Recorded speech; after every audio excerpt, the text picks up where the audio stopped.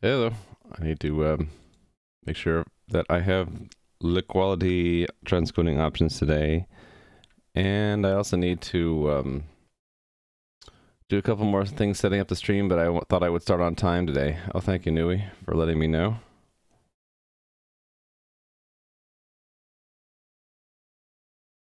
All right, I need to get the channel point stuff out. Review request queue. There it is. Okay. Why do I have some hydrates from yesterday? I'm just gonna mark them. I'm just gonna reject them. Give you guys your points back. Um. Oh, and I need to set the stream title. So the stream title is going to be wrong in the VOD. I need to go remember to fix that. Um, that's okay. More Rust exploration. Make sure the title matches.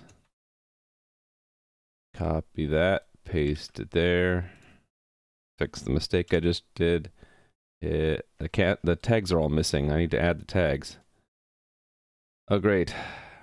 It doesn't even remember what the tags should be. Probably programming. Um, what else? It's gonna make me go back to my old VODs, isn't it? To figure out what tags I should use. It's gonna be one of those days, I'm afraid. Um, I, if I go back to my own video, old videos and see what tags I had, that would help, right? Can I just, okay. Software development, that's the other tag I usually use, software development. Do they have a Rust tag? That'd be cool if they did. They don't. So just have programming and we have software development. How come I'm not hearing my own audio?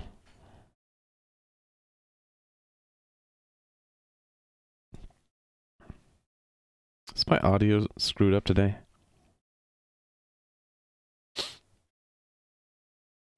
Could someone tag me in chat to see if make sure I hear that alert at least? I'm not hearing the alerts for when people chat. Uh, that's done.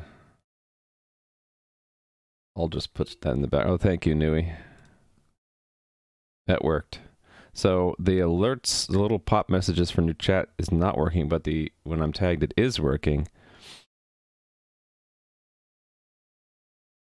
Did I? I did not even say hi yet. That's why my stream helper's like, you haven't said hi. Hey there, Nui. Hey there, Buff Seagull. How are you doing today?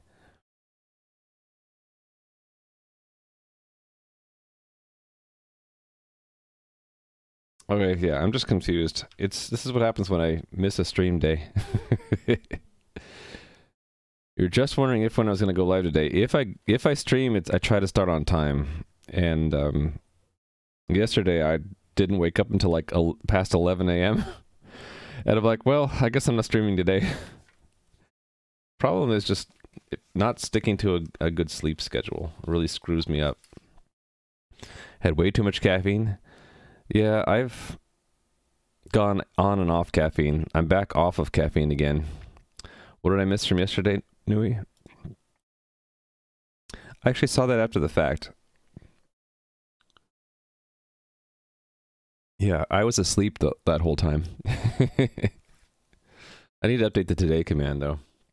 And I need to post in the Discord, so hold on, let me do that.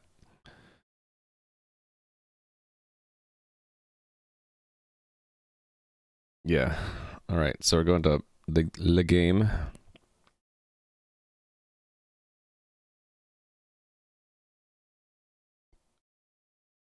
Oh, when am I going to fix this? when does it to be so wide? All right, one of these one of these years.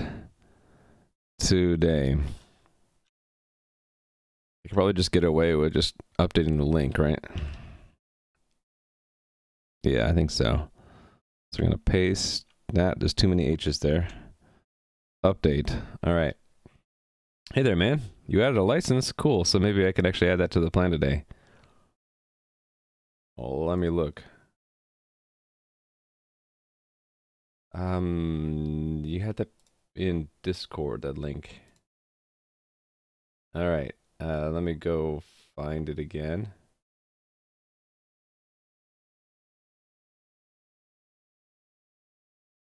You didn't spell license correctly, but that's okay.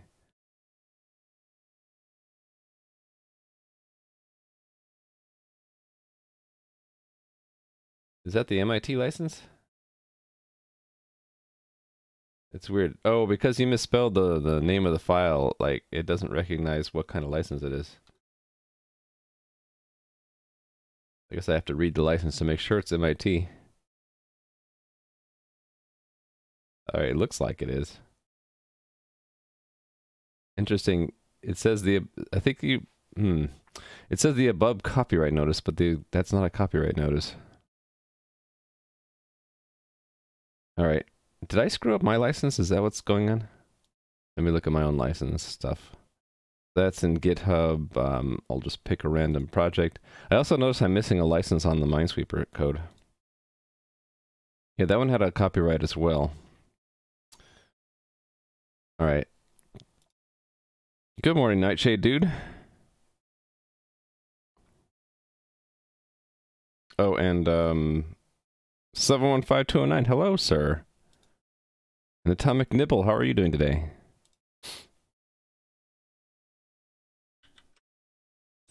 Let's see if I have a beast nearby. Nope, he's missing. No beast today. Can't even see him.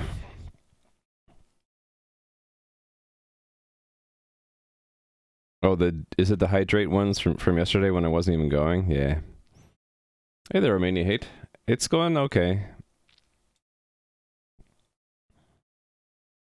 I messed up my sleep schedule. I didn't wake up until like past 11 yesterday, and so I just I'm like I'm so late. I'm not going to stream today, which is a good thing because I actually did some work that is non-stream related, more consulting related.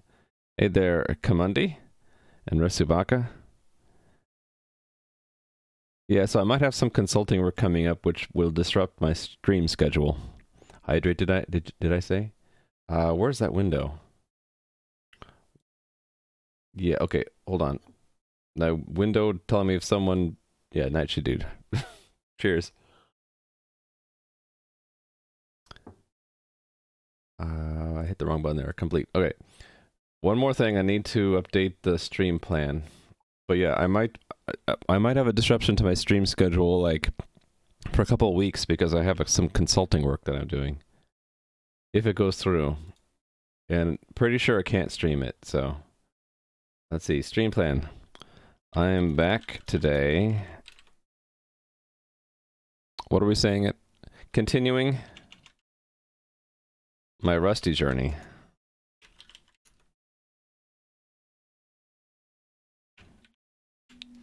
there is a link. Again, I can close this because that window is huge and gets in my way. All right.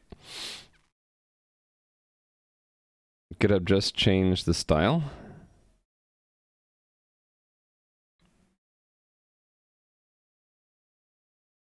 Oh, yeah, yeah. I think I know what you mean. I don't even know if I'm using the new style or not. There was a way to like preview it, but I don't see it anymore. Maybe I'm on the, maybe I'm on the new style. I just didn't notice.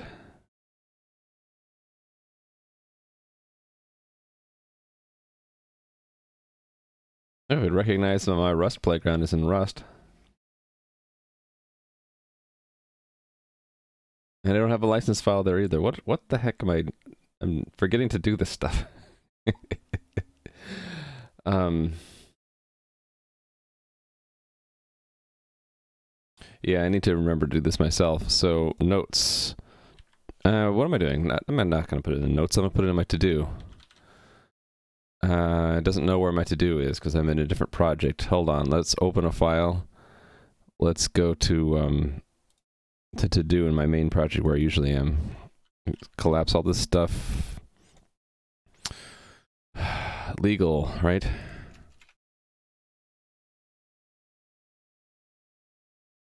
So I need to um, add license.txt in repositories. That should have them. The ones I've seen so far where I'm missing them are uh, Mines and um, Rust Playground. Just want to make sure I don't forget that. All right, now that I've started up the stream, what am I going to do with this? minimize that. Top right feature preview at bottom. I don't see it. So this is what I see. Can I show that. This is what I see. I don't see anything about preview. Do I need to go to the top level of github.com? Hey there, Gadam. I'm okay, Gadam. My sleep schedule's all messed up, but I'm recovering. How are you doing today? Click my avatar. Okay. Oh, I see. Feature preview. Okay. I hit that because, um, yes, this is what I get. No features available. It's not available to me. I guess I'm not good enough. That's okay. I don't need to. I don't need. I don't need to be, to be seeing it. I don't need to be in the in the bleeding edge. That's okay. Oh, I'm already on the new GitHub style. Okay. Busy at work as usual. Good job. Keep up the good work. So I can't go back to the old style. I'm locked into the new one. That's fine too. Hold on. Another hydrate from 715209? Cheers. Okay, now that I'm 11 minutes in, I should probably um, declare that the stream has started up. Let's go back to what this used to say. Hmm. We did that one, right? So I think the first thing I wanted to start off with today was um, trying out something that man told me about in Discord, which is a debugger which actually might get me past the problem I have with slices. So trying out LLDB uh, extension. It's code LLDB extension in VS Code. And first, let's illustrate the problem I was having. So, for example, in this binary search program, let's say I wanted to debug what the V slice here looks like. So I put a breakpoint here, and I tell it to go debug. Look at that. Unable to read memory, and the length is all messed up, right? So if I change it from a slice to a vector of t, which you can do really easily by doing that and then um, making it a different variable and then having um, a um, let mute Actually, this is no longer mutable then. Uh, let mute v equal uh, vv dot dot. There's several ways to do that. Now, if I debug it, now I can see the v, the original, um, or I can see the v slice. Um, it's interesting. Like it's only when you pass in a slice. But if you pass in a vector and then make a slice, you can debug the slice. So it's like the, you can see here when I um, I tell it to um, look at the second half, it actually works. It updates what the slice is. So as we keep going, now the length is three. Now the length is one. And then finally it should see the actual value right? Return that one exactly. So we get um, the value 9 here. Because 144 is the ninth is at position 9 in that vector right? So it's a, a, a silly little binary search. Actually, I did this as a challenge.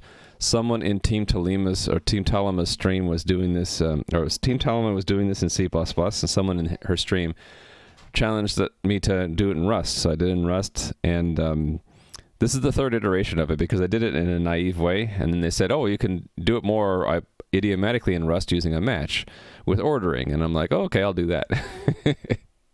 hey there, Toulouse. How are you doing today? So um, while I was doing this, I, I um just curious about look like I actually had a bug in here. The bug was I had a plus one there, and it was uh, crashing at runtime. Um, and I was debugging it, and I couldn't see the, um, I couldn't debug the slice because the original code had this in it. Go back to it, just pass the slice in like that. And so we have this problem that um, the debugger I'm using can't see the slice in some contexts. Hey there, ProSam. I am doing okay. I messed up my sleep schedule pretty badly and like slipped in over two hours yesterday. I'm like, oh, I'll just call it call it for the stream today.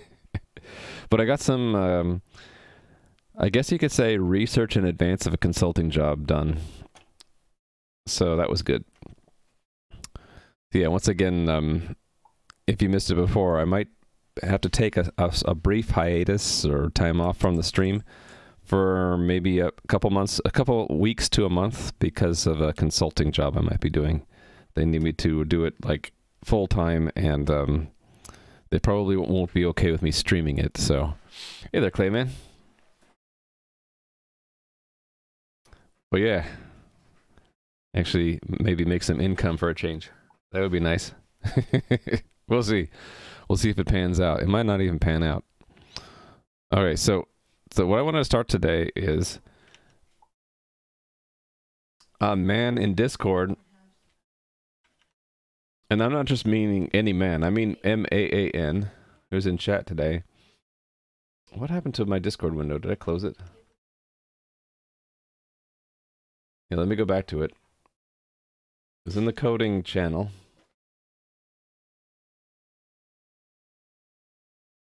Uh, let me link to it actually. Copy message link. Okay. So if you have Discord open, you can jump to that. So man says that works for them. Make sure that I'm using CodeLLDB, which I'm not using. So I'm going to try that out and see if it because this is really annoying to me that my debugger doesn't work. So if um, if it's as simple as switching to a different debugger for Rust, hey, why not, right? So this is the exact problem I want to solve. I want to see the slice in the debugger.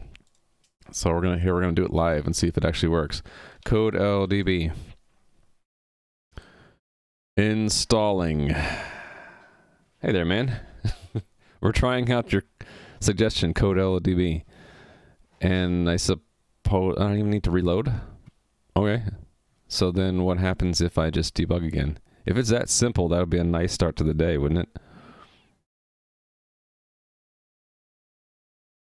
Um, that's different. Oh, it works. I have to get used to this, though. Hold on. I can see the general purpose registers? That's so cool. Floating point registers, too. Wow. Not that I would ever need to see the registers, but that's neat.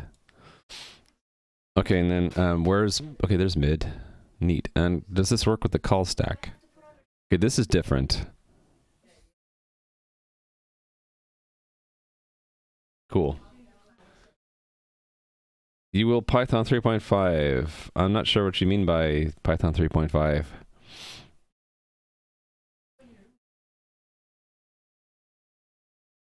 Um, let me see. I can hear. Let me switch back to the other debugger. Actually, I'm not sure how to say which debugger we're using. So the only thing I know for sure will work is if I um, disable the um, extension we just installed. So let's disable it and reload. Good thing reloading actually is pretty fast. And then um, debug again. Yeah, see, this is the, um, I suppose this is the C, C++ extensions debugger, which would be Microsoft's debugger. Yeah, so I see the same thing I do in the in the watch window on the left. Hover over V, it's all messed up, right? Otherwise, everything is working. So then I switch to uh, CodeLLDB, re-enable it, and back to debugging again. And it's working a lot better. Let's let's go for it.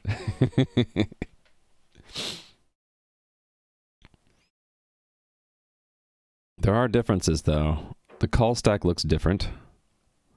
I can still read this though. Interesting that it says union for option, not enum. It, that confirms my suspicion that under the hood enums are actually unions in disguise. You need Python 3.5 for CodeLLDB.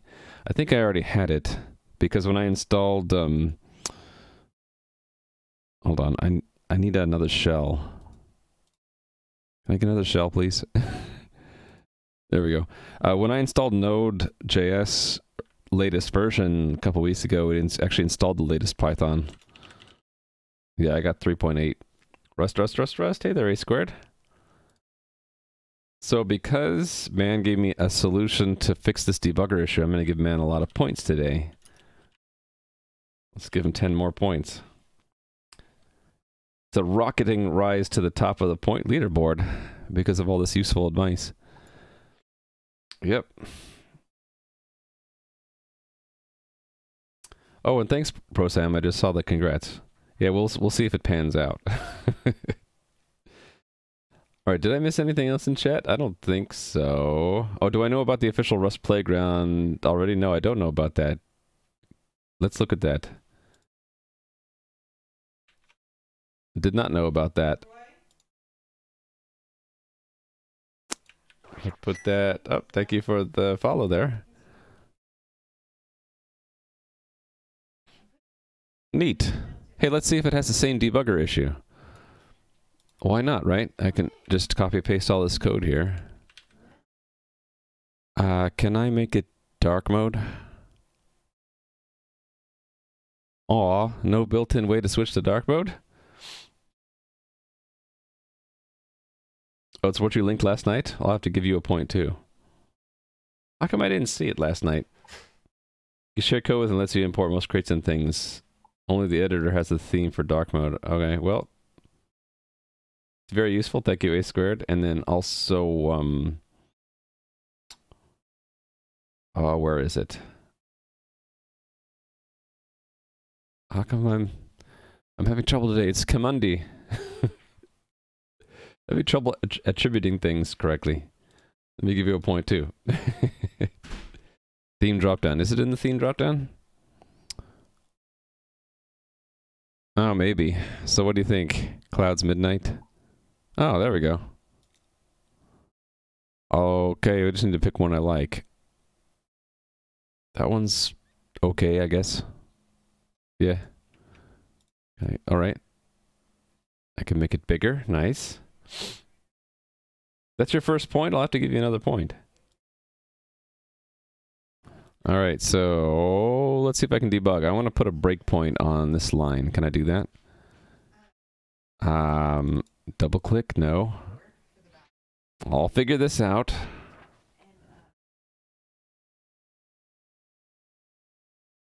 There is no debugger. Yeah, there's a debug here. Look at that.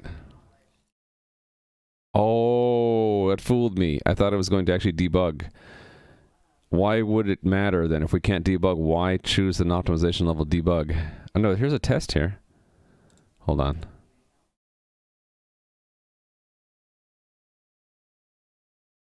It's weird that they. Hmm. Why would it matter? why would this matter if we're not going to run any debugger? Run and look at the output. Yeah, right. Alrighty. Well, I had my hopes up. because it can change performance. Say, but why does it matter in um, in a playground app like this? You can look at the assembly. Ah, there you go. Kamundi's got it. I might want to look at the assembly in there. You can also use Godbolt. I've heard of Godbolt before. Yeah. Thank you for the follows. All right, so let's play around with this test. It should say nine, right? What's interesting is it says it's never used, but then it goes on to run it.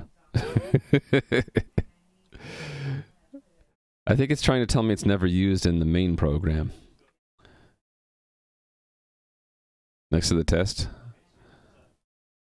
Uh, right here, right?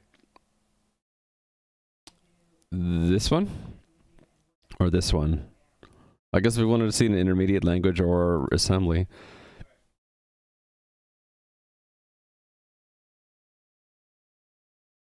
Uh, did I hit the wrong button? I think I hit the wrong button. Show, no, I did hit the right button.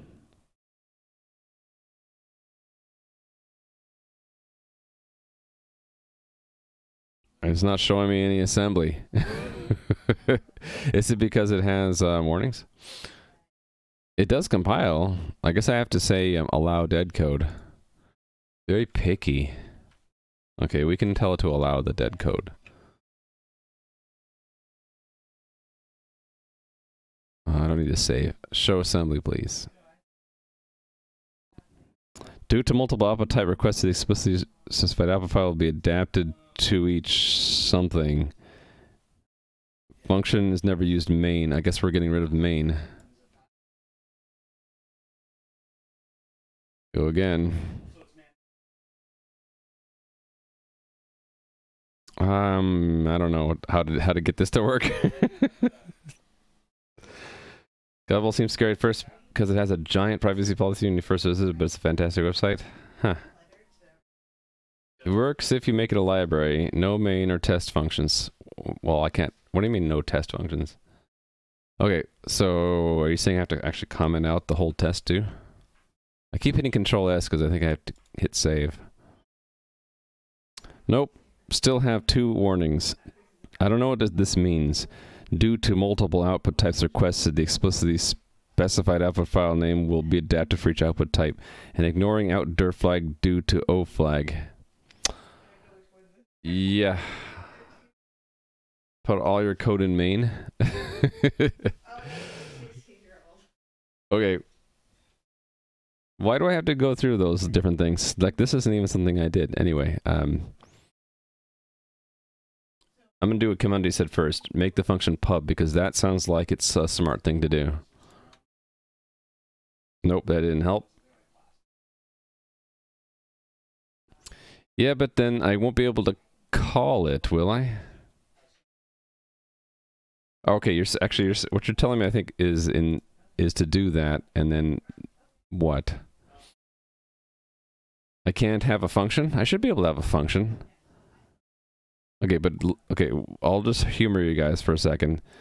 I will take this and put it in place of this function then. So here I have to do like um a uh, let index equal that, right? I can do that, I think. And I have to get rid of the returns, though. So that's a break. Right? And then I have to do an unwrap.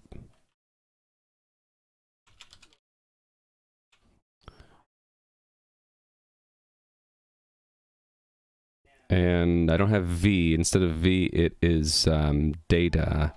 Okay, uh, yeah, I need to make another thing, right? I have to say um, let mute V equal um, address of data, and we're making it a slice. and there's no key. Key is value, so just say let key equals value.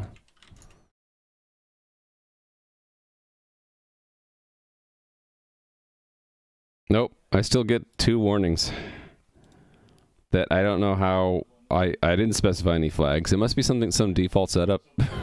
Let me try the playground that you guys are doing.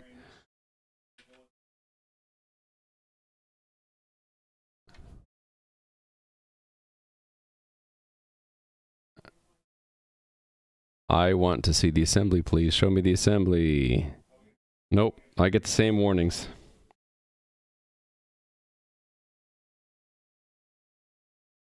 Well, even with this one, I'm getting the uh, warnings. Scroll down. Oh, there it is. Was I? Is that? Was it there all along? I just didn't scroll. Oh, I'm just so stupid. I thought that was the end. When it said finished, I like.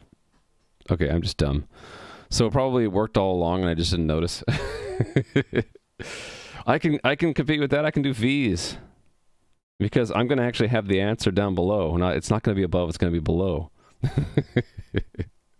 it said that yeah. So but basically, I was doing all that for no reason. I can do, undo all this completely, right? I can go back to using um, a function and everything. I probably don't even need that right? Yeah. Show me the assembly of that. Okay, it didn't do that, so it, it is something I did. Was it doing it in main enough? Yes. Okay. So it just had to. It has to be called from main. Well, but I was using the generic in the test. It's just it, it doesn't generate assembly, I guess, if you um, have a test. It has to be rooted in main, which I guess I can understand. So now that it's rooted in main, it's too bad I can't resize this thing. Then I can see my assembly here, which I guess is cool. Change it to a release and it's like a billion times smaller. Yeah, how does it actually say how big it is? I guess I can judge by how far we can scroll. And then try um, release, show assembly.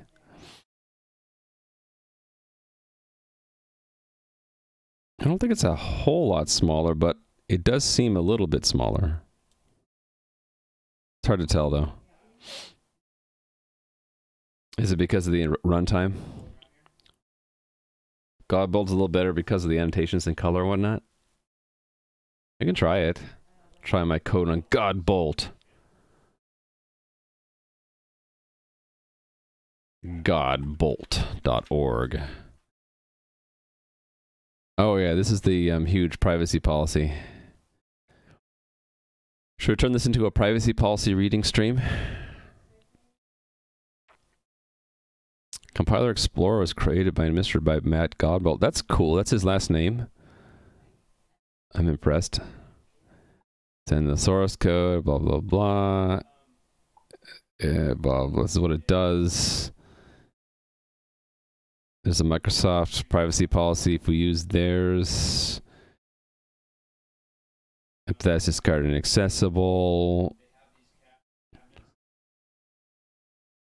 if you share it, then they store your source code. They obfuscate your IP address. They seem to be really nice about it.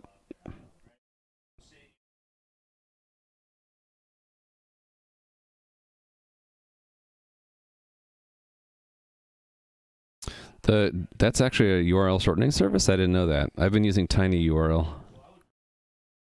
Cookies. GDPR.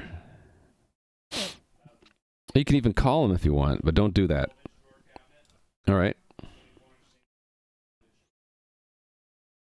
Use optimization level three.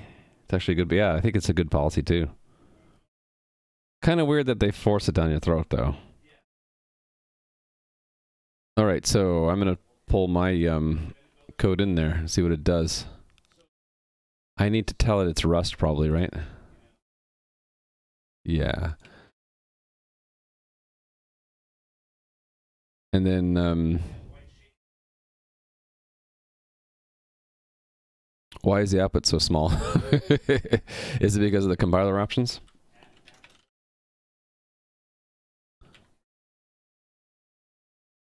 Compiling. Still compiling. No assembly generated. Oh, oh no. Can make this bigger, by the way? Can we make it bigger, please? There we go. Okay, why would I not get assembly?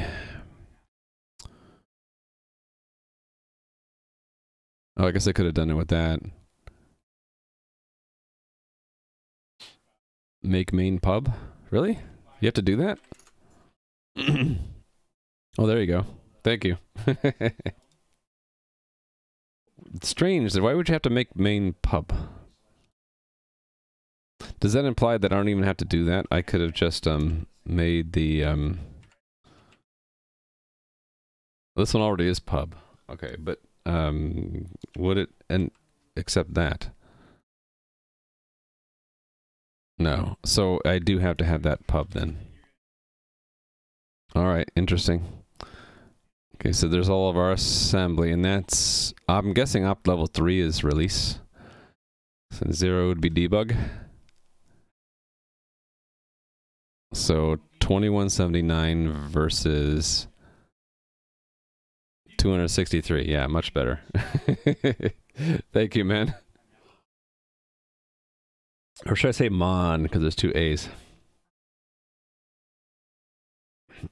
Need to mark the function pubs or else it gets treated as static annotated items in C store Scott.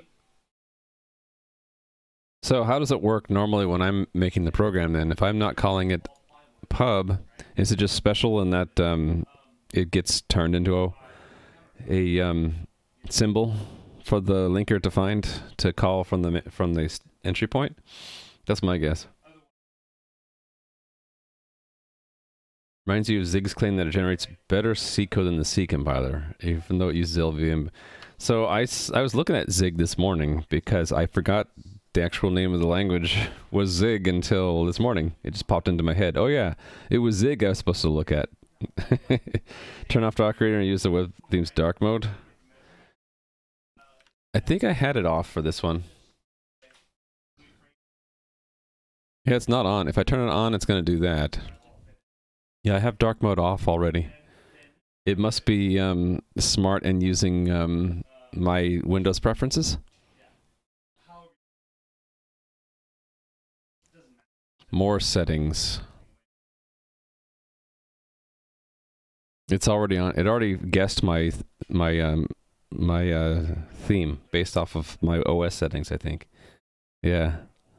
Actually, I learned how to do that um, from you, didn't I, Buff Siegel? Didn't you point that out in Adam's Discord at one point? There's a um, media query you can you can use to to find out what the user's preference is,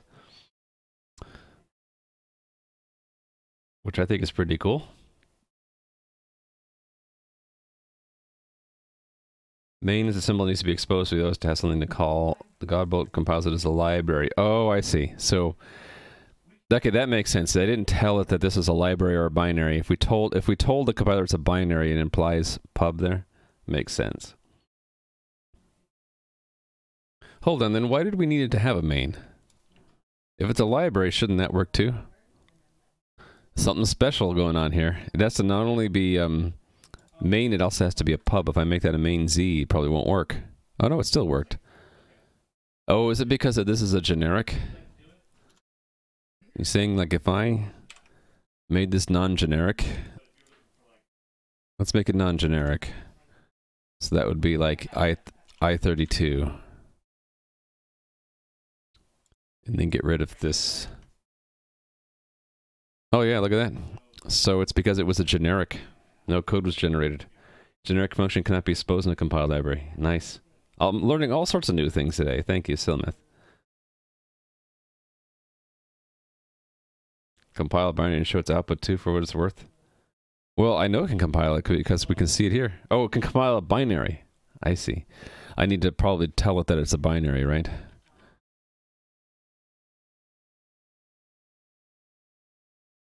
Or does it guess it by the fact that I have a have it pub there.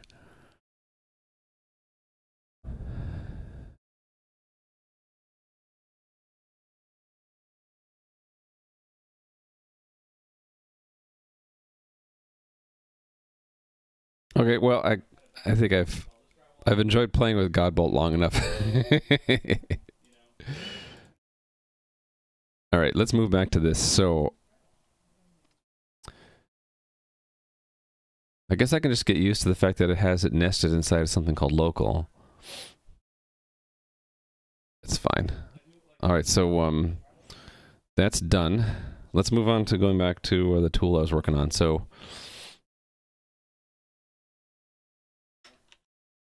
current task. I spell it correctly. Okay, we already tried out that. We're going to use it. So porting Python to Rust. Actually, um, I don't know what we're doing next so it's um, reviewing work from last week. Let's do that first. Don't need that. All right, here we are. No, wrong project. I need to go to this project. Yeah, it makes sense, Smith, that they're um, they don't actually have a presence in the in the build products until you actually um, instantiate them, just like a C++ template. Extensions have been modified. I hate seeing that. I don't like seeing that at all.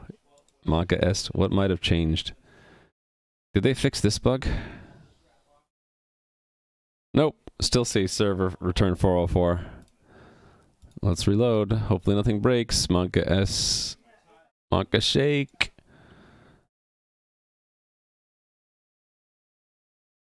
Can I still build?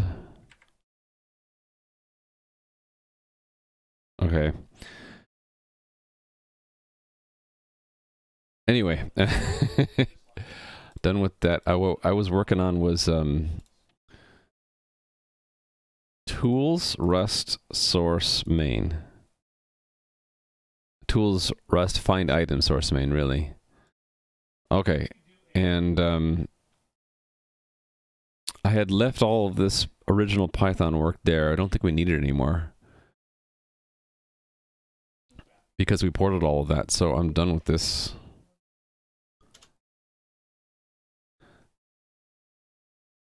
Okay, so um, I think the way I had this set up last week was I ran it from a terminal if I was in the stage directory, right? Items rust. And I had it connecting to the local server, I think. Yeah, okay, so I need to run the local server. Yeah, decided I don't want to risk um, showing private key, real private keys on stream. So serve.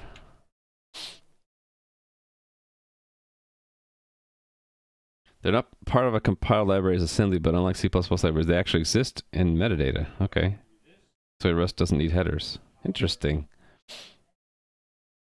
Interesting to know. Flykin! How are you doing, Flykin? Also, hello to Selmith and Nathaniel. Uh, Bum Nathaniel Bumpo, of course, and Cheesegee.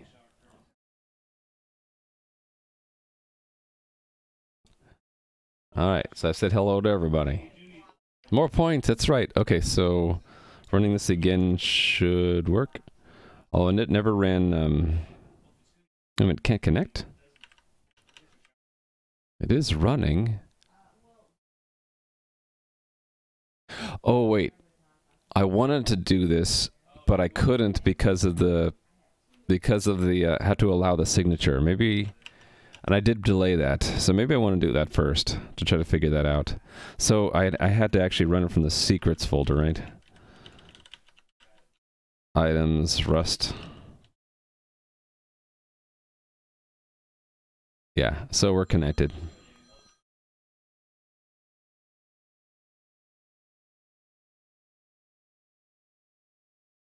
All right.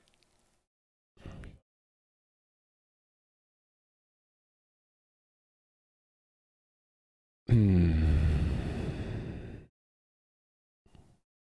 I could probably get rid of all the commented out stuff, right? Should I keep it? Sorry, there's a bit of... I'm a little bit distracted by noise.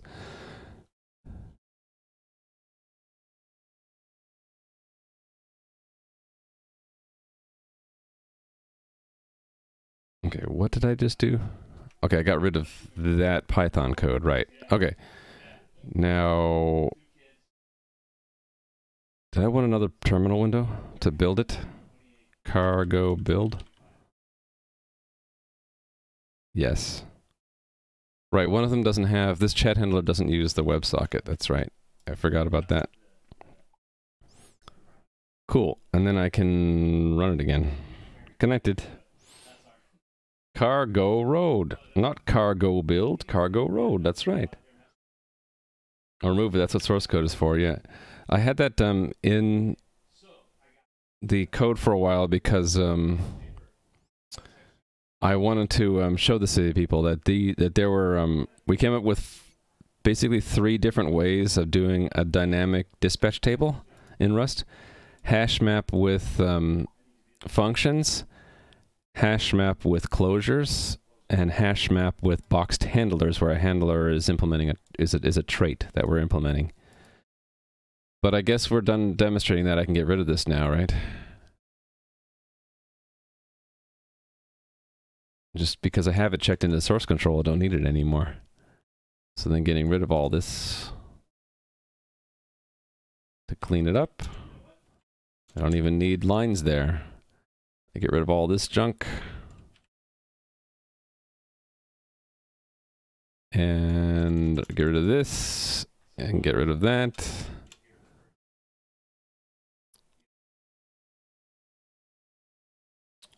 RLib target, as far as you remember, contains intermediate representation of generic functions codes. You can use them distribution. Oh, okay. That's cool. Hey, Kun Chris.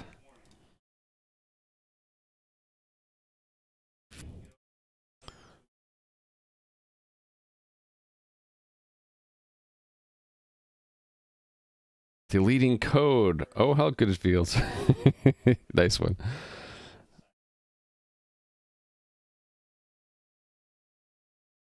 Okay, we don't need the naive solution anymore. Oh, I never did this one? Oh, no, that's if we use a static dispatch table, right? Did I want to just move to the static dispatch for now and get rid of the dynamic dispatch? Oh, no, no, I wanted to keep this around until after we were done porting. Yeah, yeah, yeah. But I don't need this, right?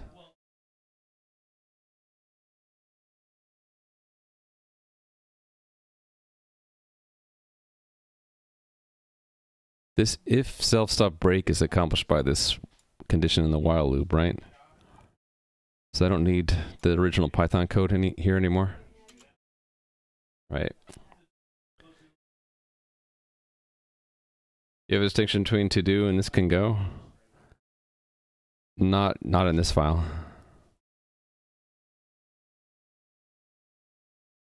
I don't usually keep around commented code. But I did on Friday because it was um, helping me like compare side by side and show people like the different ways it could have been done. I need to take a break in the next half an hour. All right.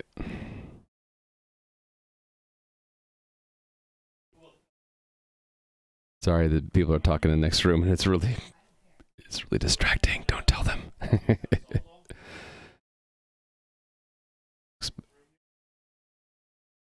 Oh, right. I wanted to clean this up because this is not the message we're getting. It's connection closed is the wrong error, right? I was going to um, fix this. So um, I want to force it to disconnect on us by corrupting the signature first. So let's do that. Let's. The signature is mutable, so I can say signature zero equals um, FF, right? And then um, cargo build.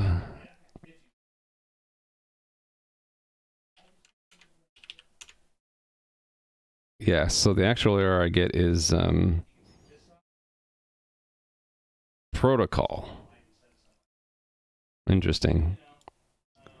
Not connection closed, but protocol. Interesting error. You can't hear a thing on stream because this microphone is pretty good at canceling that noise. Yeah, but um, my ears are not are, are more sensitive. um, do you want to keep that around? What was that for? Oh, that was to get it to. I don't think I need that. I don't need it to end early. And I technically don't need that one either. All right.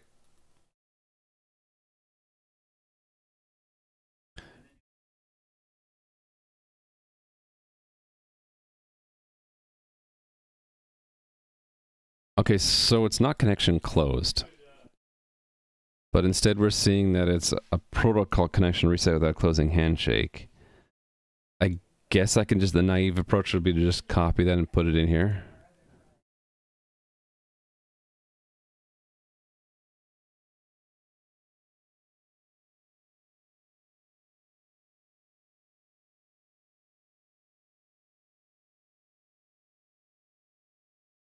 Okay, that's weird.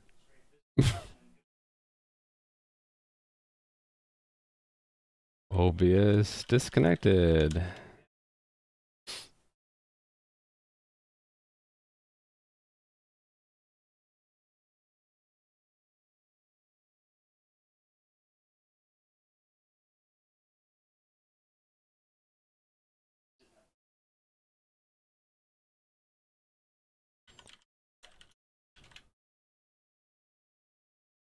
Reconnection successful.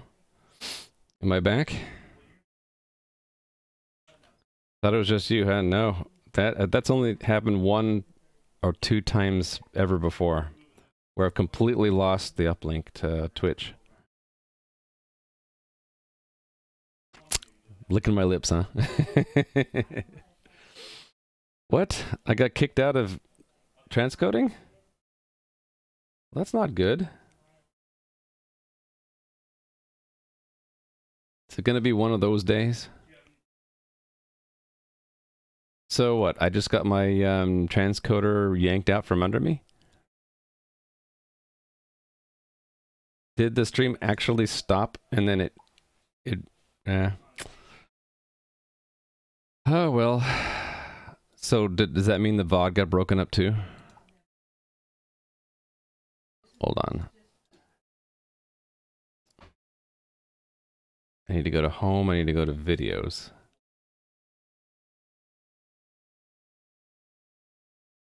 No, it didn't break the VOD up. Oh, now I'm dropping frames again.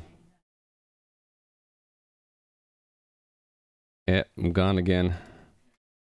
Dropping frames. Dropping lots of frames. There's a new one? Oh, yeah, you're right. Well, shoot.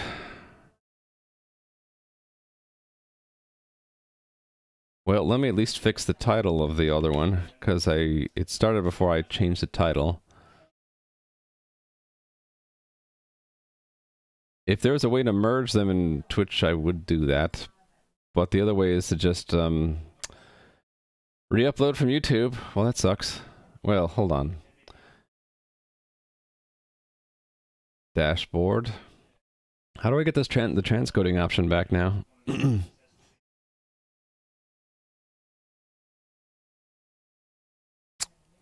Mm-hmm, indeed. Well, if the damage is already done, I could just stop the stream and start it again with try to get the transcoding options back.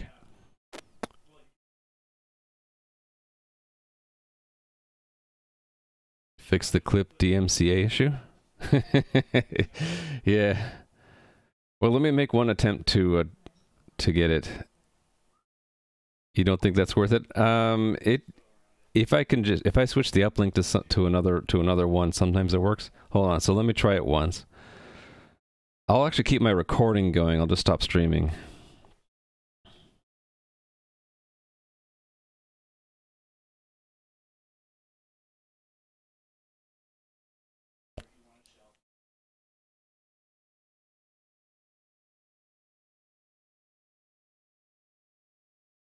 Okay, this stream should be restarting now.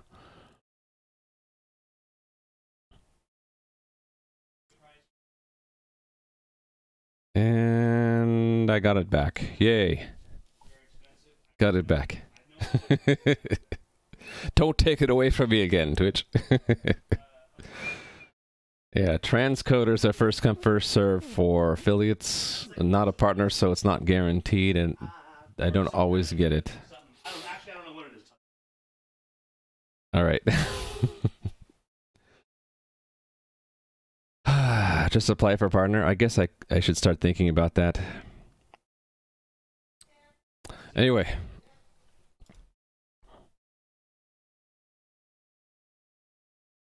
Anyway, what I was doing before all that stuff happened is I was going to try to um, see if I could just fill that in right here.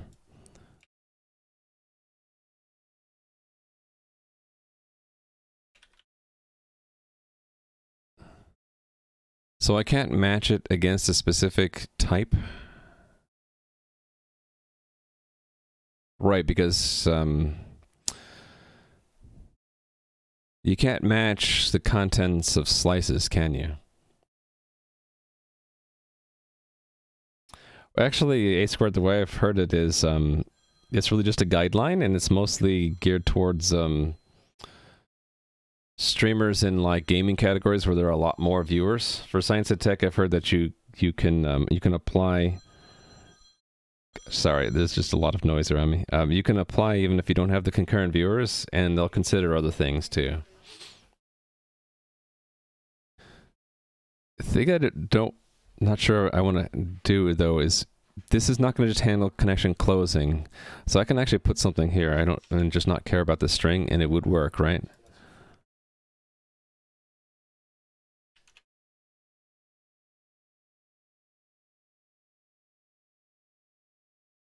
Yeah, okay, so that works now.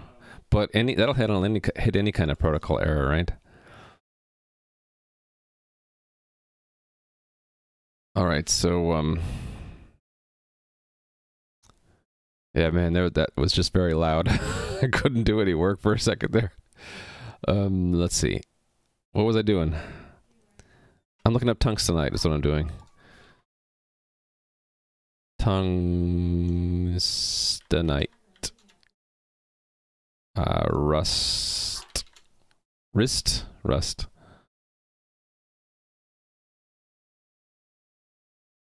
Documentation. Um. Error?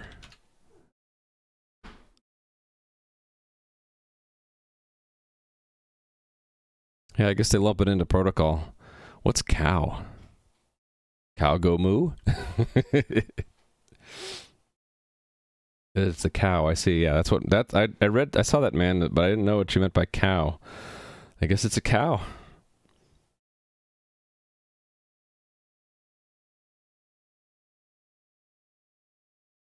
A deref conversion in the meantime.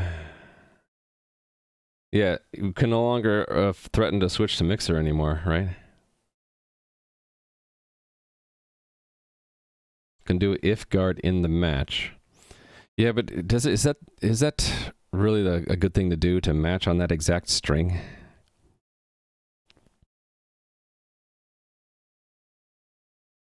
Is that really a protocol violation? An unexpected close without a handshake? I think that's a little bit strict. But I guess that's their implementation. If I don't like it, I'll have to write myself my own WebSocket library. Who would do that?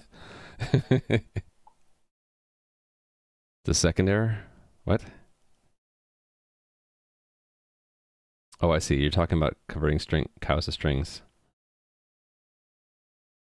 Yeah, oh no, not again. Yeah. Port my own WebSocket library to Rust because I don't like that there's no connection. Well, they have a connection close, but that's only if it closes normally. There's no um, abnormal close.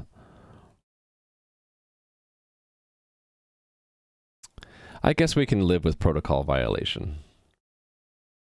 Cow is copy on write. It acts as an enum between slice and string owned and borrowed. Okay.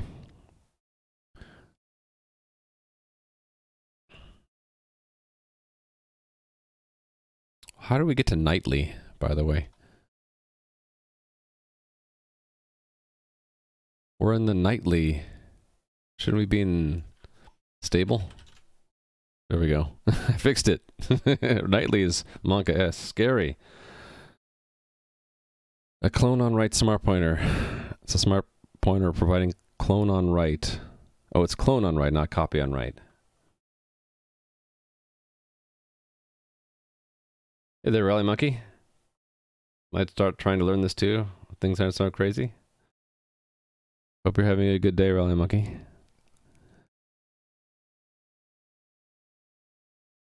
Enclose and provide immutable access to borrowed data and clone the data lazily when mutation or ownership is required. Okay, that's interesting.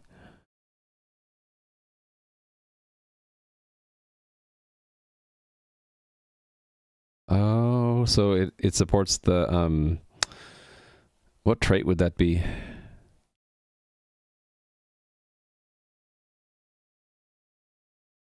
I guess it's borrowed.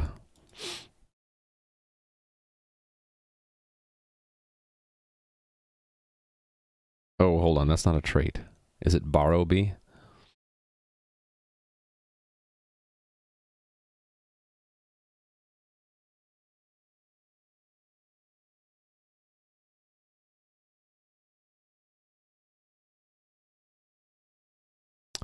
Not exactly. Okay, I don't want to go too deep because I don't understand a lot of what I'm reading, and so it's sort of a waste of my time. But I get the gist of it. So it's a slice until we try to um, mutate it, and then it becomes an owned string instead. Nightly is cool. Nightly is scary. yeah, I need to be careful looking down these rabbit holes, right? Even though my avatar is a rabbit, we got to be careful. The Ray Rust releases continuous integration instead of nightly is actually just as stable 99% of the time. Yeah, yeah, it's that 1% that always screws me over. yeah, I, I want the stability guarantees. I'm I'm too old to have um, an unstable tool set. you know how it goes when my um when my uh, CMake broke. Like that was that really messed me up that day. So um, pinning it to 131 to avoid that issue. Now I'm now I'm terrified to um, even touch this. Um, and then this broke, and the fact that I can't even see what versions are I can install, I, it makes me terrified to actually click that button. I don't even want to put the mouse over it because of that. Anyway, um, I guess we're accepting the fact that we're catching all protocol errors as a cl abrupt close, which kind of makes sense. If you get a protocol error, you'd probably want to close early. So then I don't need this, do I? Actually, what other errors would there be? Actually, there are no more errors, right? That handles everything else. Why did I even have that? I don't know why I had that. This this is exhaustive here. Can you return the protocol error? I don't want to return an error. This is going to um, not return anything. I I I intentionally wanted to have this catch because it matches what I had in the um, items script, where we actually have a catch. Right, where is it? Actually, it's in common, right? Let's pin that one. Pin that one, please. Common. Yeah, I had um, a catch in in the original Python so that's why I kind of wanted to catch everything here. Uh, we're doing a little bit more than the Python did. The original Python would have, um, since it's not catching that specific, it's only catching that specific thing and not everything else. Technically, it would panic. Um, actually, that actually is what we're doing. Yeah. Okay, so never mind. We're I'm trying to make it um, Match the Python as closely as possible in step one here. You can install nightly Rust side by side with stable. Easy switch global, that's okay. You know, I'll let other people work with the nightly build. I'm I'm perfectly fine working with my stable build. That's why you said second error, I see. Where when did you say second error?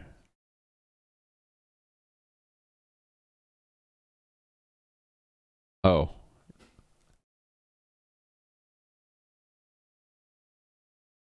I see. Yeah. And I was only doing that because um, it wasn't catching this one, and that's how I learned it was protocol. So I probably don't need that anymore. So, um, well, here among other uh, protocol errors, um, so what, just out of curiosity, what are the other kinds of errors? A TLS error, IO error, yeah, all that stuff. Okay. Don't bother to handle any other kinds of errors. You can also do a second nested level of match for the protocol argument. Yeah, but then um, I don't want to have it tied specifically to the string they use because um, that's probably an implementation detail, not part of their interface, right? What I would have preferred is if they had an, an error specifically for abrupt close, because I do that in I do that in my in mine, and so does the Python, right? So if um, Python has it and my code has it, and Rust doesn't, it's a it's a deficiency. Yeah, it's a problem, but that's okay. You know, it, it, protocol errors are lumping in un unexpected close, that's fine with me. Yeah, especially if you have a different languages. That so that string could be different depending on what language you're picking, right? So I don't need that error.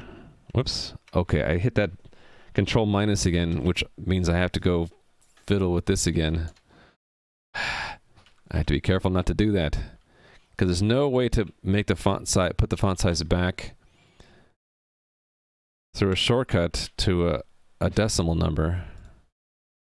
Okay, so don't hit control underscore, hit shift underscore. There we go. Can you unbind the zoom? Yeah, I should probably should. That would be in um, binding keybind. Key map. Which one of these? Nope, not that one. This one. Zoom.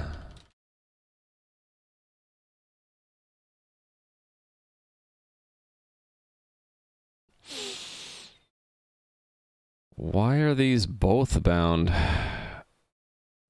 Can I just clear it? Remove. There we go. Remove. Yeah, let's not let's not do that. If I need to zoom, if I need to change the zoom setting, we'll do it manually. We're to delete all of these. There we go. Solved. Thank you for the idea, Buff Siegel. Yeah, I'm removing. I removed all the keybinds, and I don't accidentally do that again. Nice. It's like customizing your IDE to suit yourself. Okay, getting too hung up on this. I need to take a break. what am I going to do after the break, though? I need to um, do the next thing that we're doing um, for finding the items, right? So after we authenticate, we actually have to go in and actually look for items. So where did that happen?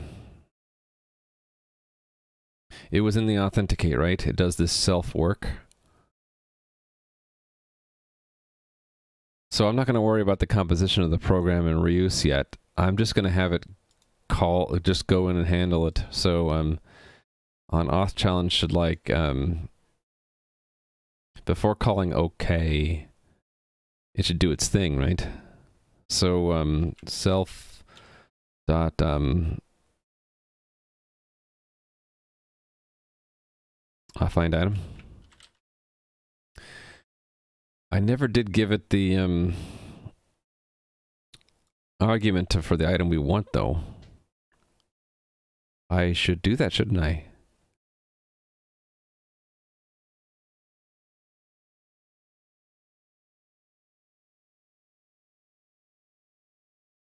Okay. Extract item, a name of item to find from arguments. Sort of silly to have both of these comparisons, but it's because they're for different reasons, right? What did how did I do this in the item script? Well, there's a command, but then after the command, um, inside of find items, we checked it, right? Where is that? Find items. No name given. That's what it is.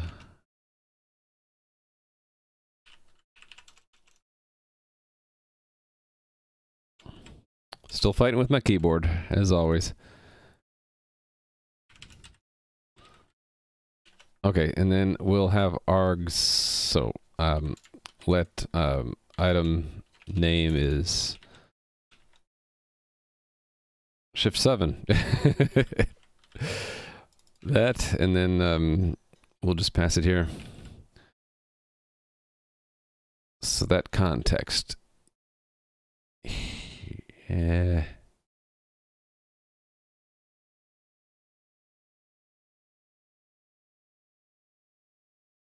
Hold on, how did I do that? Oh, it's the run. Okay, never mind. So run here is um, item name. Okay.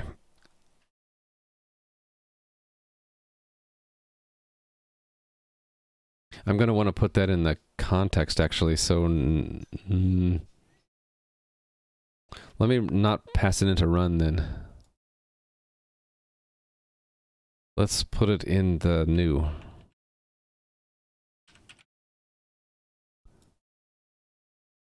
Context name. So new um, item name.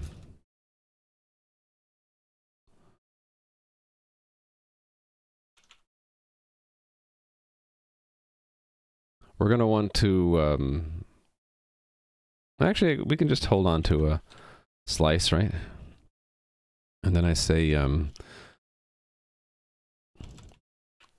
item name is um, just that, right?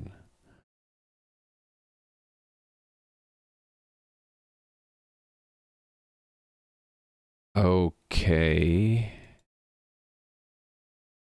Static, right? For now. Actually, I guess it doesn't really matter. If I use a non-static lifetime, I'll have to declare it somewhere, right? I'll have to declare it up here. And then I have to say, is this how you do it?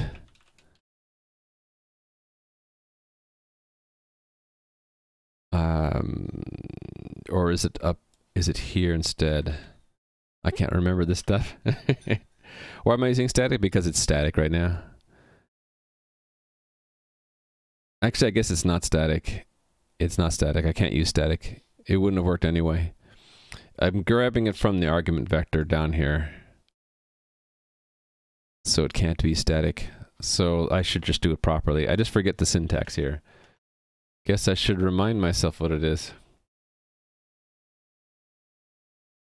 Yeah, that's the answer, Kamundi, but I need to re... I, whenever I forget something like this, I kind of want to go back to the book and see that section again. That was... Yeah, since this is a new thing for me, I always forget how to do this. And I always forget where it is in the book, too. Anybody remember the chapter it was in? It was like in 5 or 6 or something. I can't see it now. The uh, life life lifetimes. You can store string. That's okay. Just search lifetimes. Yeah, but I have I've had trouble with this search bar. But that time it worked. Okay, it's chapter 10. All right.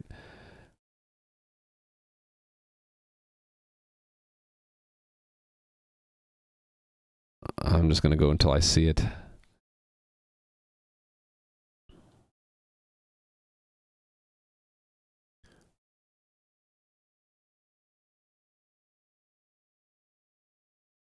Wow, they take a while before they actually introduce lifetimes.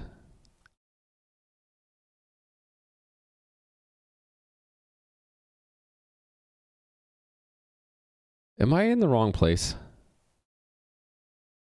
Yeah, I'm in the wrong place. They did until 10.3. Okay. Yeah, they're introducing it.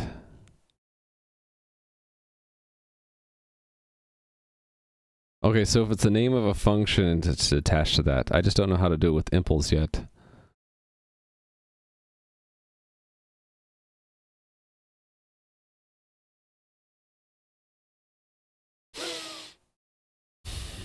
I just I don't want to just type in with Kamundi tell me because I'm not going to learn very well. It's like kind of like being given the answer to a homework problem.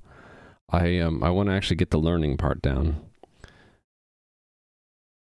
Okay, it makes sense that she put it there for the name of a function. I guess I need... Oh, here we go. References might be tied to the lifetime of the references in the fields, and they might be independent. The lifetime parameter declaration after, after impl and its use of the type name are required, but we're not required to annotate the lifetime to the reference itself. Okay, so I so there's a reason why you attach it to both, right? And I forget what that is. Because you would think that you should only need to attach it to one or the other, but not both, unless they have different meanings. Yeah, I think the problem I have is this doesn't explain why it's needed on both. It just says it's required. But they don't say why. I wish that they would say why here. The first one declares the parameters, the second one uses them.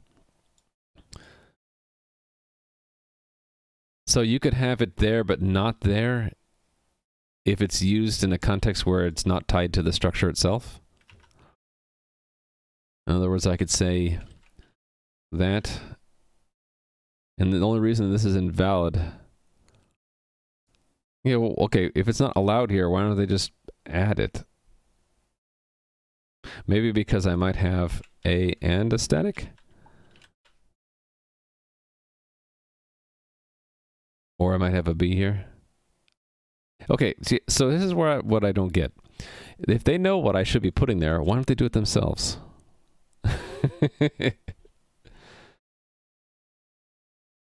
you can use it more than once. I see. Okay, thank you. So that now you've earned a point. so it's I could use this like this, right? I can say um uh I don't know. Your example used like another another type. So if I had another type like I don't know, box. Oh, there's no int, right? I32. It's going to say I'm not using it, right?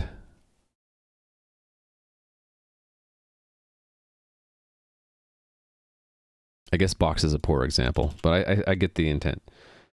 Yeah, I know. I need to take a break. I have three minutes le left before Workrave complains to me. I'm going to take a break in a second. So, um, yeah, thank you for reminding me, Rally Monkey.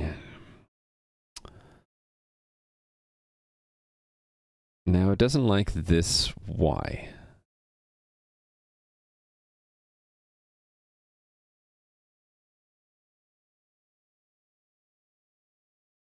This reminds me of C++ errors. Probably because um, these handlers have a different, um, yeah, a different uh, con, a different life cycle, and this then would have to have um, like that.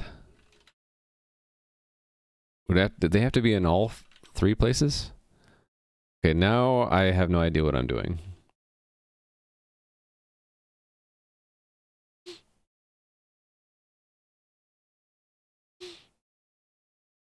Change the return type to either context A or self of new. Uh, that and that would solve this mess up here.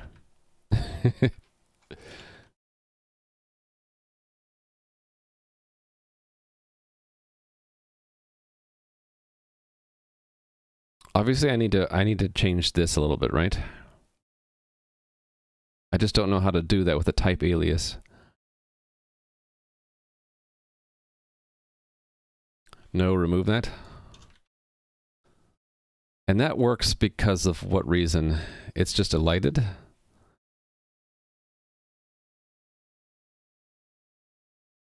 You're saying I need to have it here. Still have a problem. Um, probably because of this needs to be there too, right? Nope, now it's really confused.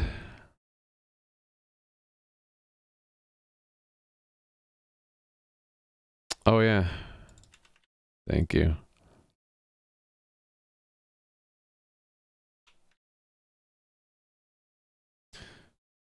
Okay, so maybe I should just look and have it tell me what exactly the um, error there is.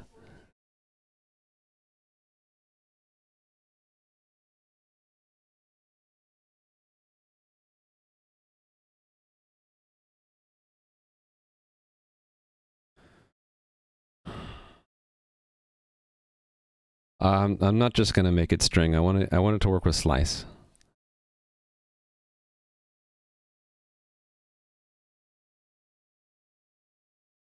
Okay, but I need to take a break. I have like 50 seconds before it really nags me. So I'm gonna I'm gonna take a break for three about three minutes.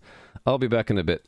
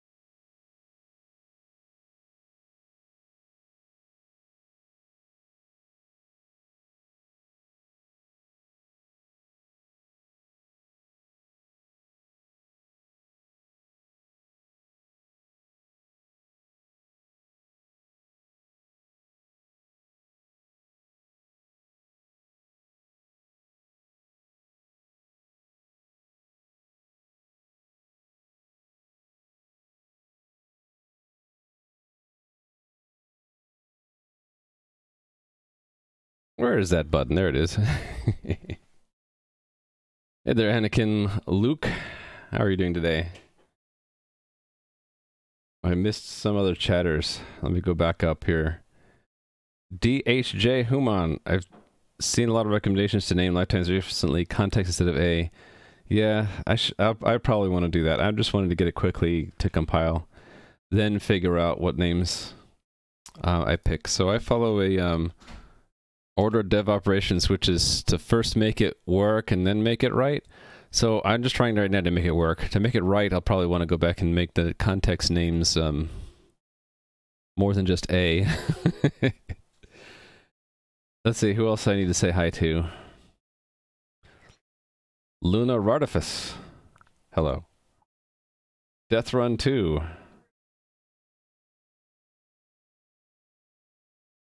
Death Run 2 ran the today command a while ago. I'm sorry I didn't see that. Hello? And Metal Storm. I didn't acknowledge you either. I'm sorry about that. Back at 1016. Hey there, Metal Storm. I heard of learnxinYminutes.com. No, I haven't heard of that. Would it help right now, or should I just look at it later? I'll at least put it here under notes. Hey there, Slickver. Okay, scrolling back in chat a little bit. That beast pick is awesome. Uh, the beast isn't around though. Like, that's where he usually would lurk, but he's not there right now. Looks like it was AI generated. No, I generated the beast pick by um, combing his fur back he just looks so hilarious when I do that. I took a picture. For a function means that the function pointer has a generic lifetime.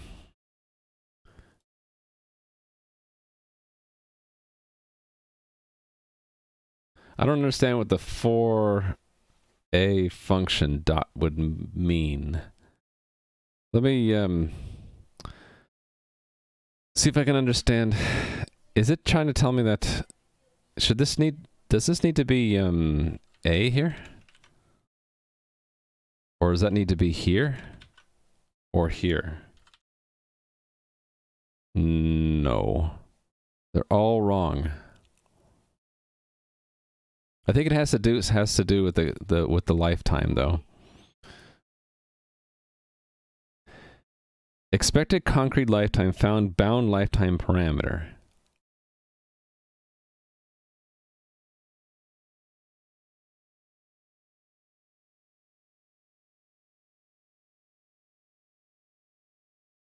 I don't understand the syntax for for.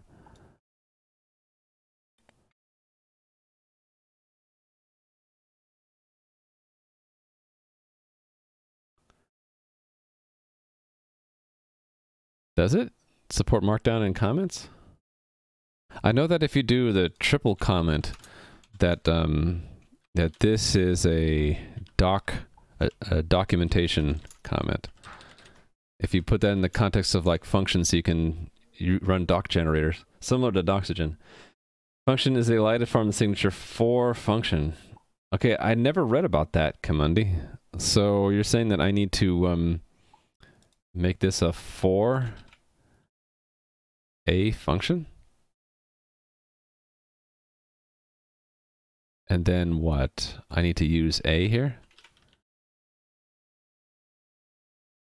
And then try self on auth challenge self here. Self still says it's mismatched.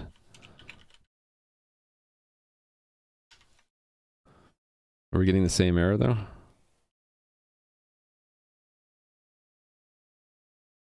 Expected concrete lifetime, found lifetime parameter A. Is that be still because this is wrong up here? That's still wrong?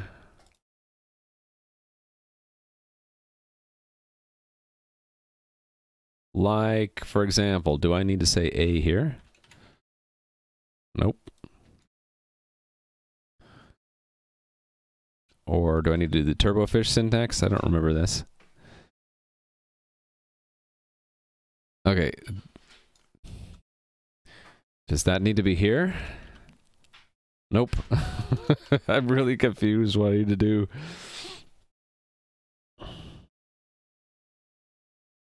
So that should work, right? But it doesn't because it's giving me a, something that I don't, don't understand, which is saying that it expects a concrete lifetime, found bound lifetime parameter A. I don't understand why it says it found a. Okay, you can't even see that because my face is in the way. Found bound lifetime parameter A. Uh, there is no AA here, so I don't know why it found that unless it's elided from the fact that it's inside of an impl A. In that case, the um, handler is defined wrong, right? That's my guess, is that this this is wrong somehow. Hey there, Mr. Halsey. How are you doing today?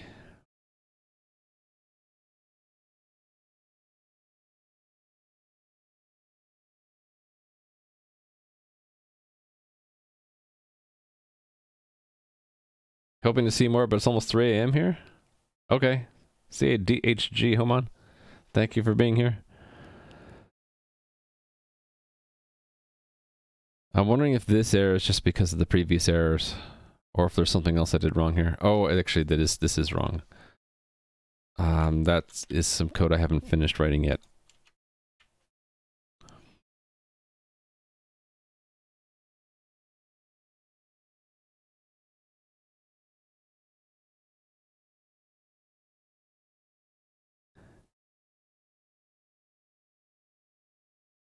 I think I need to give I need to give a lifetime when I make these po function pointers, but I don't know how to do that. There's the full error.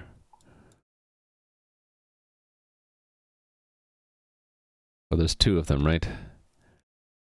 Mismatched types. Expected concrete lifetime, found bound lifetime parameter A.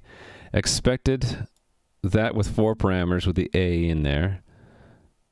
Found one without it.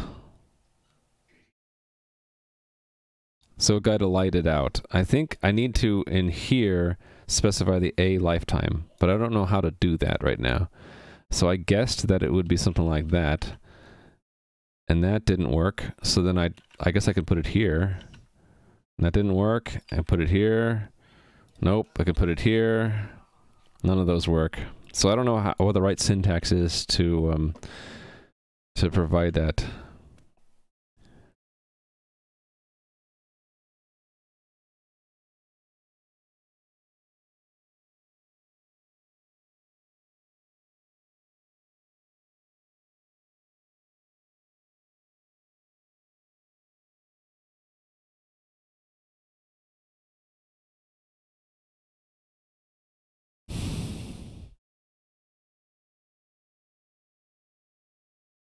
I didn't know about that, Mr. Halsey. Keep the compiler from barfing too early? Okay.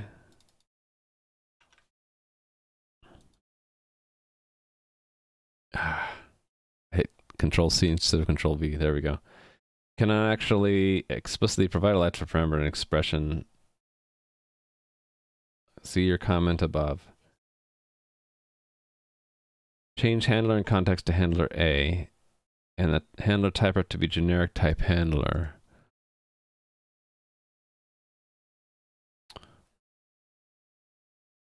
Change handler and context.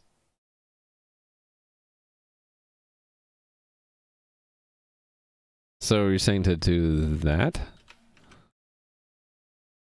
But it doesn't like that syntax.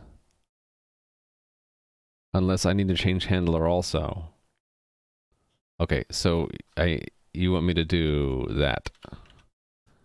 But then it doesn't like that. oh, it's already in scope, so I don't need to do that? Is that what it's trying to tell me? Ooh. That did it. Kamundi, you're you're amazing. And so is Silmeth. Okay, now let me see. I need to understand what happened there. They give you some points but I need to get the learning down. I can't just be given the answer to the homework problem, right? I need to have an understanding of what the heck I just did. I don't really understand this. I think the problem is we need to say that the handler has the same life lifetime as the context. Because the handler is a pointer to a con to a function that has the same context. Yeah, I think I sort of get it, but the syntax is sort of weird. The hash map lives in the context. Yeah, so it's basically saying that these pointers, their lifetime is the same lifetime as the context. And in order to do that, we have to we have to use that syntax to make that match. Yeah, these the that combined with um, that allows me to do um, this. Right? So I guess I don't need to say a lifetime here because we already provided it here. Right? Yeah, okay. I, I sort of get it, but I'm still weak on the syntax. Anyway, it works. At least I think it's going to work, although uh, there looks like that we have further errors down here. Uh, probably because this doesn't have a lifetime specified, right?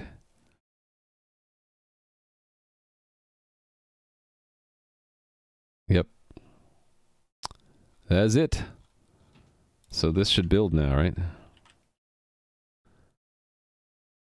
Except for I never used the item name, which I need to use because I'm going to need that soon. So the item name um, is up here, right? In the new, I needed to store it in there. Ah, uh, wait a minute. Wait a minute, that's where I'm using it. Oh, right. I'm never using it. never mind. Okay, let's use it. So I need to do like um self dot um well need to give it a name. What do we do after auth challenge? So um actually we're not just reviewing the work. I need to update this. So um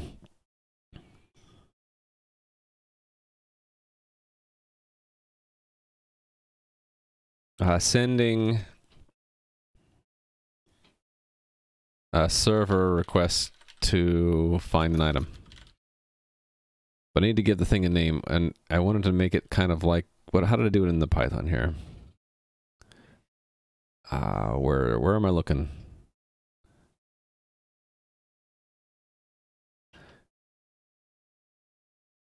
I think it's work is what I'm what I'm um, need to call it because that's what I called it in Python. So self work. And then work needs to be a function.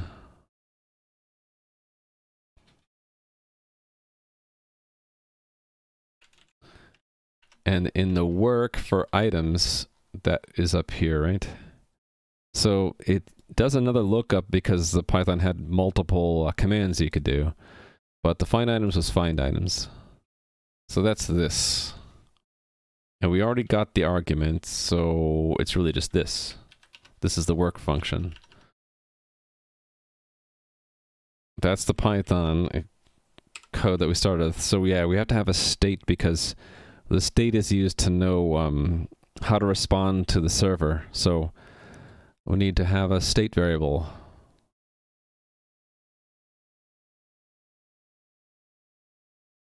Um, I suppose we should just make that a full-blown enum, right?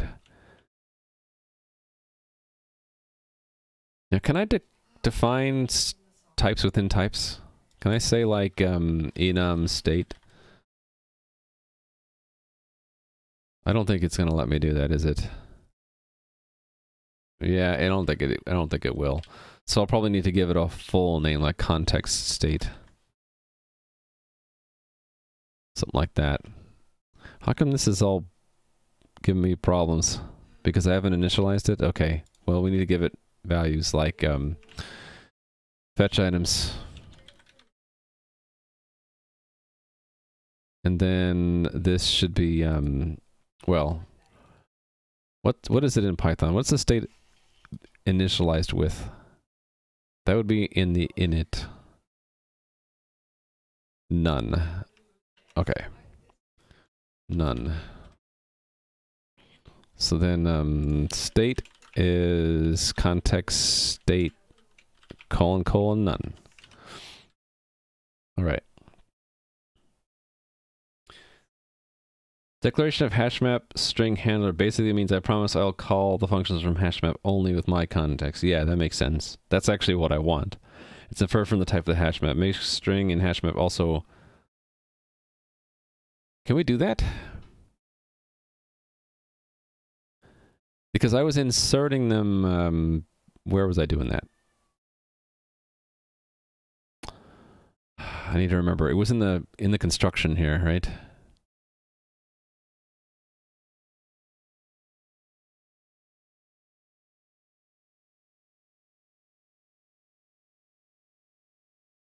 So I can do that if I make them static lifetime.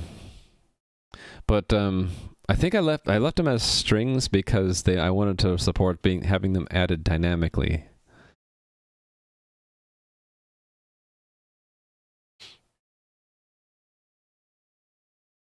It doesn't need to own the hash map keys if they're always static like that. So I could have said this, right? I could have said, um, ah, sorry, I'm struggling with my ed editor. I could have said that if I make this a um,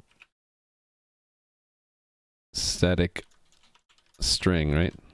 Now it'll work again until I do the lookup down here. Well, let's comment that out.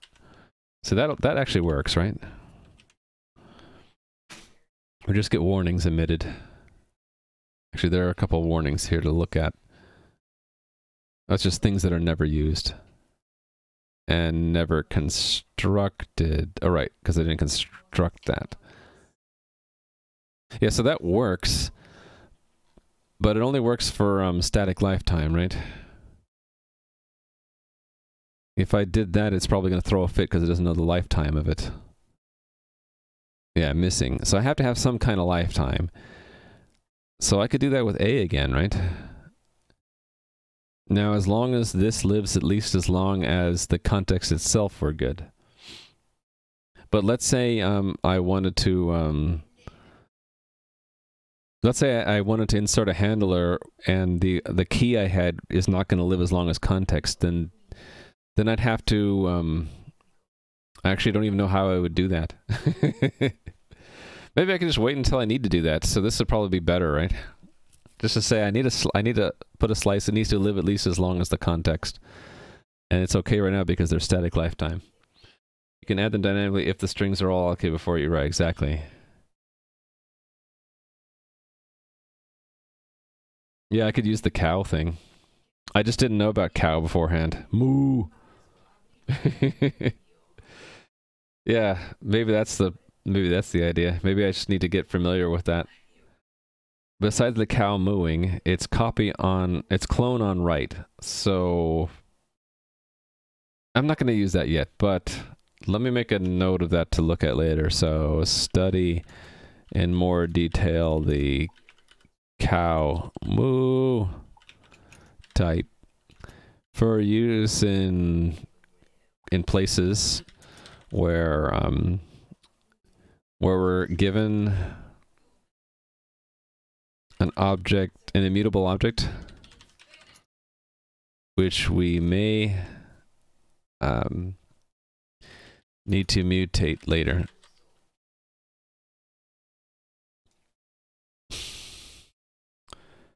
Rhymu, copy on write.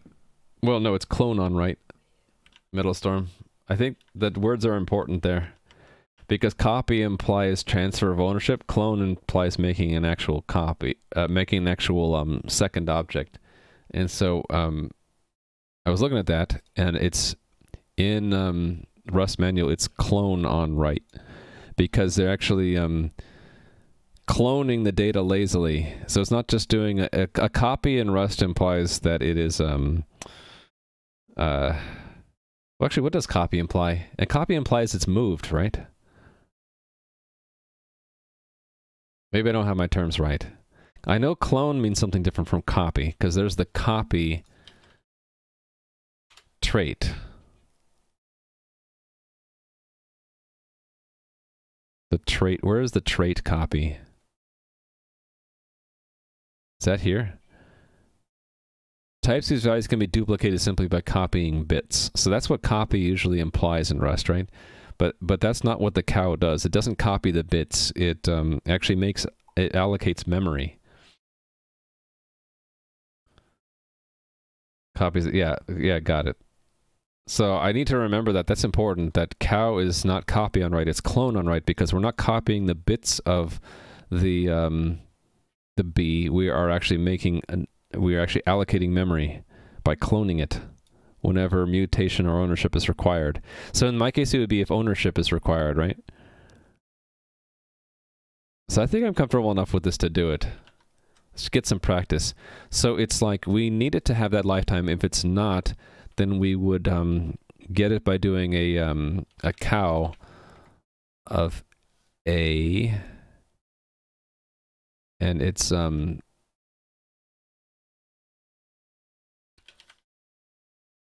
it would just be that, right? Hold on. No reference there? But then we would what? Want Ah, uh, that there's no name there. There we go. And cow is in borrow. Is that not brought into the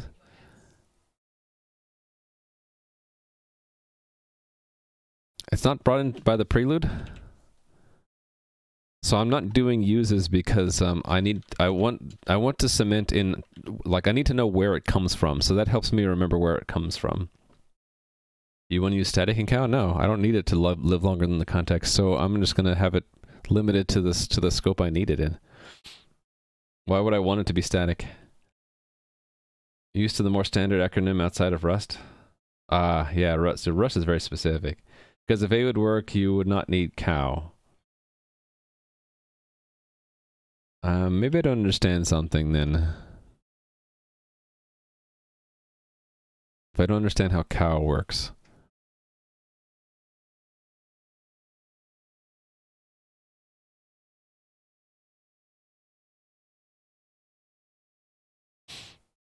Let's see the example here.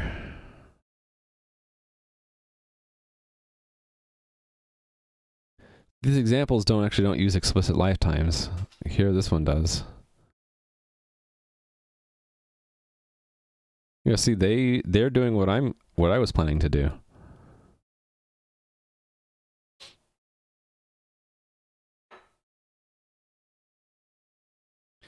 The idea with using cow static string would be I want to use either a string literal or a runtime allocated string.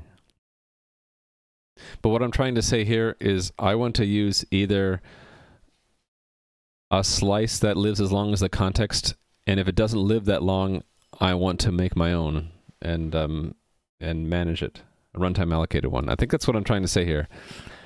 The key needs to either have at least live as long as the context, or we're going to um, allocate memory for it.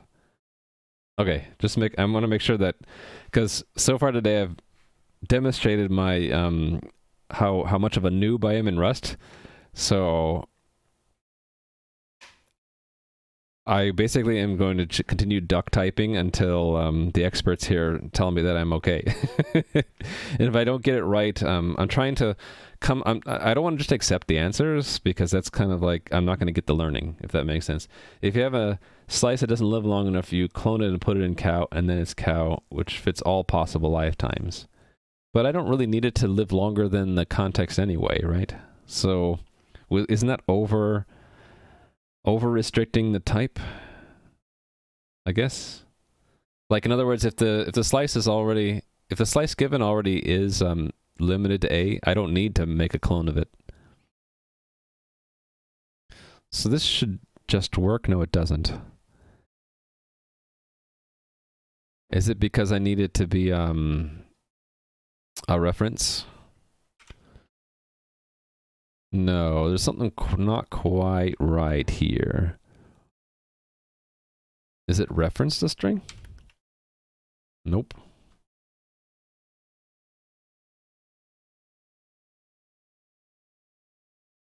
Okay, there's something still not right because that should have worked, right? Do I actually have to put it into a cow myself? I don't want to have to do that.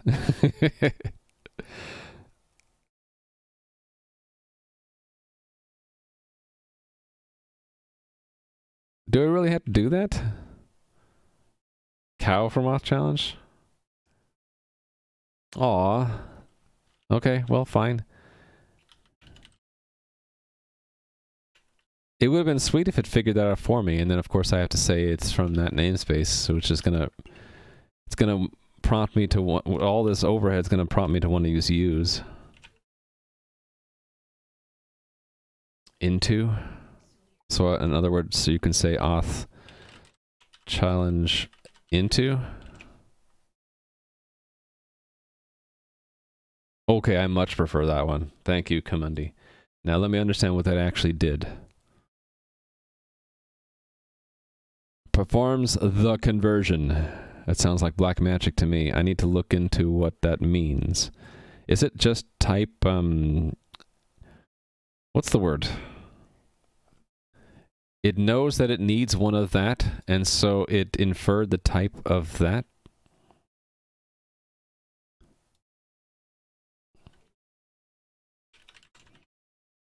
It looks really black magic-y to me. Into what, right? Let me try to understand how this works. So, into. Is it just contextual?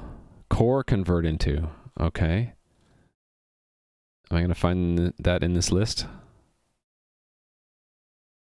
Core convert into. There we go. A value to value this is the wrong thing. Uh, I need the lowercase one. I guess not. I, I actually was okay looking at this.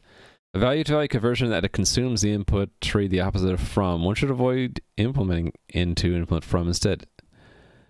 Implementing from automatically provides one with an implementation of into. Okay, so if we're implementing it, we don't need to do it because uh, doing from implements it for us, the into for us. Prefer using into over from when specifying trait bounds on a generic function. Ensure the types that only implement into can be used as well. This trait must not fail. If you if you wanted to be able to fail, do try into. Okay, got it.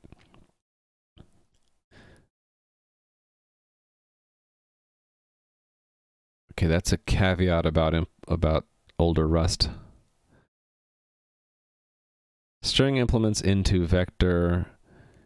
So I, am guessing it's that cow implements into also. That's how it works, right?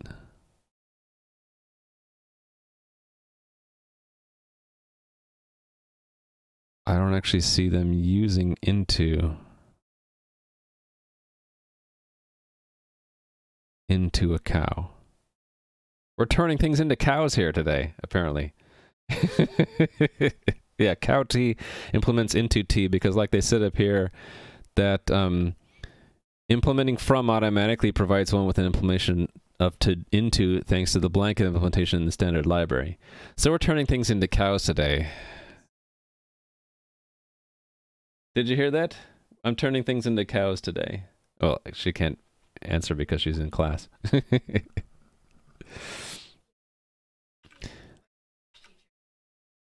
Okay, yeah, we're turning things into cows over here. Um, did you know this actually changes something into a cow? Moo changes the slice into a cow.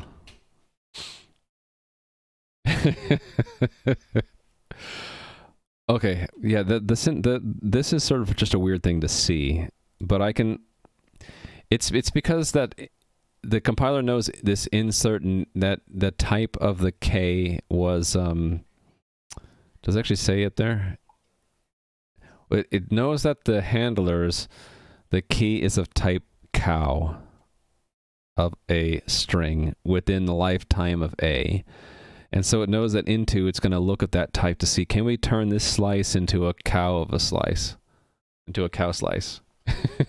Used to foo, not moo. Okay, well, look, so far, not my favorite features. Number five, no, number four was exclusive terseness in, in terms. Uh, 4A should be except for cow because we love cows. Moo.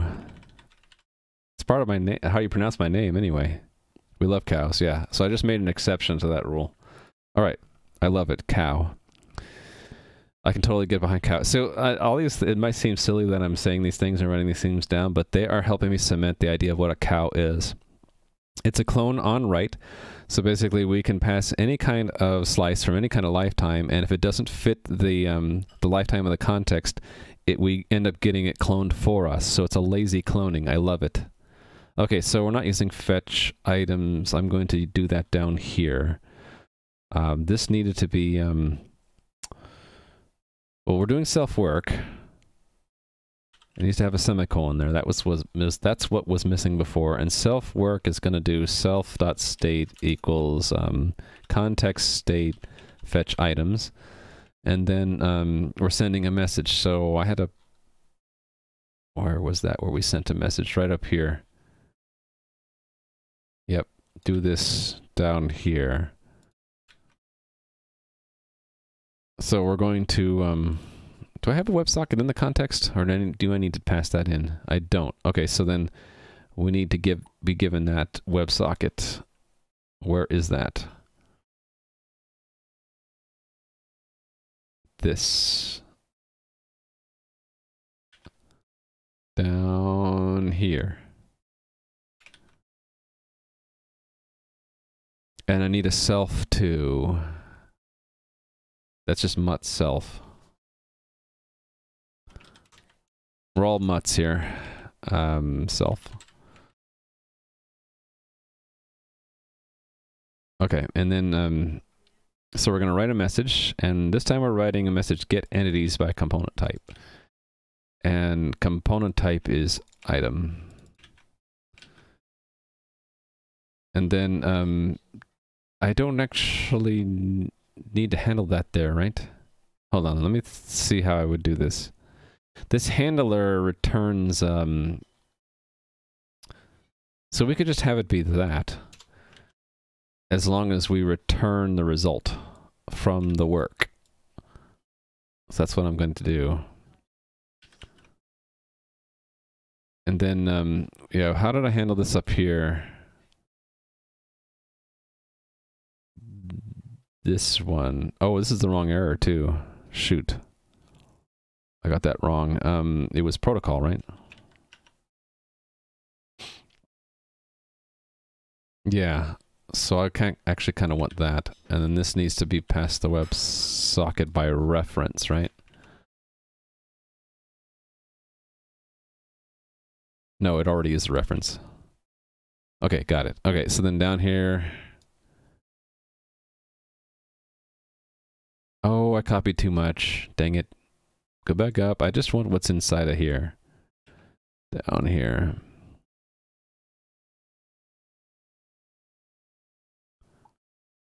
That.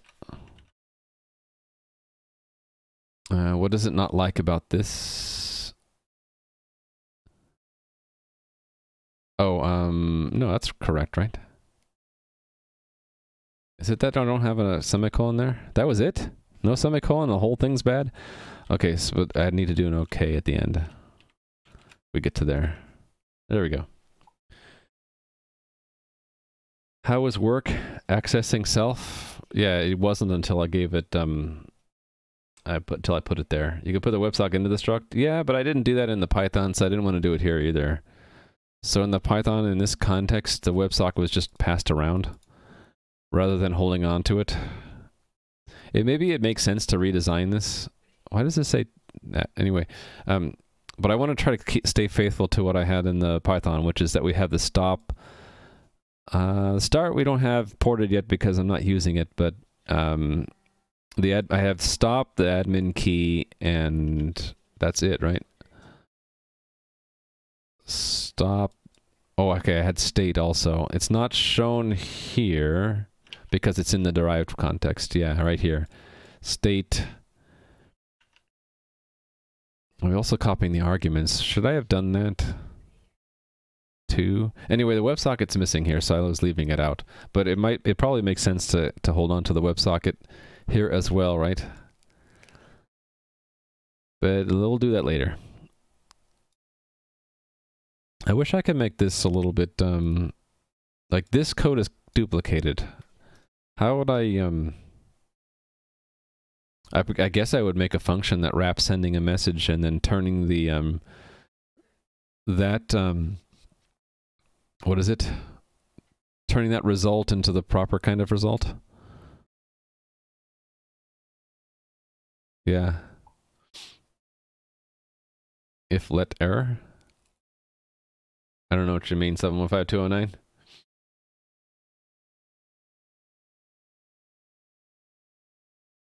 Could also just make a function that accepts the result.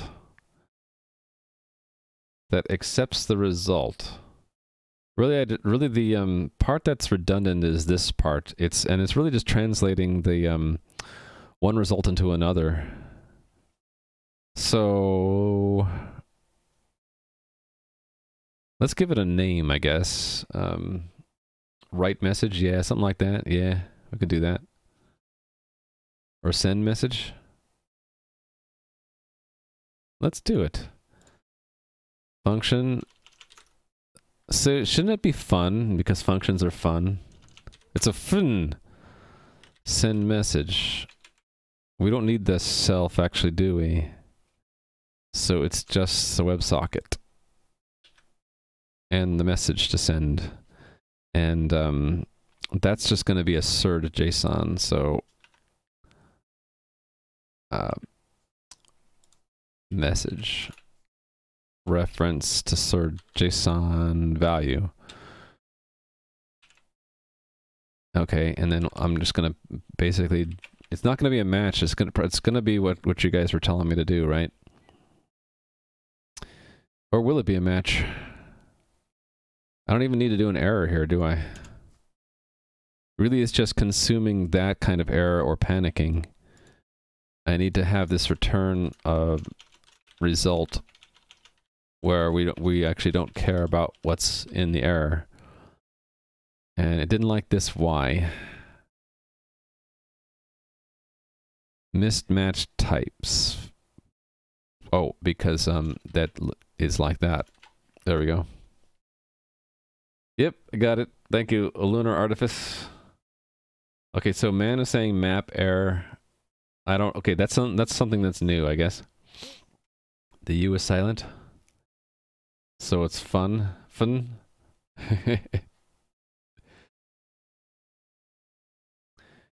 you can just do if let. Yeah.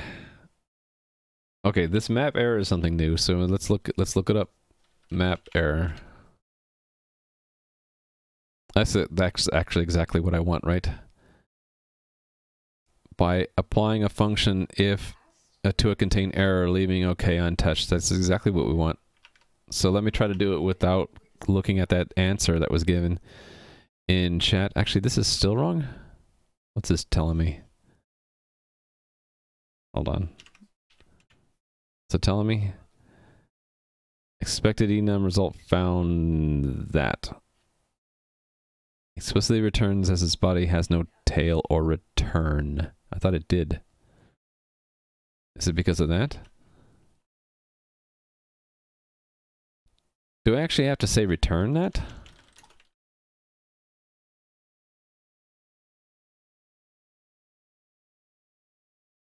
And that could just be that, right?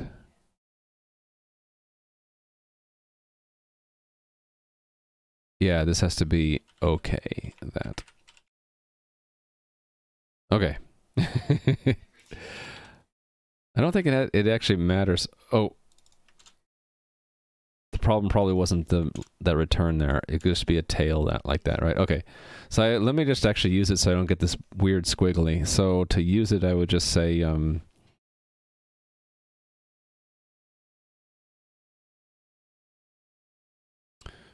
I would just do a question mark, wouldn't I? The question mark operator? Oh, actually, no.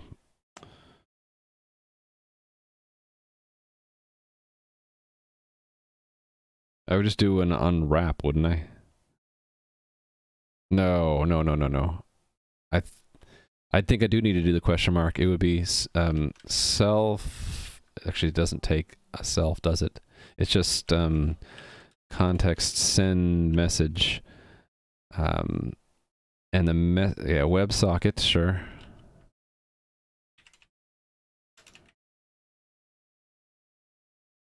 That is um, this part. I need to actually put the message up here, don't I?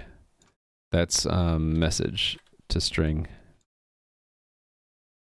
And then um, that's this here. And then don't I just do question mark? There? Oh, what's wrong with this one? Oh, I need to do, uh, yeah, please borrow that.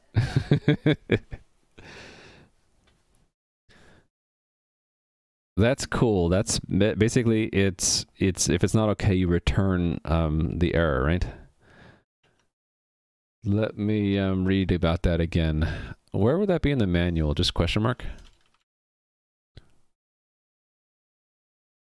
Unwraps the result or propagates its error, right? Well, yeah, I actually wanted the operator. How do we get to the operator? Ops? Uh, well, that's a weird thing. Yeah, I think I got it. I think I understand it, right? That will um, return the error if it's an error. Otherwise, it just unwraps and returns the unit, which um, we don't do, need to do anything with. Yeah, but we're gonna we're gonna be doing more stuff here, right? Actually, I guess we're not. So you're right. I can just say that, and we're done. We're done. If I needed to do more work after sending the message, though, I would do that and then um, proceed to do other stuff, right? But I don't need to, so there we go. Nice. Okay, so do I want to run this and see what we get? Why not? This will be fun. So, um,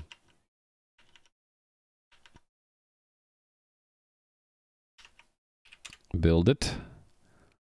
Still getting... Oh, because the item name is is not used. Hold on. Uh, oh, right, because that's not until later. Yep, okay. So, um, is there an easy way to flip to the other command shell? No name given. That's right. We need to define rusty iron key. And I, I hacked the um, authentication thing to test it, so I need to remove that hack. That was this line here.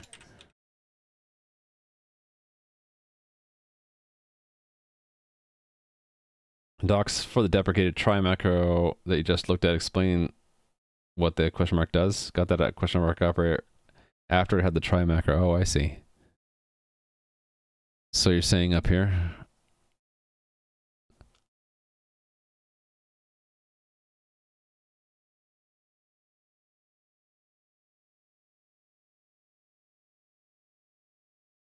I didn't know about the raw identifier syntax. That's kind of cool. So if you really wanted to name something fn, you would do r pound sign fn.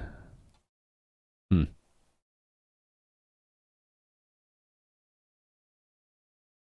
Let the bat use cargo run. Cargo, cargo road, not cargo run.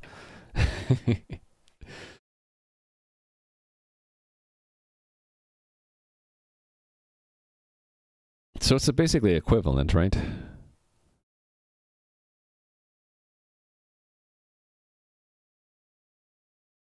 Yeah, okay. It's equivalent to the question mark operator. Yeah, see, it um it actually got the entities it asked for back. So that's the next step. So we're moving on. Should check this in so far? Should probably check it in.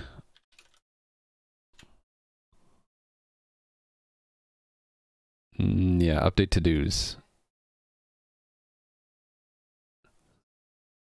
And add, yeah, we'll just make these different check-ins. Update to dos. Add stream note about uh, porting Python tools to Rust.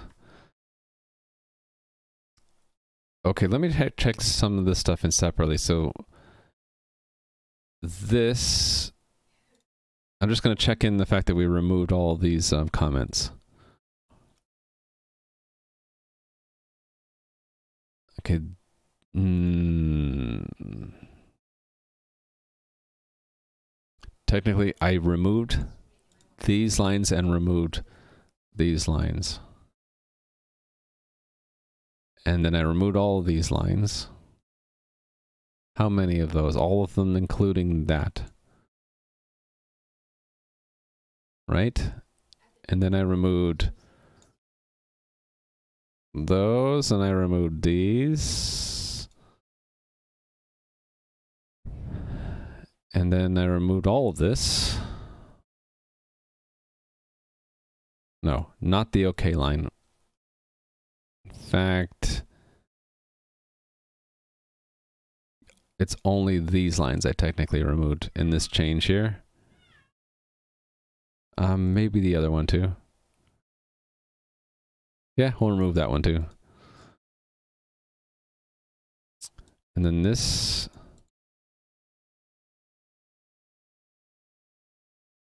And that. Whoops. Ah, dang it. I hit the wrong button. it staged the whole um the whole um hunk there. I guess I could look at this now. This should only have documentation oh, like the comment removal. Okay, so unstage those lines. We're just this commit is just going to be removing commented out. So this is the one I didn't mean to do unstage those. And unstage those. So this is just comment removal. I don't want to stage this yet. Unstage those lines. Okay. So the only things that should be removal of comments here. Looks like it. Okay. So um, remove commented out code. Actually, it's commented out code and extra explanations during learning. Still in version control if we want them. Okay, and then this one is um, several changes. This is work in progress. Uh, importing the uh, find items command. So this is um,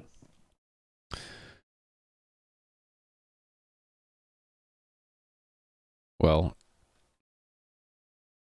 no need to own a own the keys of the handlers unless unless they um, were inserted unless the ones inserted wouldn't live as long as the context. Okay, and then that was basically all that stuff. And then, um, right, so, um, handle all WebSocket protocol errors as unexpected um, disconnects. And then what else? It was actually sending the message, right? Oh, and I'm, I need to use the send message in the other place too. So um, message to server requesting item requesting all items. Well, after authenticating, send message there. That's what. That's all I'm going to say about that. Uh, I need to actually commit those things or stage them. Uh oh, LF replaced by CRLF. I should fix that. Yep, CRLF, please. Thank you very much. That that would come out as no difference, right?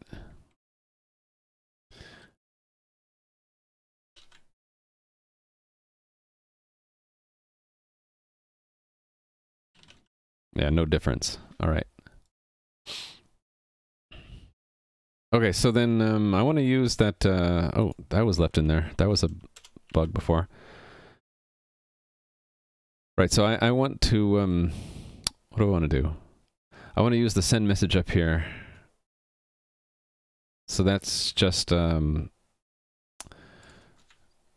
context send message. WS and then like that, right? And then the message is this right here. You can borrow that. So we get rid of all this stuff. Cool. And that should be the only place where we see um, a write message now. No, there's one more but it's in a different context here. I need to do something differently.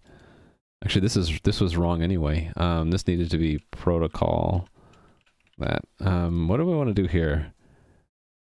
It's actually the same then, isn't it?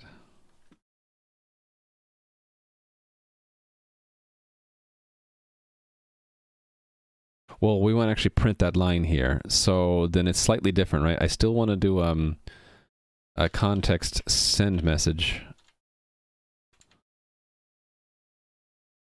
And that's the message there.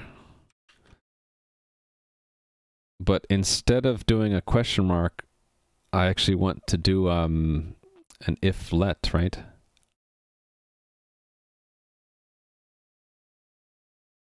If let um, error equals, then print the message, right? Did I get it right? Did I? Did I get it right? I think I did. Hydrate. I actually need to take a break to use the restroom, but cheers, Nui. And I can't pet the cat, but I will um, do what your message said, 715209. Did you hear the cat meowing? Yeah, he's trolling. He's he's lurking around, meowing. It's much nicer than the old try, yeah. This syntax is, I, it took me a little bit to get wrap my brain around that, but I like this. It basically is, is saying, it's you have to read it from right to left. We're going to send the message, and if we get an error back, do that. That's what that's saying. And we need to actually, um, it owns the WebSocket, so we need to borrow it. How did I get this one wrong?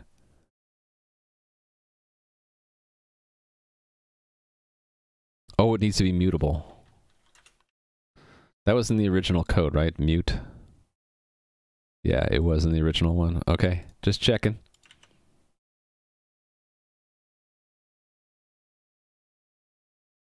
Oh, did I, um, okay. I didn't mean to, uh, I didn't mean to take those points from you. Um, was that Nui who told me to pet the cat?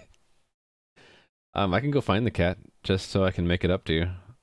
Hold on a second. Since he's probably around here somewhere. Oh, he's actually right there.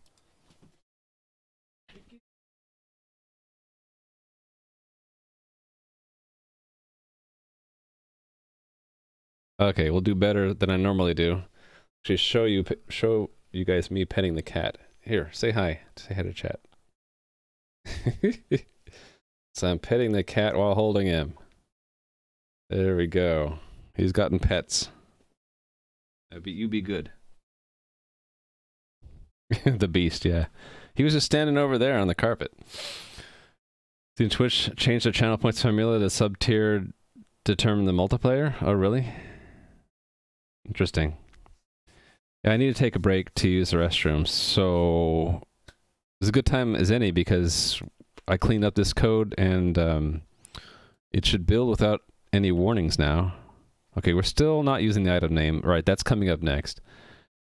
But this should still work um, as far as it's getting the entities back. So I'm going to take a break to use the restroom and um, come back and continue working on this. Hydrate the toilet.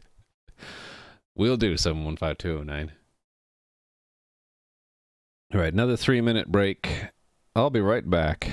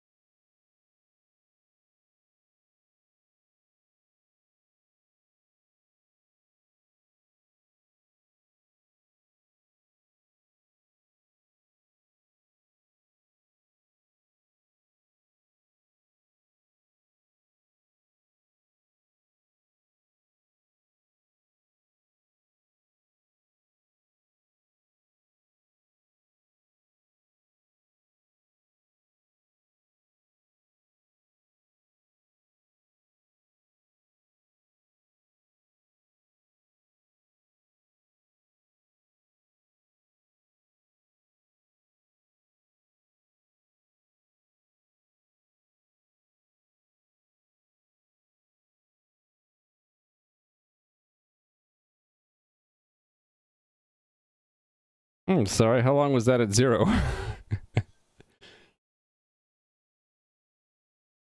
how late was I? Hopefully not that long.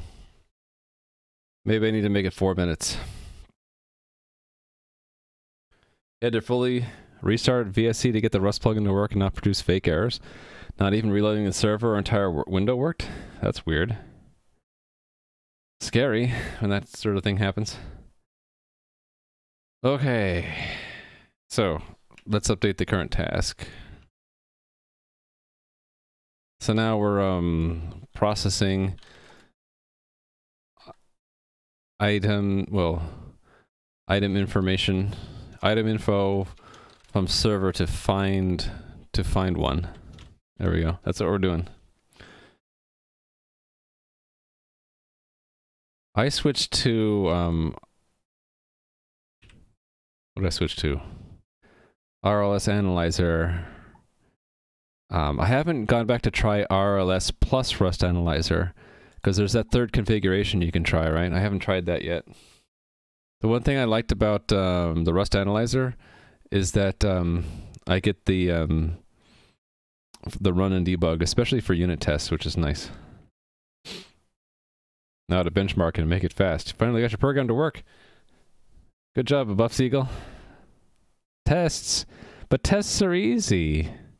You just do. Um, I forget. I don't forget the exact syntax, but it's built into Rust, right? In fact, I should probably be doing it here.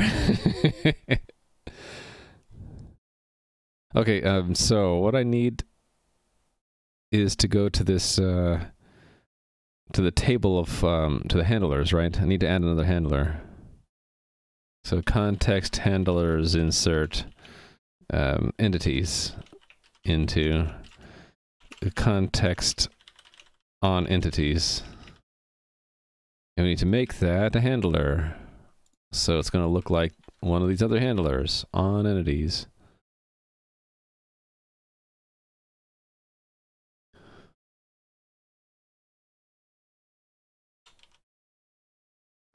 Okay, now what are we going to do with those entities?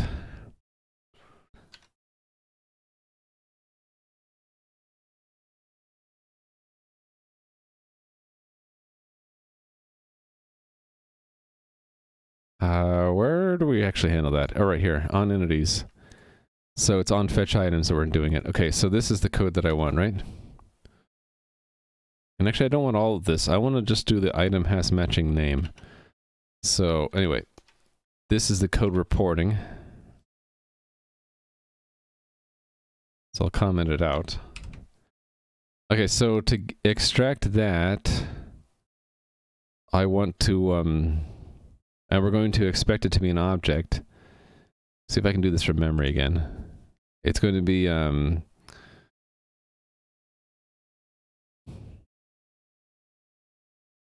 technically we're going to panic because if if it's if if we uh, if that's not a JSON object that we can iterate because I don't have a try catch here for that.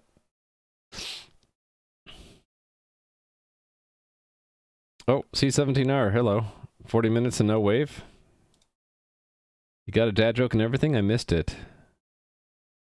Oh, I see the greetings program. Sorry about that. You probably came in right when I was um, focused on getting something to work, right? Did I guess it? Also, I didn't say to Aura Driven.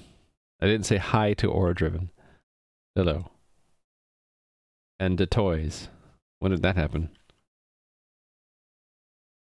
11 o'clock. 40 minutes ago. Wow. Which plugins for Rust you use in my VS Code? If you're still here to toys, the plugin I use is Rust Analyzer. And for the debugger, we learned this morning that the um, Code LLDB is the preferred one for Rust because it doesn't freak out with uh, slices like the um, CC++ does. So that's the two that I'm recommending now for, for now until I learn better. It's Code LLDB and uh, Rust Analyzer with some caveats, right? So Rust Analyzer, if you use that, you need to have a top level camel, or cargo toml, I mean. And I put it right here, just to, if your project in Rust is not in the root directory, then you need one of these workspaces. Otherwise, Rust Analyzer doesn't work. So I had it um, because it's a mixed language workspace. The only thing in Rust right now is in that directory, so the top level file just points the Rust Analyzer to where the project is. And if you had more projects, you just have more in the list. So um, it points us to this project, which is what we're working on today. So those are the two plugins that we're using for Rust. Okay, so then uh, let me just review what I did for the other handler up here. It was this, right? We get a string. If it was a string, we would get it. Uh, but we want an object in this case, right? What did I do for that? Down here, right? As object. Unwrap. That's exactly what I want. So I want um, message entities as object unwrap and that is uh, entities. So let entities equal that.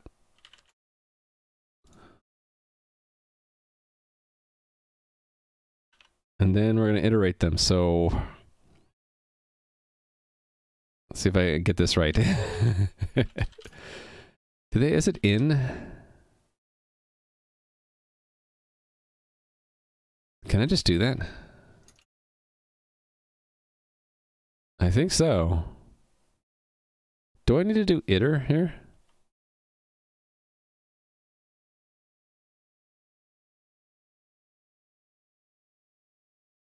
Oh, that's if I want the string, which I... Do I want that? I don't think so. Actually, this is going to be as um as array.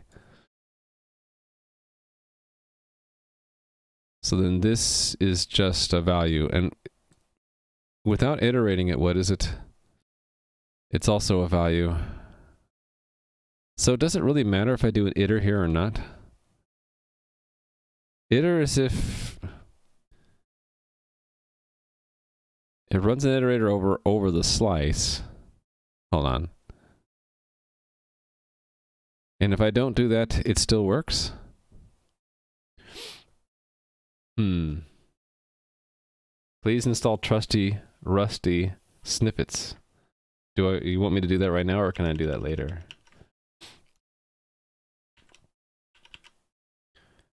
Which dumb Rust plugin sucks? The RLS one? You're using RLS, right?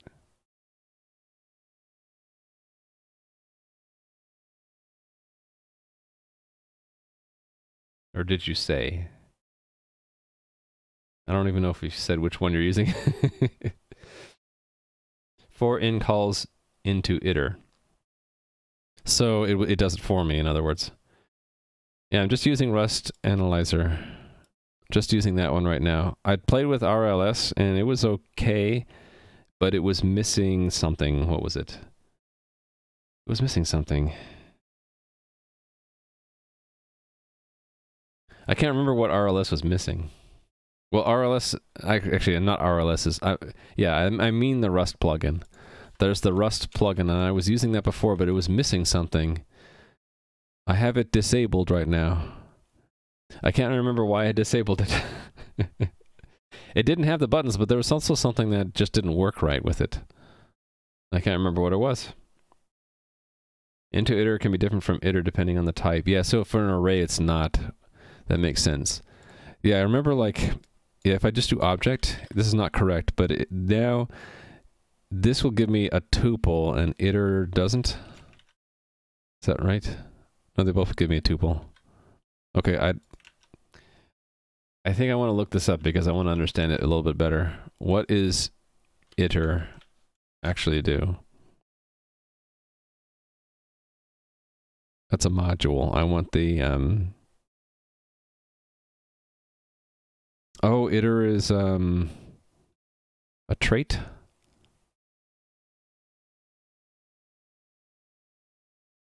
Wait.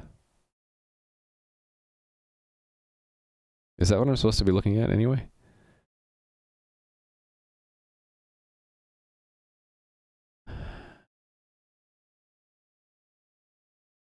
Usually iter iterates over references. Into iter consumes, yeah, to makes it into an iterator. It's just a convention, not a trait, for a function that returns a borrowing iterator. See that? I guess that, I guess I'm confused because the book actually uses iter, and I thought they explained the reason why, but I didn't maybe get it at first. Uh, where is the? There it is. Okay, I think this is the section we want. Go to the beginning of that section. There we go. Yeah, they actually create one.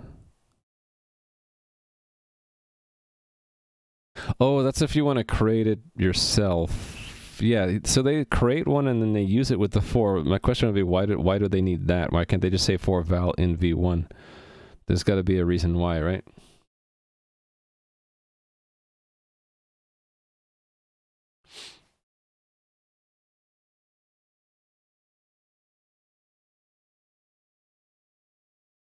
What's up? Don't break the rule. Why are you spamming names of people in chat?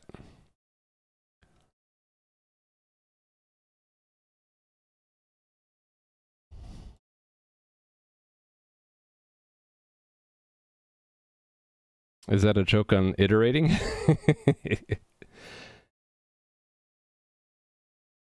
oh, I see. So you were just this borrows it, but if I did for val in v1, it would actually consume the vector.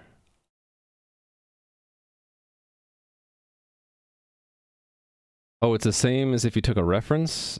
So if I did a for val in reference to v1, it would also borrow and not consume it.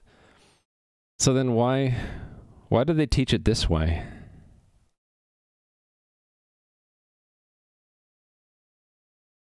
Just to reinforce what you're getting is an iterator object?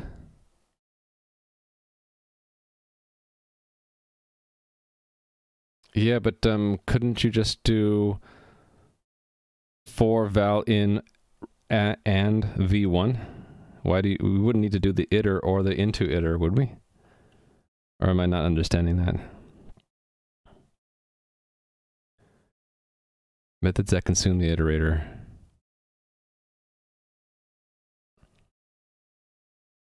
Oh. A little more explicitly? Okay, we'll look at that. Let's look at that, because I want to understand it a little bit better. So don't break the rule. You still didn't explain what the what that chat was about. I'd like to know. Are you just trolling or not? Because if you're just trolling, then please don't. But if if it was a joke or something, I'd like to know what it was about. Used to be in the past that I would just kind of ban people who did strange things like that, but uh, Chris Griffin actually raised a good point to me that um, just banning people outright a lot of the times doesn't solve things. Just treating people like people is is a, maybe a better thing. So if I if I could understand what don't break the rule wanted and treat them like a, a person, maybe um, things would work out better.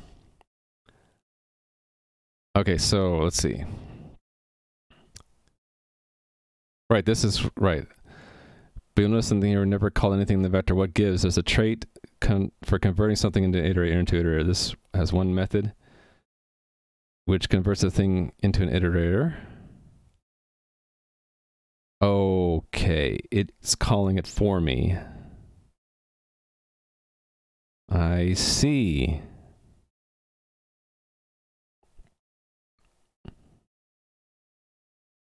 All iterators implement into iterator just by just returning themselves. If you're writing an, an iterator, you can use it with the for loop. If you're creating a collection and implementing iterator for it will allow your collection to be used in the for loop. Okay. So I guess you guys are right. It's just an older syntax. I don't really have to say iter. I can just say that. Okay. Yeah. So this is just syntactic sugar for getting an iterator out of that and then looping through it, right? This actually does a loop with next and all that junk. It's the same thing in Lua, by the way. The uh, that kind of syntax in Lua is just syntactic sugar for a a loop where you're calling next on the iterator until it reaches the end. Rust Analyzer is so much better? Really?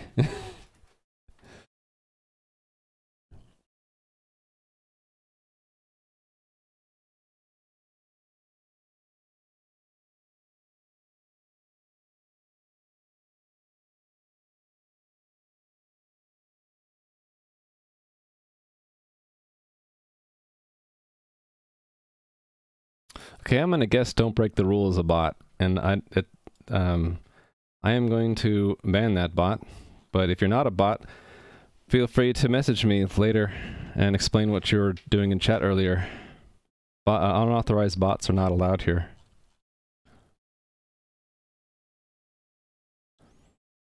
All right, so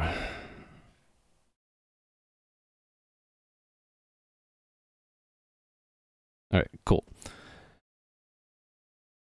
What are we doing in the Python? We're looking at its entity and components, and find is going to see if it has a matching name.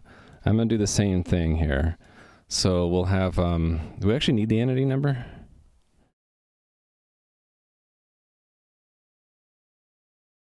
We don't, so I can skip that part, I guess.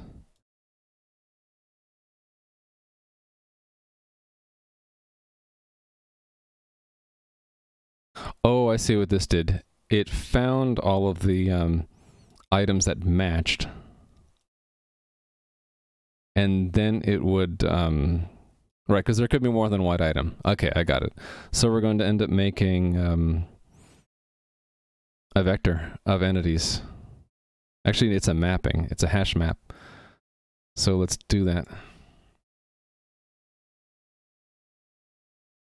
Yeah, that's what I understood too. Rust Analyzer is like what Rust is going to go to.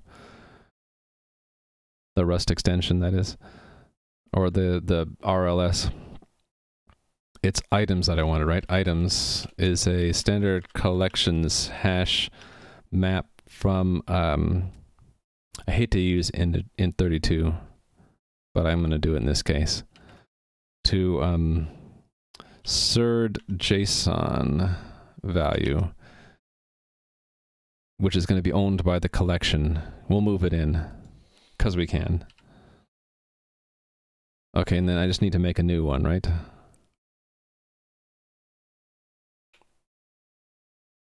Standard collections hash map new. All right, and then down here we're gonna actually put it, pull it in. So but in a similar way, we're going to use a, um, a delegate. So if self dot uh, snake case?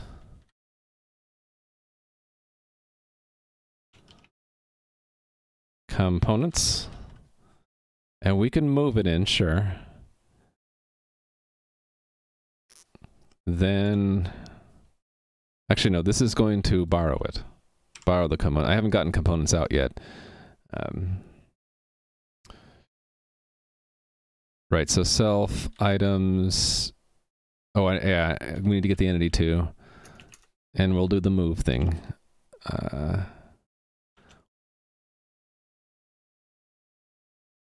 oh, we're getting just the item component out. Okay. So equals components item.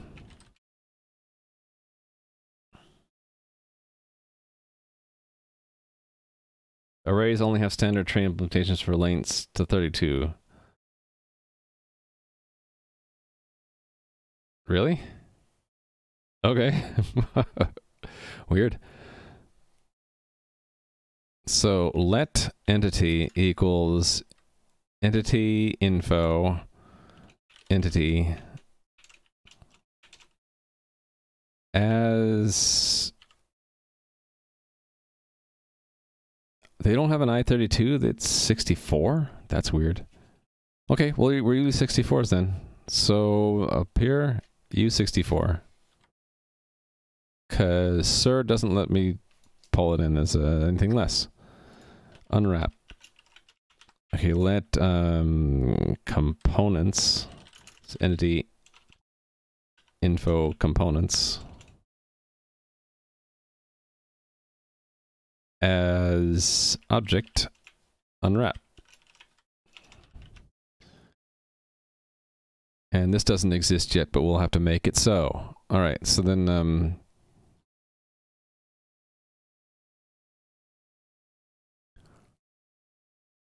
I guess we're adding it here. Doesn't need to mutate self. it has to have um there's a lot of chat going on right now. Am I missing something? You're just helping each other out in Rust, right?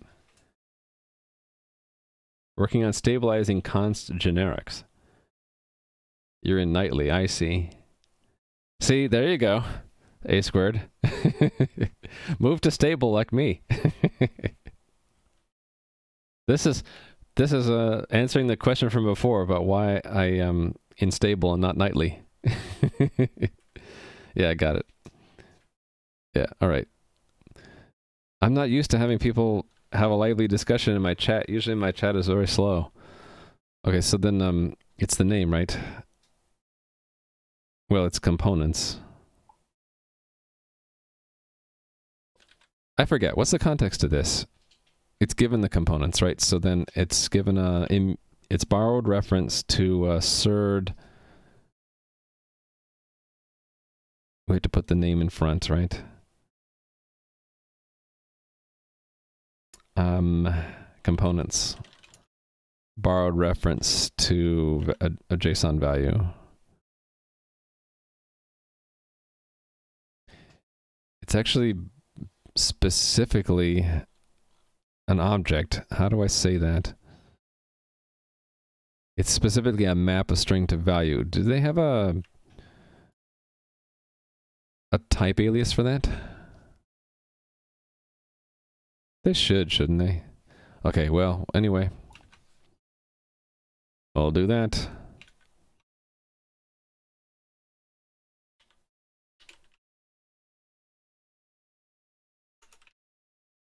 And that returns a bool. True. Just to make sure I get this to compile. Okay, and that doesn't work. Why? Really? It needs to borrow a UN6, U64?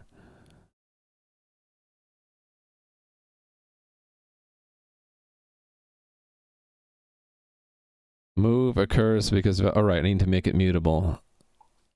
Because we're going to mutate it by ripping out its item component. No?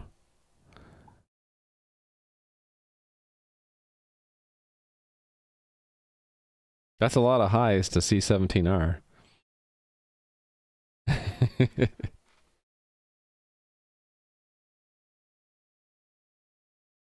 Const generics sounds way beyond my pay grade right now.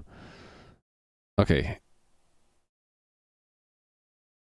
It does need to be mutable because I actually want... Oh, I need to say, um... As Oh no, I, I no, this is a value, right?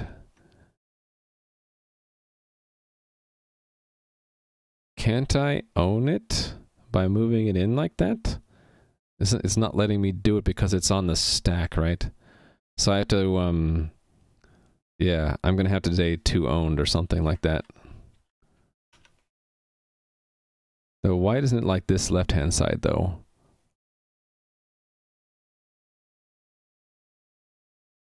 Oh.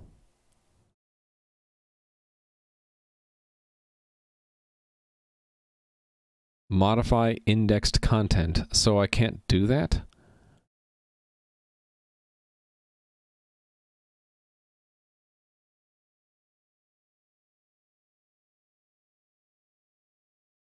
Hmm. Well, that's a bummer because that's semantically what I want. You're saying I have to do the insert. That's fine.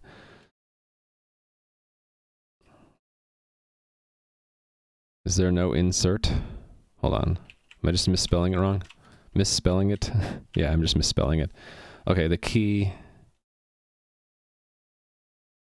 is entity, and that's the value. So I prefer to do the assignment, but, you know, if that's okay. If it doesn't support it, it doesn't support it, right? And let me guess, it doesn't need a reference. There we go. And this didn't need to be mutable because we're um, doing to owned. It's too bad I can't rip out a piece of that. But I understand it's because this is all um, borrowed. Yeah, it's all bar. If it wasn't borrowed, we could get away with taking it out, right? Moving it out. Except for lifetimes. That's the problem, right? Yeah, it would have to be mutable, and it would have to be. Uh, it has to live longer than. Yeah, so it makes sense that I'd, I'd want to get an owned copy there anyway. Yeah, I understand. C++ covers that ugliness by doing the default construct. Yep, I understand. They get that plugin to show errors without building. Um, that's just something that the uh, the Rust analyzer does. I have to hit save, yeah. Um, so if I don't hit save, it doesn't show me the error. But when I hit save, it shows me there's an error there. Um, the other extension, that just the Rust one, actually shows you the errors immediately without you having to hit save, but it has its own problems, right? it's your thing lagging because you're remote developing? Yeah, it could be. Yeah, I, I get the error as soon as I hit save. And it will also show it under problems. Well, it shows under problems, and if you highlight it, it shows. I think that's the way problems work in VS Code, though. Yeah. Okay, but that's what I want. That matches this so far. And then after we loop, then I'm going to call another thing, find Find items after items fetched. Yeah, just to try to stay faithful to the um, Python, but then we're going to probably refactor this later.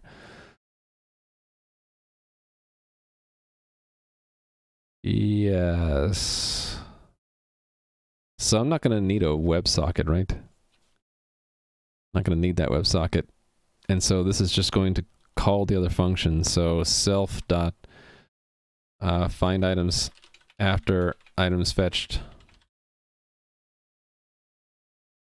Technically, I don't need any any arguments. We just need to make this another function. All right, let's do it.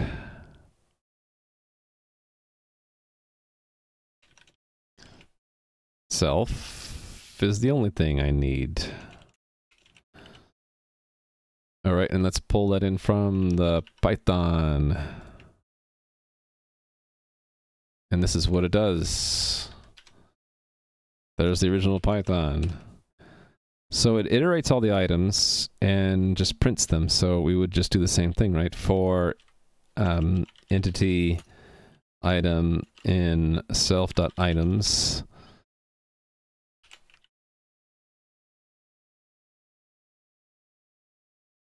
Oh, right. I have to do the reference to borrow it. Yep. I borrow you. There we go.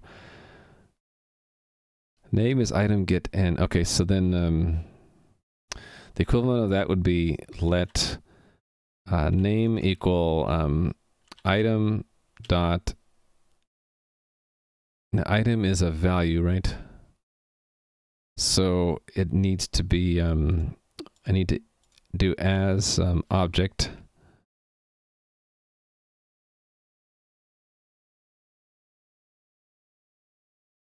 And then there's the thing I learned the other day, right? It was um and then No, it wasn't and then. This is why I keep a notebook. what did I learn last time? Did I not write it down? I might not have written it down. I should write this stuff down. Yeah, I didn't write it down. Uh, but it's probably in here somewhere. Like it's like and Maybe it is and then. Okay or else. Yeah, I think that was it, right? It's just I have to make it into um, a closure.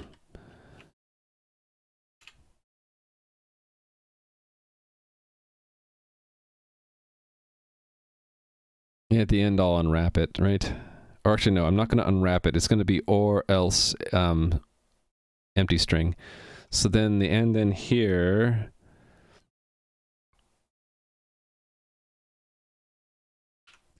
The parameter would be what? The name, or the item object. Um, yeah, it would be just item object n. And then, well, as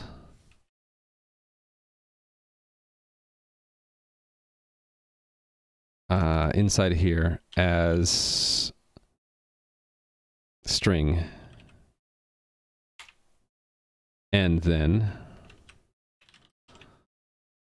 um, name. Actually, no. It's at this point. It's or else, right?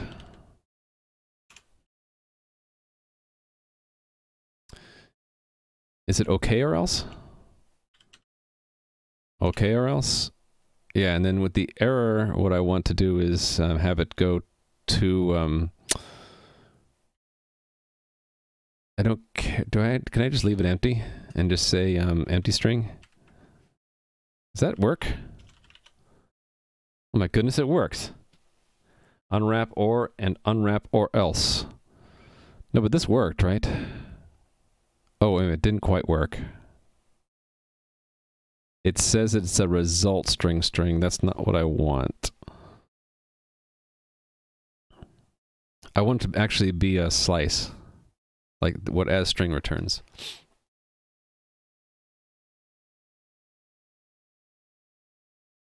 Oh, no, no, I need to um, say that is uh, dot.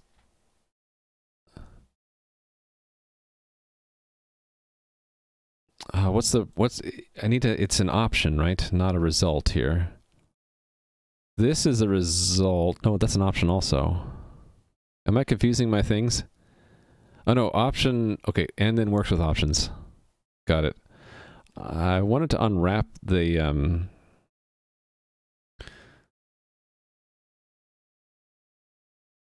Okay, okay or else turns it into I don't don't want okay or else. That's not what I want.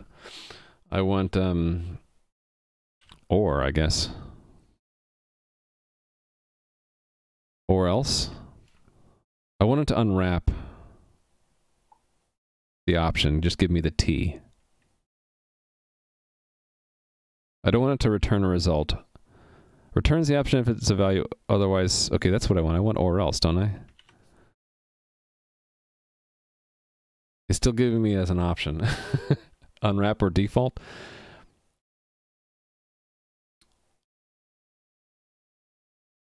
Yeah, you're right. Okay.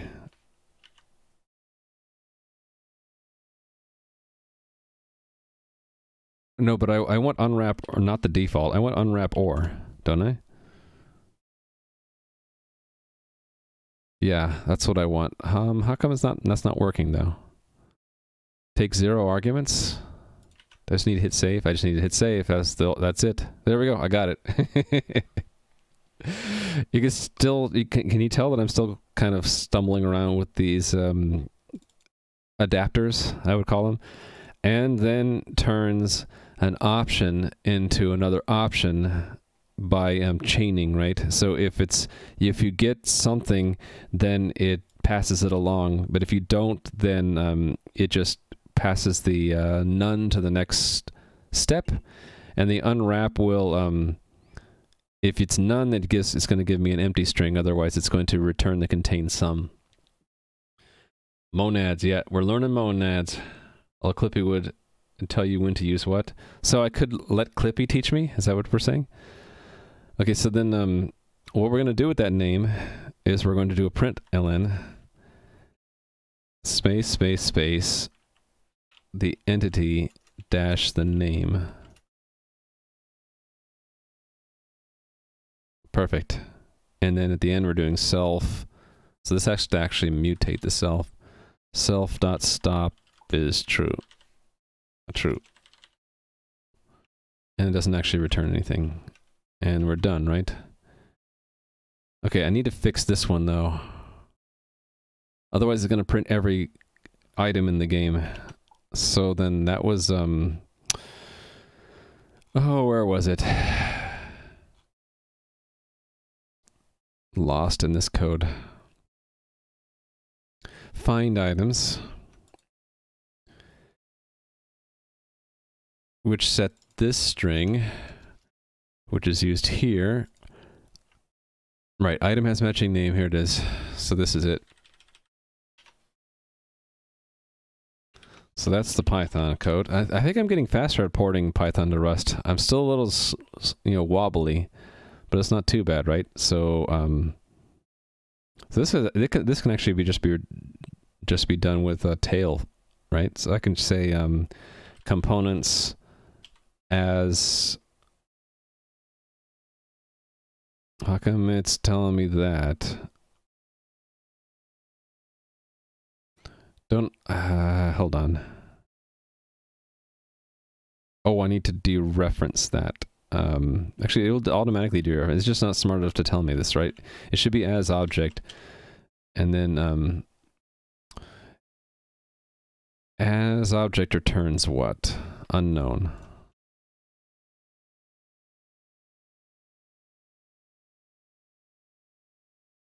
Oh, because it's already a map. Okay, yeah, I don't need to do as object. It's just just need to look it up then. Item.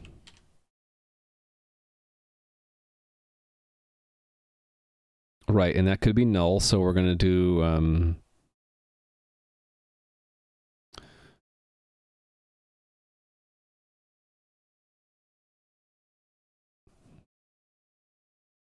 I guess I just want to I want to do get instead, don't I? Yeah, get item. Because then I get an option back and then I can say um,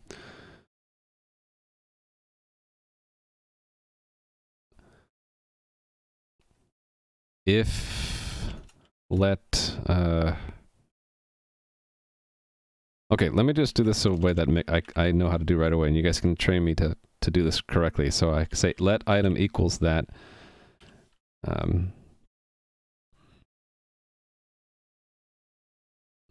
if well match item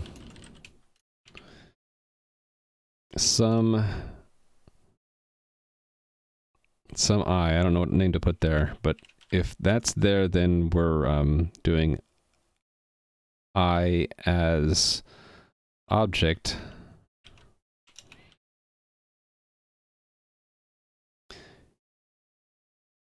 And um, and then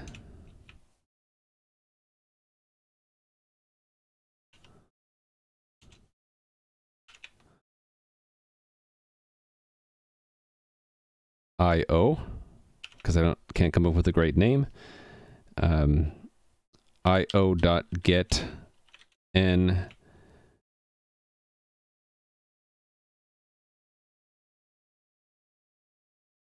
or it's unwrap or I did this just now. What was it? It was unwrap or, right?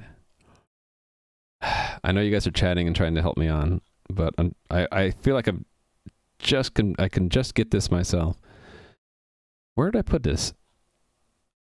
I'm lost. I am lost. I am lost. It's up here. Unwrap or. Empty string.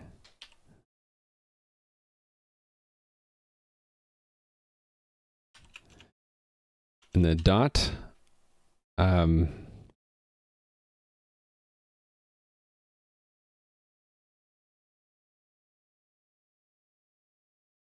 Okay, let me rechat. if you're not abusing iterators, you're not doing it right, because those are all references to empty static arrays. Completely broken the plugin somehow, getting no IntelliSense. You might need to clear out the the um where you have the extension installed. I've had to do that before. Text is all basically rainbow. It'd be less painful if you worked on proper structs instead of random untyped JSON values. Yeah, but I if I work through the pain, then then I'll be more um, capable with serde, right? So the code looks like rainbow stuff looks like you enable that syntax coloring option in the analyzer. Oh, okay. You're getting colored text. Wow. I don't need to be showing that. Let me work through this. I as an object, and because that returns an option, and then we'll map Okay, we might we might get a none. Okay, so really I should be doing um, unwrap or down here. Yes, because the get also returns an option. And so does and then. That almost reads like like English, doesn't it? And then um, none is going to be um, false. Oh, I need to do um, that equals um, self dot name item name false. There we go. Now, why didn't that work? Because I don't have a comma here. And unwrap or needs a default for T.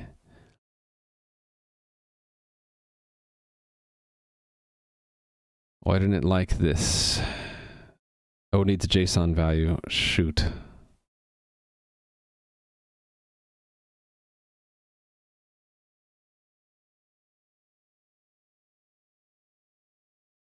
Oh, um, this should just be as string.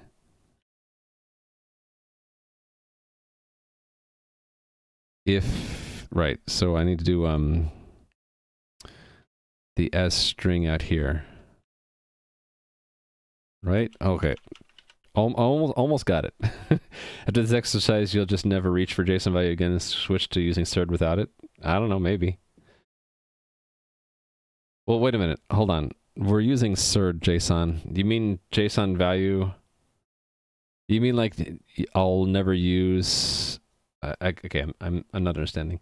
Learning how to annotate, derive, serialize, instruct. Oh, I see. So that basically um require the um JSON to conform to a shape first instead of doing all this as's and gets and stuff like that and and then. Yeah, I understand that. I'll I'll learn that next. I think it's valuable to learn. I'll learn that next. But I want to I want to at least be able to like get through this quicker so that um handling difficult things and then learn the other way too. I know you've been trying to make it, but I like to jump into the deep end, into the into the hottest part of the fire. Because it's a challenge. I love challenges. What can I say? I, I like a challenge. Okay, when I see as object, I should say that it's an optional map. So if it is a map, then I want to take that map and then look up the end, end field, which is going to return me an optional value. So then um, to get it into the same type, I should have an OR.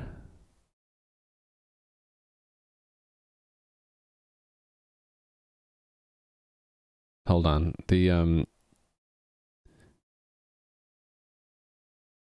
yeah, what does and then actually return? Yeah, I need to um we have like an or here. Or el or else. That returns an optional T.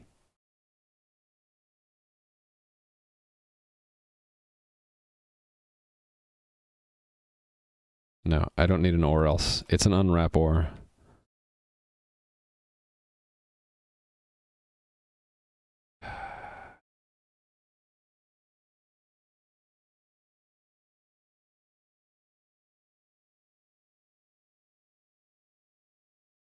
Actually, isn't that what I want right there? Why isn't that not working? It wants me to put a JSON value there. I think I need an um and then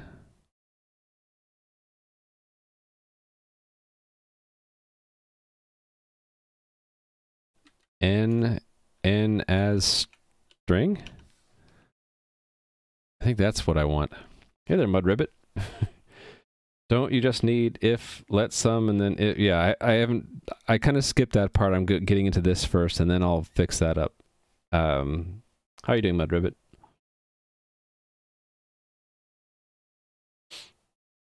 That'll work, yeah. So I need to say this to myself, duck typing and all that, until I understand it. So we're saying the names are bad too. Um, what if I just take that and put it there, and then I can call this one item like it really should be. So some item so if we get some item out of the components, then um, expect an object. If it is, take that object. So I should say like instead of IO, I should say item object. With that item object, get the end component. And then with that, um, let's put put it in here, the full thing name. Um, reach in and, and get a, a, string out of that, and then we want to unwrap that to um, that string. And if we don't get a string, then we get a then we make a default. So we could have not gotten an object at all, and then we would have gotten a none, which is then passed all the way down to the unwrap or. So if it's if item isn't an object, we get an empty string. If item was an object, but it didn't have a name, we get an empty string. If item was an object and it had in the name, but the name was not a string, we get an empty string. So that handle, handles all of those. Um, you know, get the default if you couldn't get it out. But once we're done, we, then we compare it to the name. All right, so then the last step here, I think, is really I just want to say um, if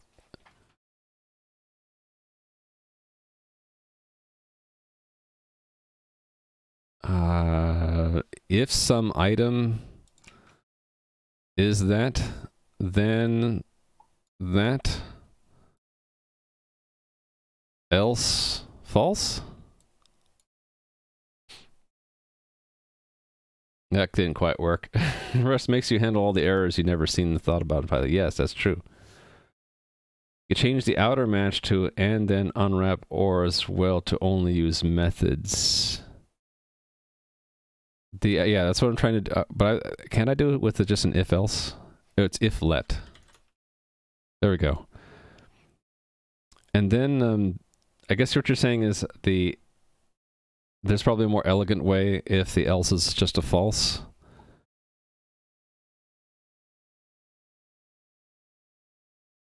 This I do have to do a I have to do a comparison to get the boolean, right? Is there a more elegant way than that? Because that's pretty damn cool, isn't it? You can almost almost read it like English. If if let some item equal th th this is sort of clumsy. I guess the way to read this would be if you get the item and it is some item, then do that. Otherwise, false. And if you got an item, it had better be an object.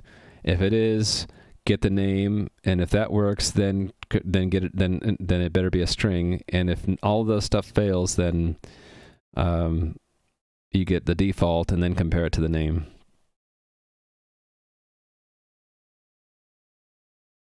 Would and then work for option up here?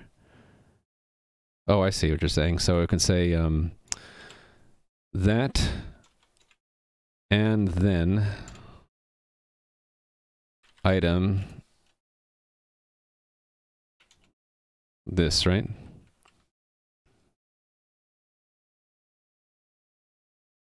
That might make it a little bit easier to read. Um, or, did I just do or else? Or? Unwrap or? False? Is that right? No, I didn't quite get it.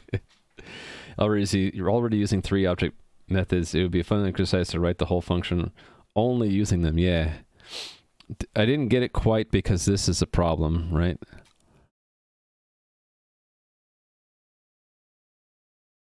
I think because this is supposed to return an option, so and then is not quite the right one. Map? Maps an option T to option U by applying a function to contain the value. Oh, I see. So we'll, we'll get back. Do I need the unwrap or then? Hold on. Is this doing what I think it's doing? Just move the ends out so I can move it out of the closure then? Okay, I don't want to change it too much. If I started with this and I just want to, um, basically, I want to um, change the if let else into um, using using an option here. So get returns an option value, and then calls a function if it's Some, which is what I want. Otherwise, it returns none. So why doesn't this work? Because item is not the type I expected it to be, right? No.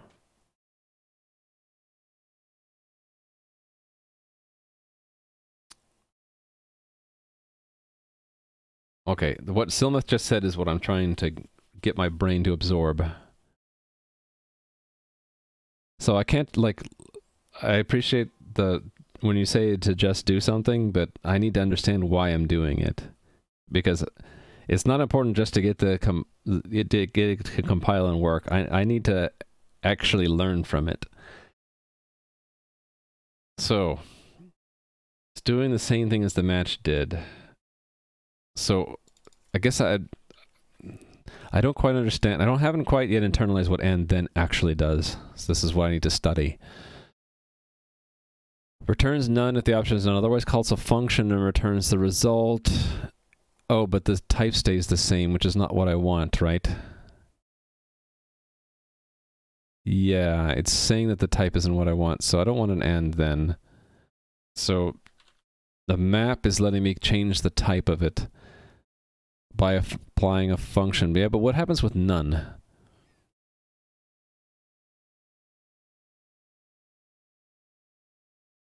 Like item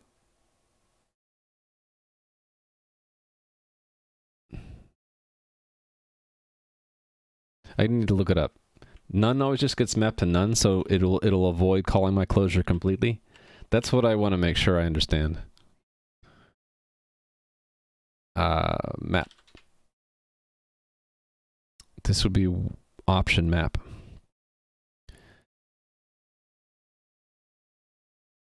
It doesn't explicitly say that, which bothers me. Shouldn't it say that in here? If f is none, returns none? Because it kind of this conveys the the idea that it's going to call the closure even if it's none. But you're saying it doesn't, so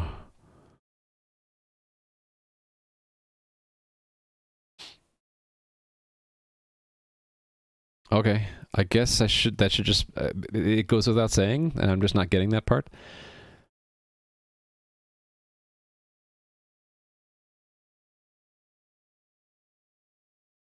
I guess it's conveyed by the fact that there's a T there, right?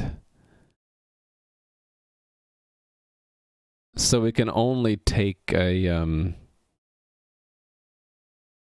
yeah, it can only take the Some. It can't take a none because it's uh, basically unwrapped inside there. Okay, I get it. So it's going to return none of the other type, which is what I want. So that's basically it, right? Applying a function to a contained value. Yeah, so map does a little bit more than map. It also it also takes the two paths. If it's something, it calls the closure. Otherwise, it returns another kind of none right? It's going to return a, a none for um, option bool, right? And then the unwrap or works because we either get a none bool if map returned, if map was given a none JSON value, right? Or we get a none bool if if it went all the way uh, got all the way down to there. Okay, I'm satisfied. so now it's completely functional. We've changed it to pure functional programming. Get the item, then map it. Unwrap or false.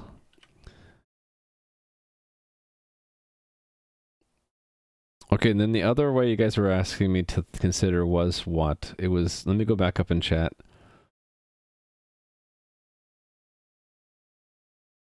I don't remember what it was now. Oh, to deserialize it, I'll do that. Some, but there was something else, right? There was something I could have done instead of all this stuff.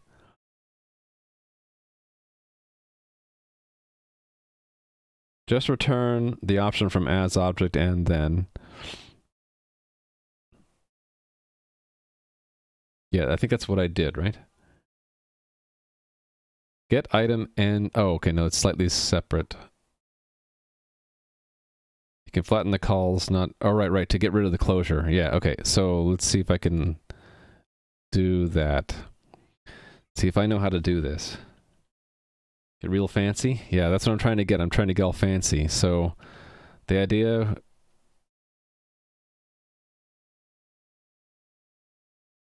Oh, not do the others and then inside the closure, but outside? I see. So it wouldn't be map then, right?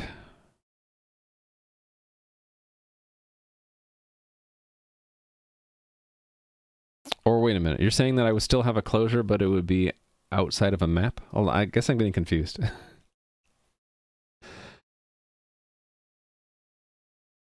Anyone happen to know if Rust complains about null bytes in a string?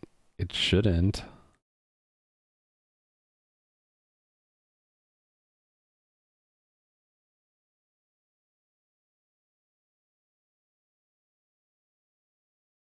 I might need to let this sink in first before I can make it even more fancy, unless I cheat and look at a Buff Siegel's solution. I guess we're cheating, because I don't think I can absorb any more learning. We'll just cheat and look, look up what the solution is.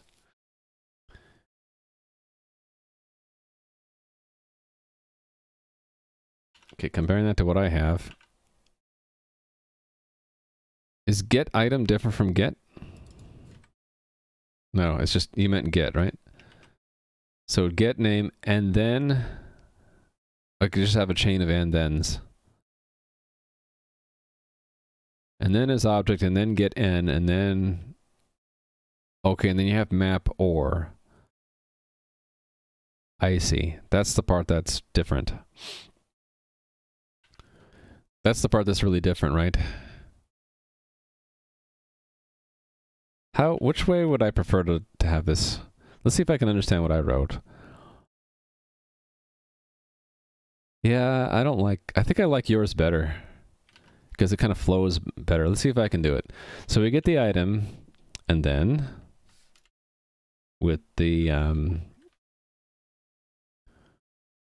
item, we do um, item as object. And then item object. We're doing um, item object uh, get the name. And then yeah, I think I, I think this makes more this makes this makes um it makes more sense with uh well it's it's clearer with this chaining of function calls. Name as string, right? Really this should be um name value or something but the convention I have is it's object or string. So it would be um and then name string name string equals self item name. And then um and then it's going to be or right? Unwrap or false how close did I get? Okay, this is different. Why? Expected an option. Oh, I can't do that. Okay, yeah. So I didn't get that quite right, did I?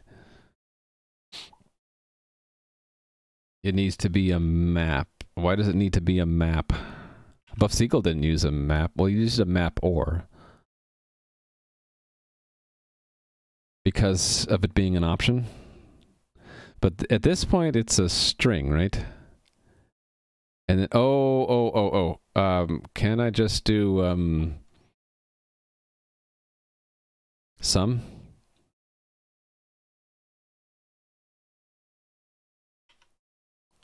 Unwrap or false? That'll work, right? I, I guess I'm avoiding map because it looks weird to me. So that's basically the same. Only um, I had to introduce another option here, and you didn't, because map allows you to um,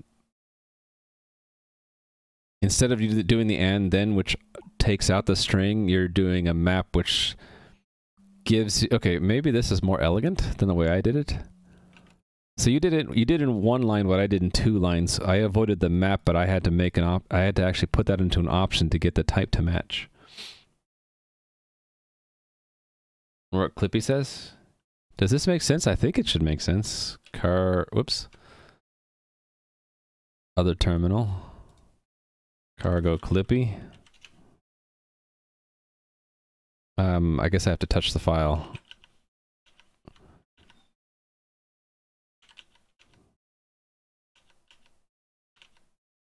Cargo Clippy. It's going to warn about it. Oh, no, it did warn. Using option and then, which is more succinctly expressed as map. Okay, so you guys are right. I just need to get, um, I just need to be, um, become comfortable with map.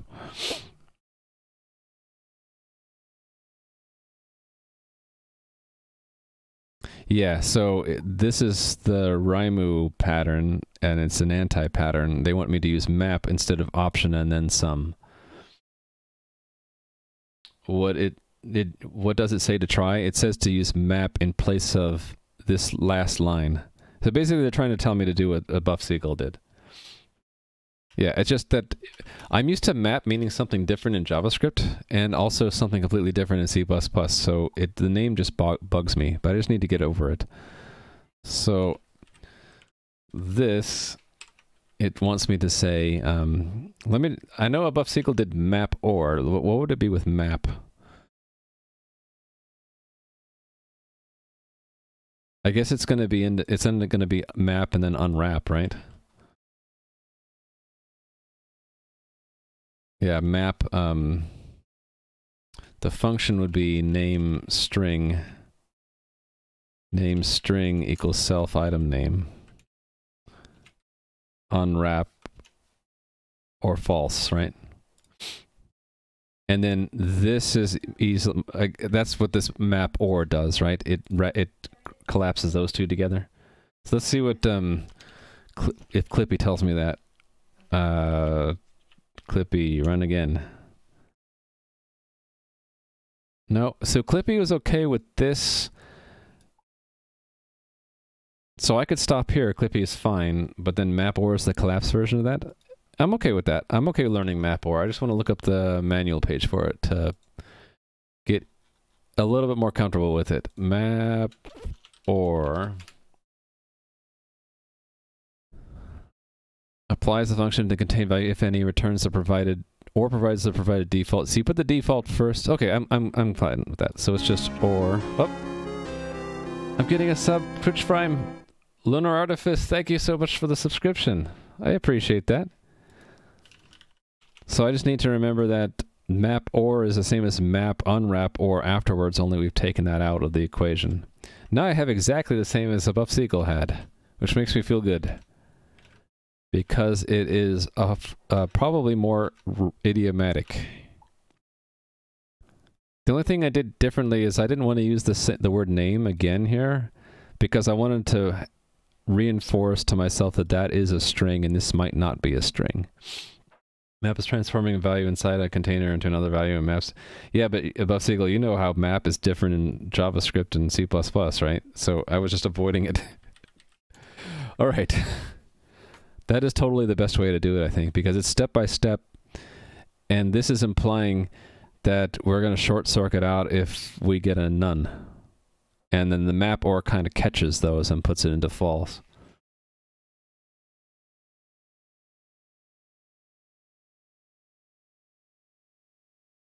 Yeah, map is basically doing something on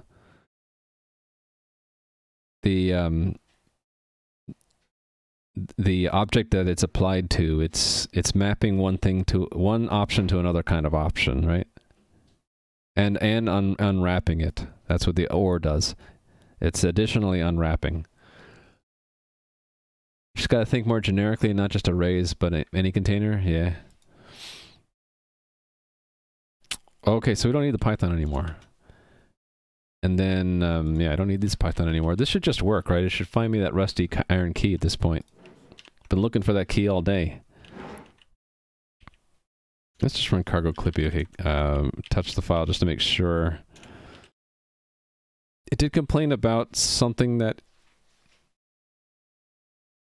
I'm doing wrong here on line 252. I should just look at that while I have a chance. What's it telling me? What's wrong with that?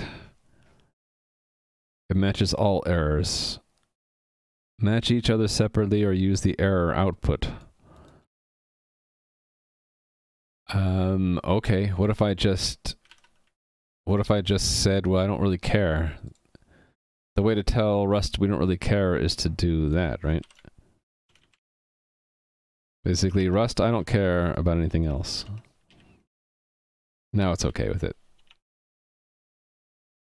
Yeah, alright. That's the proper way to do it, I guess. These map everywhere? Yeah. Alright. Trying to find the rusty iron key. Called unwrap on a none value on 126. 126.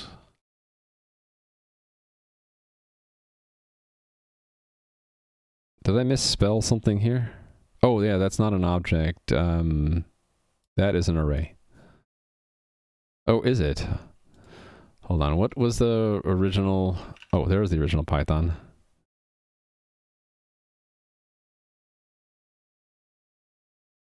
I think it's an object. But I could be wrong. I guess we can debug it. So uh, debug, well, it's just, you just put debug around this thing, right? Uh, like that, right? We can see what it looks like. Does that not work? Temporary value dropped while borrowed. Oh, I need to assign it out somewhere. So like let um come I don't know components um, value equal that just a temporary thing. And then that we're all borrowing. I guess I could have just borrowed it in place right? Yeah what am I doing? What am I doing? Just borrow it. Just borrow it and I get the thing back out. All right. Yeah I think you can debug an object, you just have to borrow it, right? I need to build. And then I can run. See what it looks like. Okay, there it is.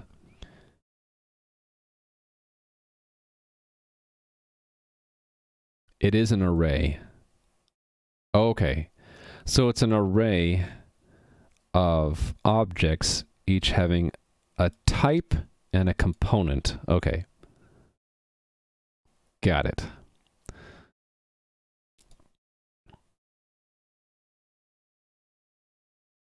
So I don't need to debug that anymore. I can just do this, and it has to be an array. And then item has matching name has to take the... Okay, this is not quite right, is it? The method after the debug wanted a reference. Right, exactly. You've been setting up your workspace on a Chromebook. Remember the nicest thing you've done on your editor, which is just use the haste command, which uploads the buffer to Hastebin. Well, that's cool. I've been using gists, but um, this might actually be more efficient.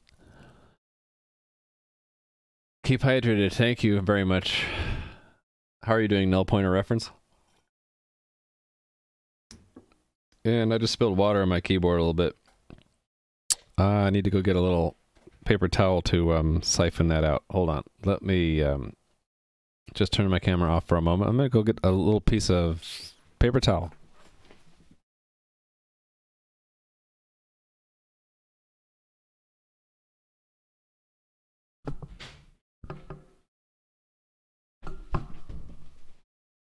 That's just a slob and got a, a few drops in there. So I'm just going to um I don't know what's what's the verb where you like um it soaks it up? It's not siphon, it's another there's another word for it. Yeah, keyboard has been hydrated. Yeah. A little bit of water never hurt a keyboard. Wick. Is that the word? It's like a candle wick? Where it like the moisture just gets absorbed to the dry paper towel, so you just need to touch the droplet and just sucks it right out.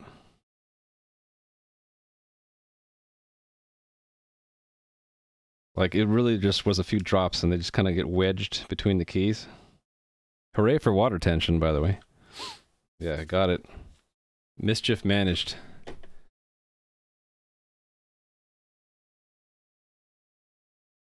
Your keyboard also needs to hydrate. I'll I'll I'll take one for the keyboard. The mouse and microphone likewise. Just know that Hastebin is not permanent storage. You can't configure. Uh, I see. So it's like short term. Capillary effect. That's what it is. Capillary action. Yes. So Chizgi. And Kamundi. Oh, you're asking what capillary effect is. Yeah. Where you, um,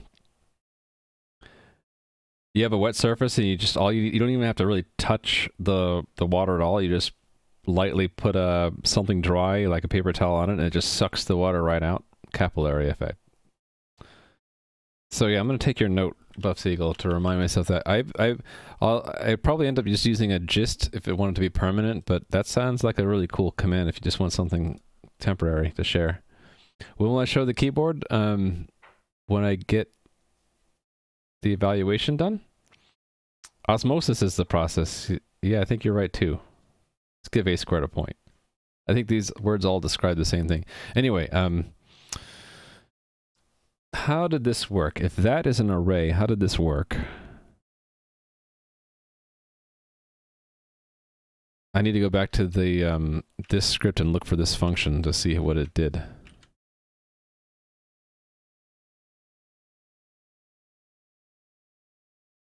Oh, it goes to another helper. Okay, I missed that part. Okay, I missed that when I was looking at this originally. This doesn't index components by item. It actually calls another function to extract the item out. So I missed that part. Okay. So then um, item has matching name also uses that. So this needs to be changed. This is not a map now. This is an array of values, I think. Is it not array? Okay, I need to look and see what it is. It's um this type. Vec. Vec, vec, vec. It's just vec. All right, and this is wrong now. I need to change that. Okay, but if it does match, what am I doing? Right, I'm calling it again. So I might as well just call it here. Um, self dot uh, get component components item. To owned. So we need to make a get component because that's what this needs to call up here as well. Um, we just say uh, self dot. Let's just say that again. Uh, self dot get component components item. Then that. So I still need this one. Function get component self. Uh, the components is um,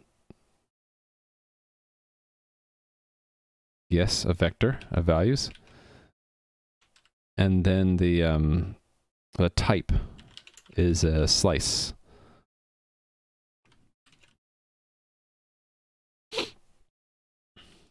Hastebin paste will stay for 30 days. Yeah, that's long enough usually, right?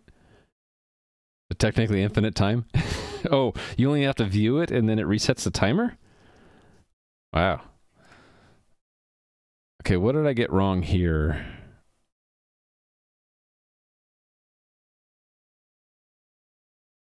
Um, don't know. Is it here that I messed up, or is it just that this has to return? Um, this should be returning um an option, right? What did the Python do? Yeah, it's got to return an option of um an optional reference to a serde JSON value.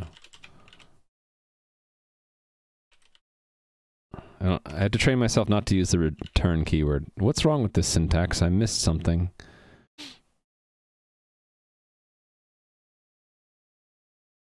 Oh, that's a keyword? I'd rather just use a different word. How about uh, component type? All right. Thank you, Kamundi. yeah, I'd rather use a longer name than a shorter name. But you're right, I could use just TYP. It was a joke to use that? Yeah, well, actually, I could have done that, right?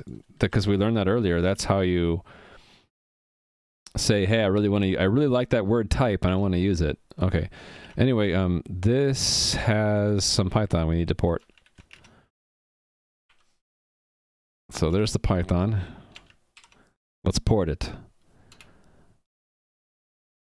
Next does what? What is this? How does this work? Oh, this is um comprehension here. Right, this is just unwrapping um, basically a, a, list comprehension with one element in there.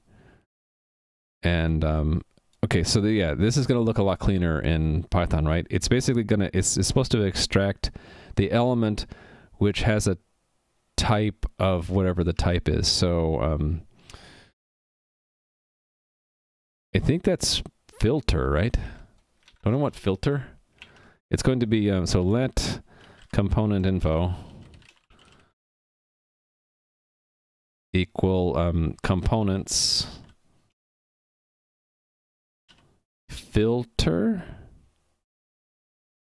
Is it drain filter? I can't remember. drain the filter. Find? Okay. Uh, find is not a method of a vector, though. So I guess we can't use find. Hey there, Mr. Balrog. How much does Santa pay to park his sleigh? Nothing. It's on the house. Okay. That qualifies as a good dad joke. How are you doing today? I also never said hi to null pointer reference. Hi. Just remember, although there are no null pointer references allowed in Rust, it's still you're still very welcome in this stream. Also, hello to Viren6, who I also didn't say hi to. Back at 1222. I'm sorry, I missed your high. It was kind of skipped my eyes. My vision didn't see it. There, there, now I see it. Hi. Been taming a wild horse today. Uh-oh. What's the follow-up going to be? Literally no joke? Mr. Balrog, I've never seen you not joke. Taming a wild horse for real, literally, sounds dangerous. You wouldn't want it to kick you in the behind, or anywhere for that matter. That's what they would try to do, right? Wild horse? Try to run away from you if they couldn't just kick you? Alright, um... What I want to learn about here is what are the options in uh, Vec, really? What are the methods we can do? Is there a find? Or is there a filter? You would think that there would be. Iter filter. Oh, right, right, right. We're, we're going to want to iterate it. Yeah, you're right. Yeah, yeah, you got it. Thank you, man. Did someone else also say that? That I need to iterate and then filter? Yes. So, or find, right? Yeah, I think I want find because it's it's going to be in there once or not at all. So find will return me an optional item. Yeah, and so the predicate will be um, component. Component um, type. Well, component as object.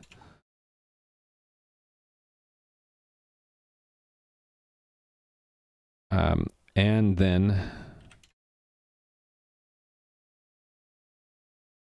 hold on.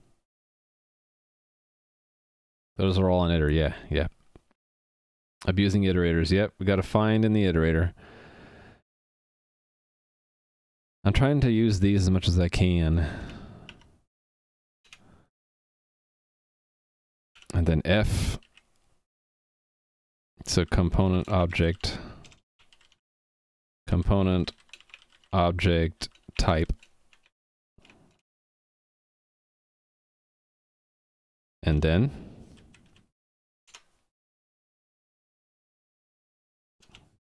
mm, com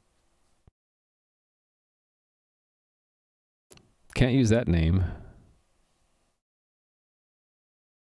I guess we'll say component object type.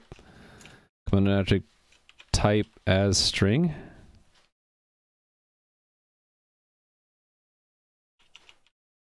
Is it confused here? I really confused it, I think. Let's see if you can make it fancy. I'm making it fancy. Look at this. Once you start doing it the functional way that's not coming back, that's okay. I'm I'm okay with functional. Okay, I've confused it somehow. Okay, we're we're expecting an object and then index type, which will be a value. Oh, that's that's the problem. Um I had to do a get, don't I? Or do I? Hold on. I'm cheating. I'm looking at what I did before. I did do a get before. So it's probably complaining about something later on. Yeah, okay. Um, Because I haven't finished writing this yet.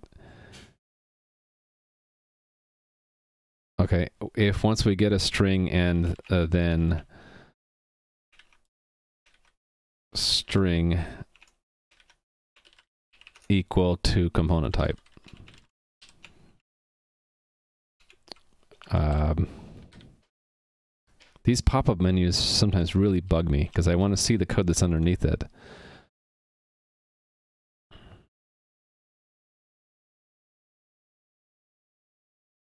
Uh, don't I want to do a map here? Map or false?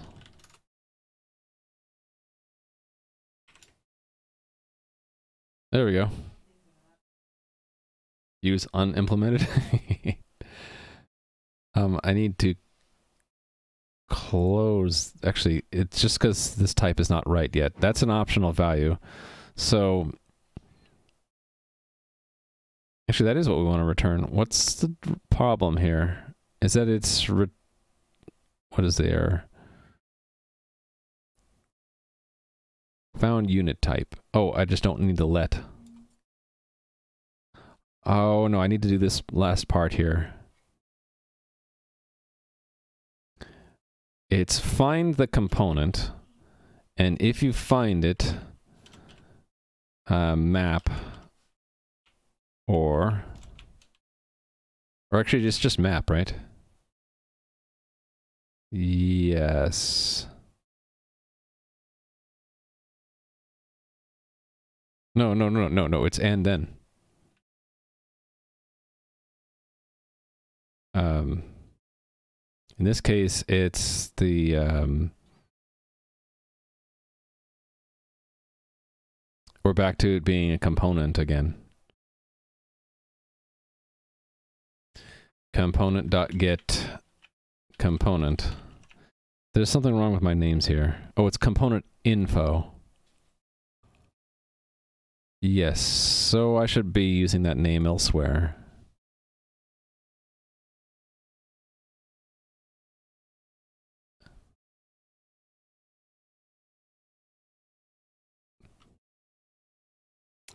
Um, as, well map, right?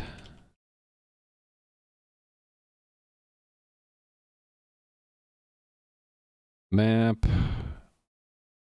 uh, component, We'll just call that component.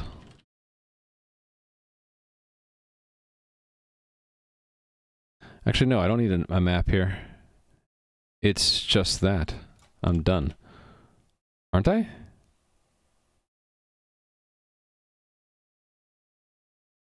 Because, okay, what's wrong here? The type is still wrong, I guess.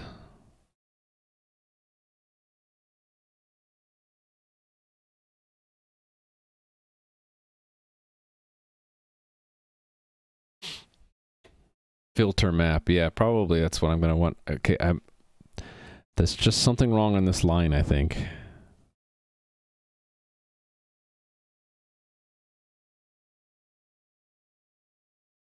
Oh, is that the problem? It's just telling me that there's a lifetime mismatch here?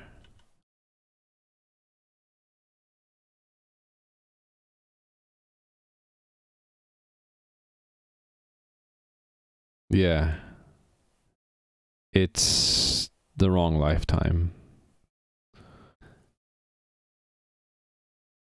The parameter return type of declare, I need to use lifetimes.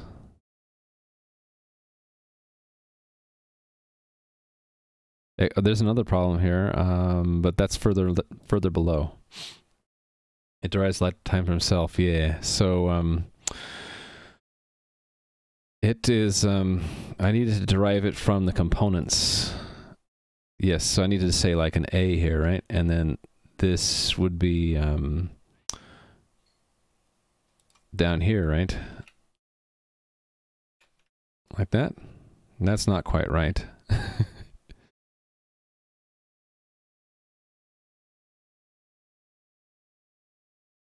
What does that mean? Shadow's a lifetime name is already in scope. Lifetime name is already in scope. First declared. Oh, there's another one up here. Yeah, I need a B then.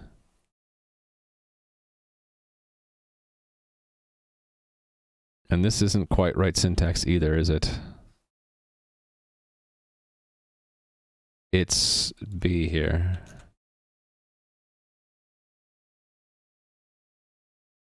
Yeah, I, I knew you guys were going to tell me that. but there's still there's still something wrong. Because the B needs to be in here, doesn't it? There we go. Let's see how close um, I got to buff seagulls. Not sure if it works. You've seen people actually use names for lifetimes. Yeah, I need to do that too. Let's. Uh, what I've seen people do is um, actually name it after the argument. So the lifetime of components. So this is basically saying it's returning a value that's the same lifetime as the components, which makes sense because that's where we're extracting it from. All right, let's let me look at uh, what um, Buff Siegel came up with, and maybe I'll learn something. Because I did last time, a Buff Siegel is my teacher today. Okay, so comparing that to what I have. Right. You using filter map, which I don't know yet. See, this is the advantage the teacher has over the student. The teacher can pull tools out of their tool belt the student knows nothing about. So if I read about filter map, I'll probably realize that it allows me to collapse this all down, which is what I want, right? So let me let me let me read about filter map and see if I can come up with the same thing. Filter map. I really like the glowy way that, that when it gets the focus. I really like that for some reason. Why is it in both standard and core? I don't know creates an iterator that both filters and maps. The closure must return an option T. T, T. I see B and F. What's a T? That's weird. They say B and F, but then they say T. Core is a subset of standard for embedded systems with no... Oh, I didn't know that. That's good to know because I have in the past worked on embedded software. So if I ever do again, then I'll know core is what I want to know about. Standard just re-export stuff from core and alloc. Okay. Good to know. Thank you very much. one of the coolest things about Rust is that iterators are lazy. You don't have to worry about performance all too much. Yeah. Can still use core and alloc when you can't use the full standard. Makes sense. Makes sense. Thank you, Silmith. And Lunar Artifice. That's your first point. I'll give you a second one. And I probably should give Silmith a second one as well from before. So now you're at four. Okay.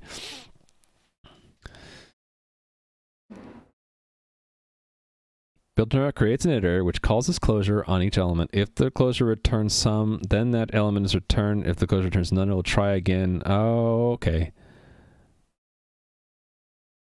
So it's it's picking the first one out, uh, which is what find does, which is what I want, right? So that's what I want. Okay, let's see if I can figure out how to use it. So instead of iter, I would do filter map, right?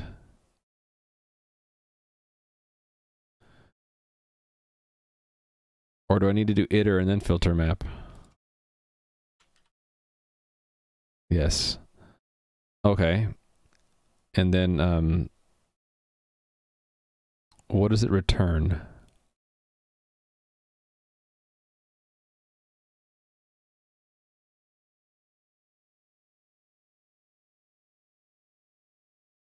I don't quite understand it yet.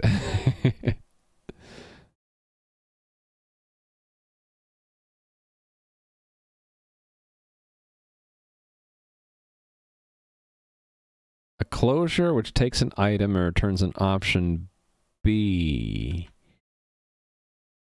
It's unwrapping for me, yes. So I don't need the map or false, basically, you're saying, right? I would just say and then. But I still need these inner closures, right?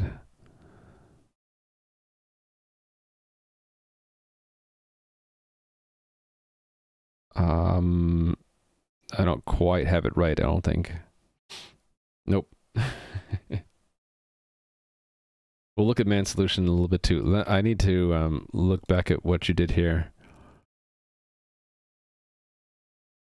Oh, you're doing it a completely different way than I am doing it. You're you're having it look for the first thing that's an object, and then out of that the first thing that has a type, and out of that the first one where the type is a string. Oh, this is a whole different way of doing it.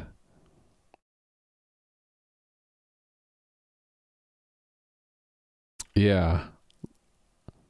But how did the way I did it should have worked? Well, the way I did it, it didn't need filter map then, right?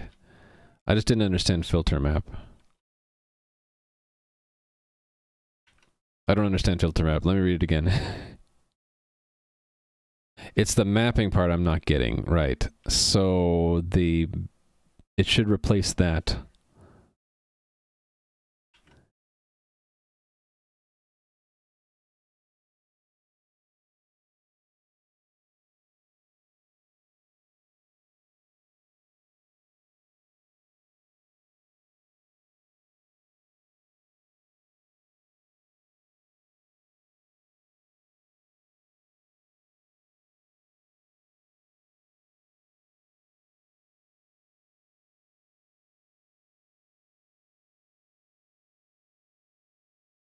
I don't know if I want to use this style yet. Um,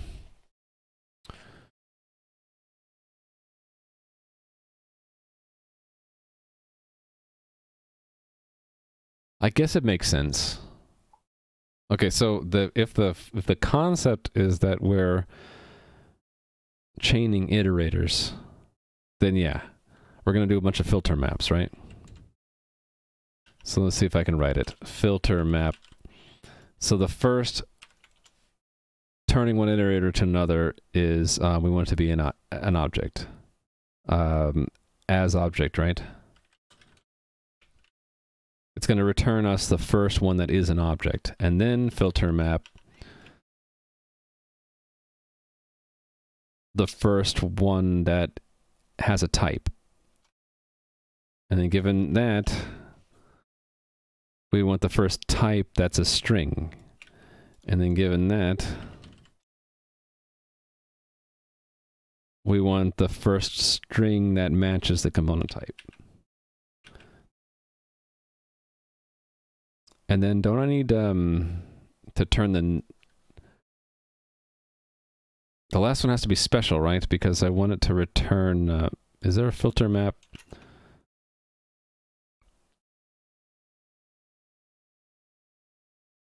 Yeah, what if it completely falls out? Oh, you haven't. That's why you have a, the last one is not a filter map. I'm like, can I use the filter map for the last one?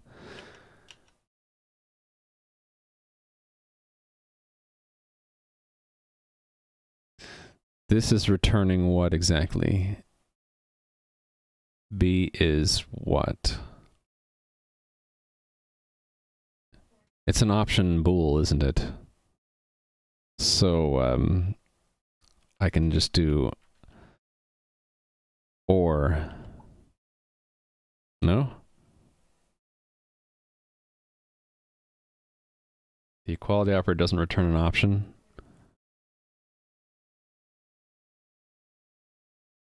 Oh right, it's un it's unwrapping it for us. So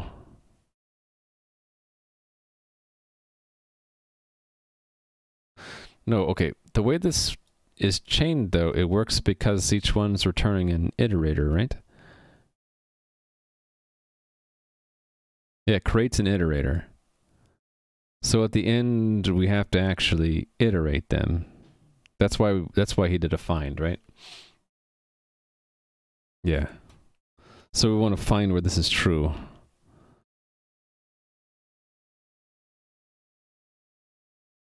And do I want find map? No. I want find. Try find? Try find returns a result. So I still need to unwrap it, don't I?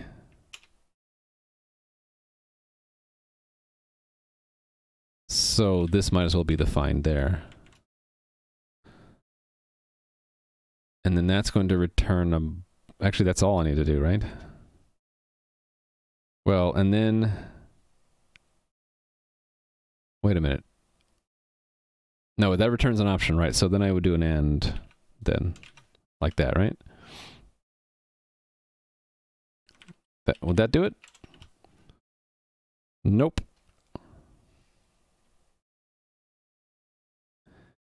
Because I'm not understanding find again.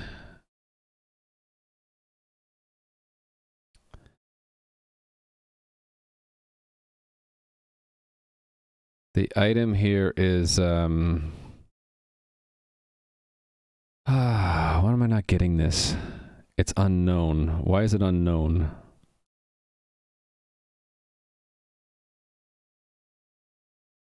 Because this this is returning what? An iterator.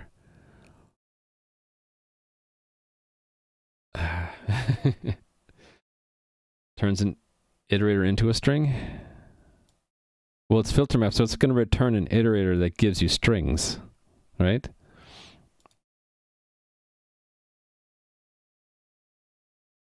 And here we want to find where the string matches. So I, I thought that this would work. Oh, wait a minute. It does work. I just need to give it a reference. I need to borrow it in a sense. And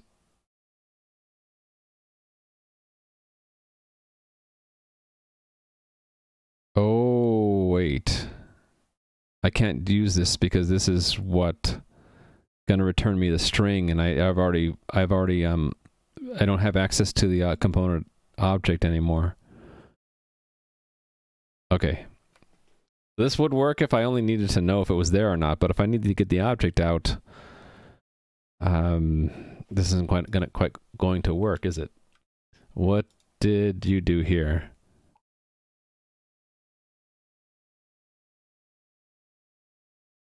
Yeah, I don't think this is going to work, isn't it? Because the component info is lost. I don't think it's going to work. Yeah. We we lose if we need to get to the um, component. We've already lost it. Once this filter map will will strip it out, right? Or actually, this one will. This will strip it and just re return us a type. You can make a tuple. That's true. So I could get both the tuple and the type along with it. Um, so I could um, say um, a tuple here, right? Component object comma the type. It get, then it gets a little bit more complicated, doesn't it? Wait a minute, unmatched types? What?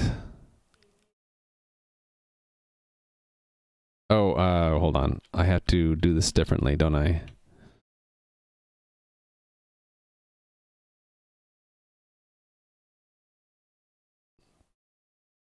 Because get returns an option. yeah, I'm not adept enough to do that.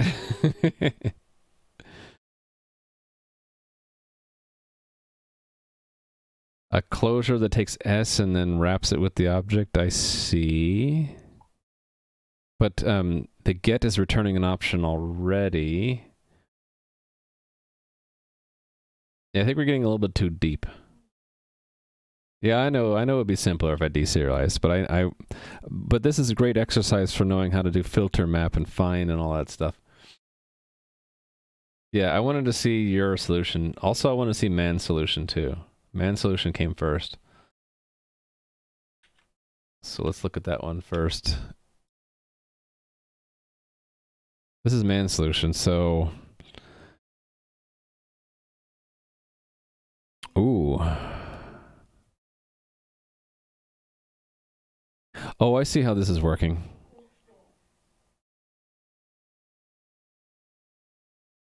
Actually, would this still work? Because isn't this going to isn't this going to um oh I need to take a break. Let's um suspend that for a little. Wouldn't this return the type? How do we get the component info back?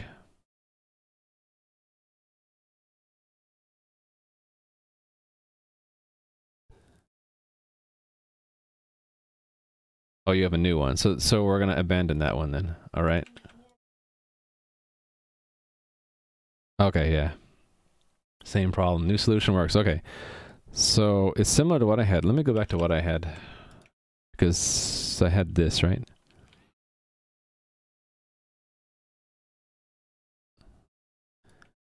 So you also have a find, but you made it a find map. You also have an and then. So your and then is the same as mine. So what you did here is, oh, you have um, rather than making it functional, you have a little bit of conditional logic. Is this better?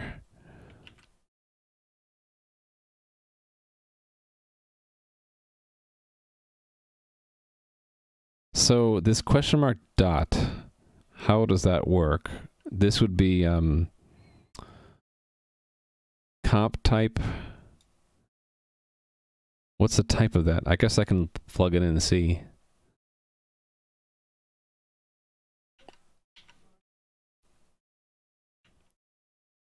Let's see what we get. What is I you meant to say that, I'm sure. And um, oh, it's an option. It is an optional string. Yeah. So um, this isn't gonna not gonna quite work, right? Wait a minute. Forget after asterisk. Hold on. What? Oh, you forgot it after here. Yeah, but isn't that going to panic? If it's not? How does that work? Oh no, it early returns none. It early returns none. So if any of these get none, it early returns none right out of the find map. Oh, I like that. This can be folded even even smaller though, right? Can't you just say um uh, maybe I, maybe you can't. There ought to be like I'm sure there must be something to to shorten that even more. Okay, um I'm curious if there's a way to condense this even more. You Could filter the option.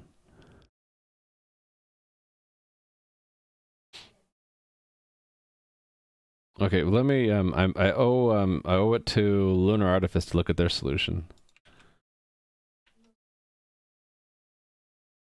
So we have like three different solutions, right?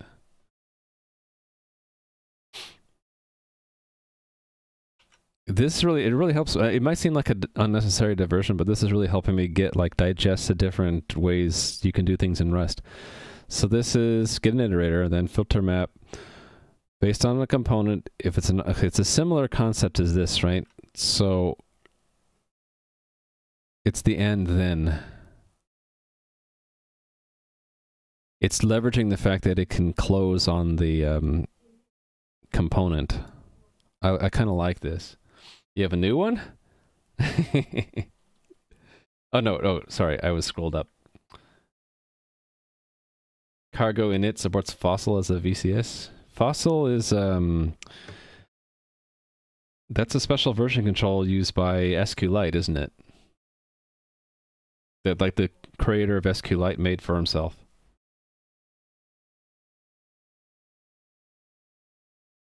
This I kind of like because the closure captures the things that we need, the um, comp. Do we need the if else none though? Couldn't you just do a question mark? So yeah, let me let me. Oh, and why do you have a next here? The next is kind of weird, isn't it? Don't we want to have uh, just um a find or something instead of? I guess this is just an alternative way of doing the find, right? Next just gives you the first match. Yeah. But find is similar, right? It's just um return you the first one. Yeah, okay. So what if I kind of did this so it would just be since this is already um so that um so basically combining these two solutions it'd be something like this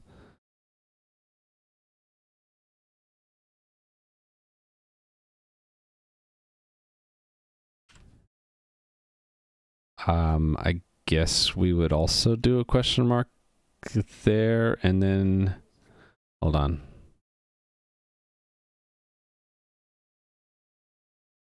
Yes.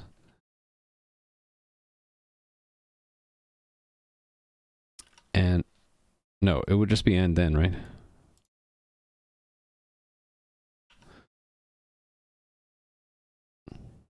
Mm, component type.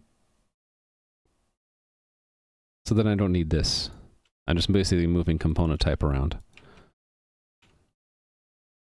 And then putting that here.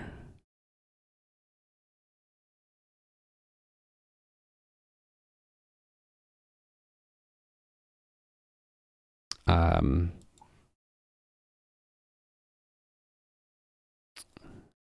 if it equals, right? Comp, else none. That would do it, right? Not quite. Unnecessary parentheses. Okay.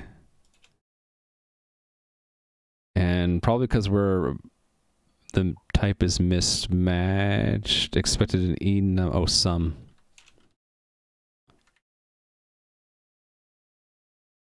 Yeah. Something like that.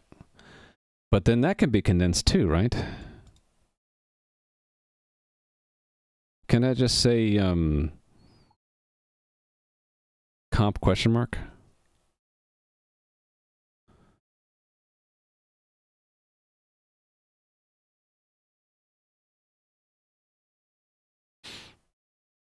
I don't know. Wasn't there something else if you're just returning some or none? Yeah, yeah, that's what I was thinking.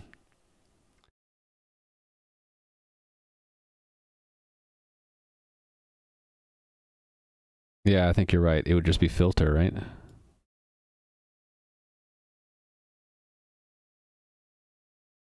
Like that. Except for the type of this is weird.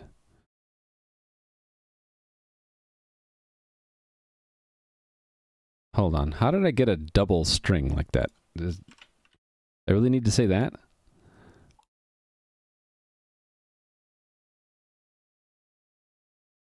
Okay. Was there an as string? No, that's um, to interpret the type as a string.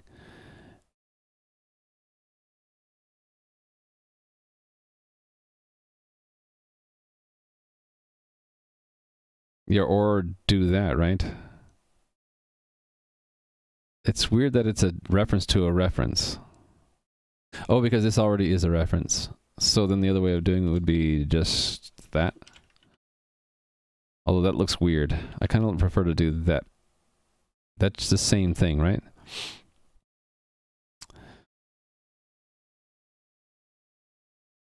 Yeah, borrows it. Yeah, that's it's, just really weird compared to C C++. plus It's really weird. What am I getting wrong down here? All of a sudden. Oh, this is the wrong thing. Oh yeah, we're still reducing the wrong thing. Yeah, so this won't work because I I need it to be the Some component. Uh, what was it exactly? Filter. Yeah. I have I can't use filter because um, what I actually wanted to return is the actual component that we captured in this capture. We captured it from here. So um, I have to do it that way, actually. Rust is one of the most fun languages, according to Stack Overflow survey. Why is that, do you think? Because of all the um, terse syntax, I guess? now, do I like this version better than the other ones? Actually, let me go back. I kind of prefer, even though this this might be more clever, I kind of liked it this way better. I'm finding this one for me easier to read. It's it's it's basically saying we're finding we're iterating and finding something and then when we find it we're doing that with it. And how we're finding it is we're um, taking the um, each one and, and seeing is it an object? If so, does it have a type? If so, is that a type a string? If so, um, just make sure that that string is the expected string and the map or um, unwraps. The or part unwraps and the map gets us from the um, the string to a boolean. Filter map component. Yeah that's difficult for me to wrap my brain around that one. That's that's i'm just if if you guys don't mind i'm just going to stick with this for now different versions are going to work for different people depending on what what you've gotten accustomed to i'm sure. This one is like more aligned with what i'm accustomed to seeing. Yeah. I mean it's just it's probably just as efficient right? It's also both um, lazy iterating so. What does cargo clippy think? That's a good question. What does cargo clippy think of it? Let's touch the file and run cargo clippy um, I don't think it had a problem with there. I have a problem later in the file, though. Something I messed up down here.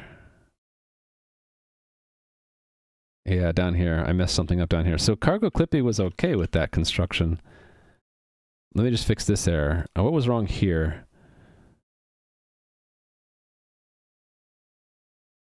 All right, I should just read it. Expected a value found an option. Uh, because we don't need to do to owned, right?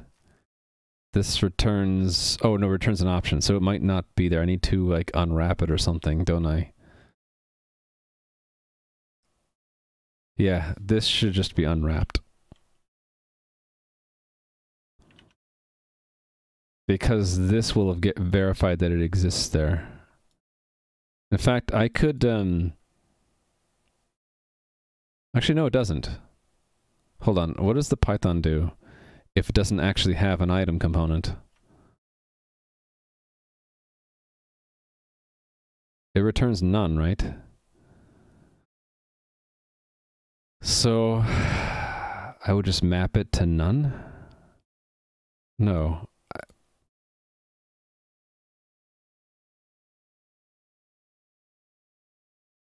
I should just have this not return an option. It should just return a value and then we just have it be null if it's not in there. I think that's what I want to do. um, to do a map here. Yeah. That's what the Python did. Actually, no, the Python did have a none. Okay, so then what did the Python do when um, at the at the output of that? Is it doing the equivalent? This one did a, a check, and so did that one. But I think the problem is when I called it down here. Yeah, we didn't do it. Uh, we just stored it in there. Oh, actually, we st stored it in there, but how do we use it? That would be um, here, right? Yeah, it just calls get. So it would it was the equivalent of doing an unwrap there. Okay, so then that's fine. Unwrap it better be a JSON value or else um, we're screwed and then uh, and then own it, own a, a clone it. All right, so then um then we're fine, right? We're we're cool, Clippy. We cool, bro? No, we're not.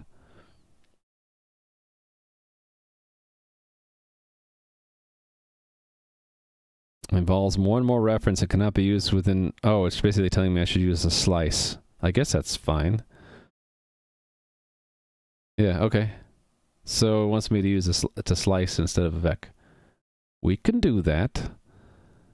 So that's just um, this, right? And then there was another place where I did it right here. It's just telling me I should use slices. Fine with me.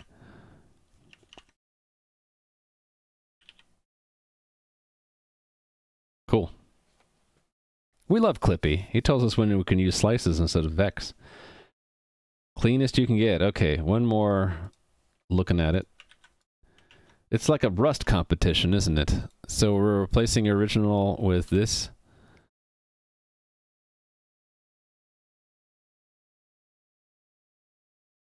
Oh, you put the um the land you put the um, closure out there so that you can use it in more than one place oh you just cleaned it up.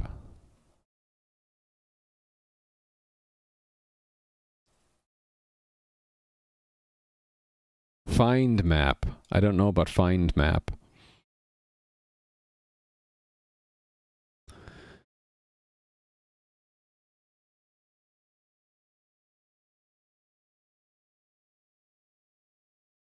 I actually kind of like this version. Just so that there wouldn't be nesting closures because you don't like that. You don't like nesting closures? Find map is find plus map. Makes sense. And what I am doing is what? I'm doing a find. Well, I'm not un I'm not unmapping it.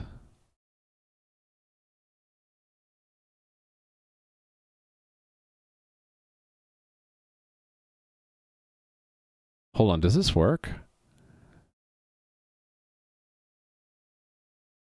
Isn't this going to have the same problem where it um, just maps it to a string again? Would this actually work? Yeah, I think again this is going to map the the find map is just going to map it to the type again. Actually, it's going to map it to a boolean. It's just going to do a map. It's going to be um, a boolean. I don't think that's sorry, Buff Siegel. They could code work with find instead of find map. Yeah, if we don't map it, if we just do a find, yeah, maybe. I think we've beaten it to death, though. I should just move on. Okay, that's the original Python. I should just make sure that this actually works. That's what I should do. We built it, right?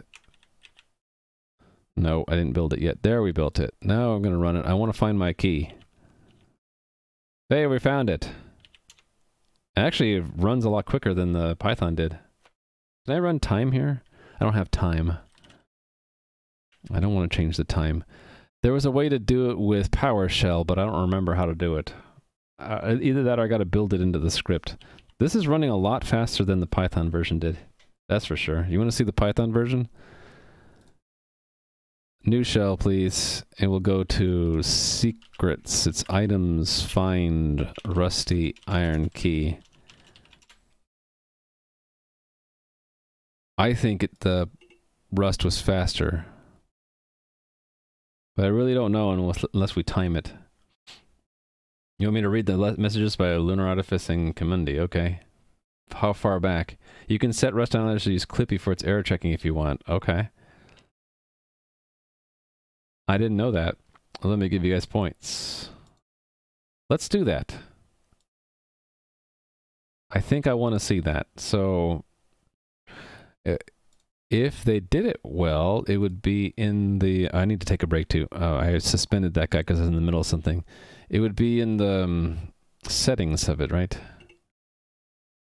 Settings. Hey there, Tua Bud. Benchmarking tool uses Hyperfine. Okay. Is that a tool you install? Because I know you can do it with PowerShell. It's just complicated. I'd have to find it in my notebook. Extension settings. You would think it'd be just easy to find here, wouldn't you?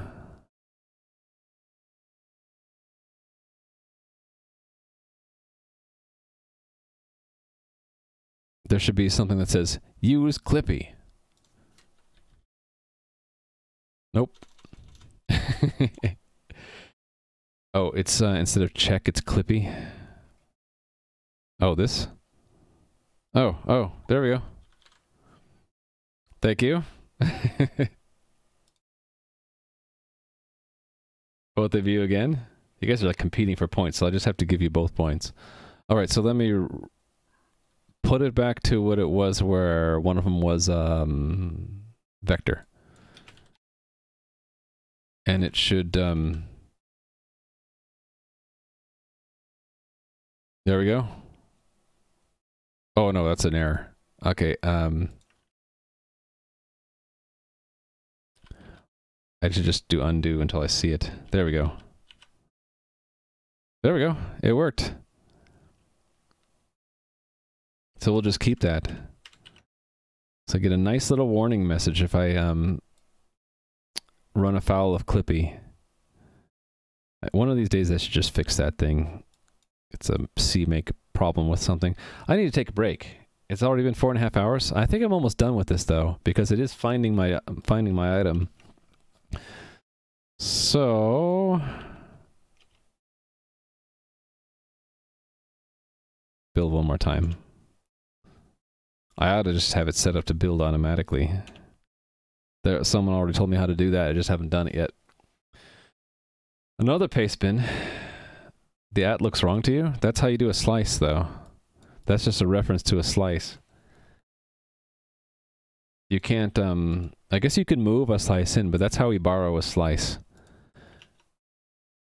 Another So iterate the components, find map.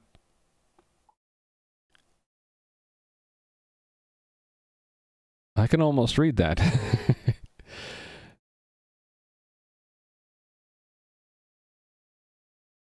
Get the type, convert to a string, then filter. Wait a minute, that filter take uh, you can do a filter on an option? That works? Because as string returns you an option option string, right? Would that work with filter? Huh. That I didn't know. So are you're saying like option has filter implemented. Oh yeah, look at that. Neat. Cool. I like that. So that's again more learning for me. Thank you, man.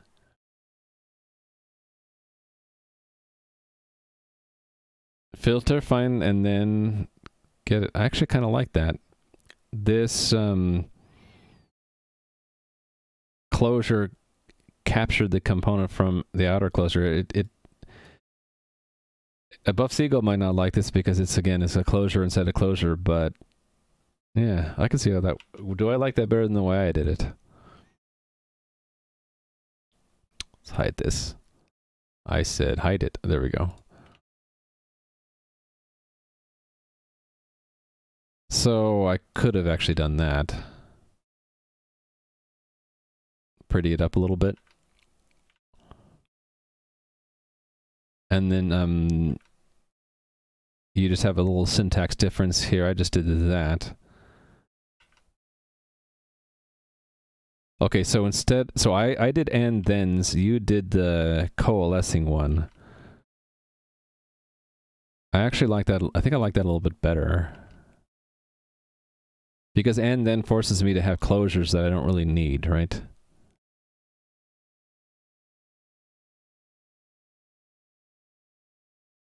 Yeah, I could have done a coalesce here because find returning none would have gotten none all the way out, right? No, it would have just kept iterating. Yeah, so if to change mine a little bit, I would do that. And then I wouldn't need an and then because this unwraps it. So I would just do um, dot get type and then again unwrap it to um, get the string. And I still need a map or, right? Oh, no, I've, I messed it up. Find needs a boolean, not an option.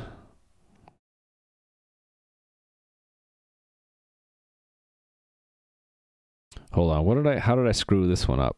Let me let me not do so many changes at once. Uh-oh. I was getting worried there that I lost my undo stack.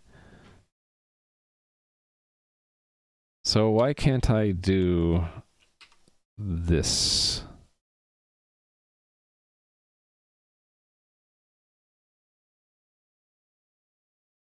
Can only be used in the closure that returns result or option.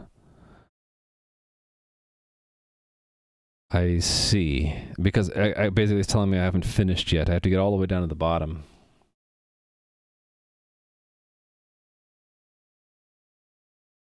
Oh. Right, I have to, it has to stay an option. So you're using find map because that un, unpacks it, unwraps it. So it allows you to do that. Uh, that's clever.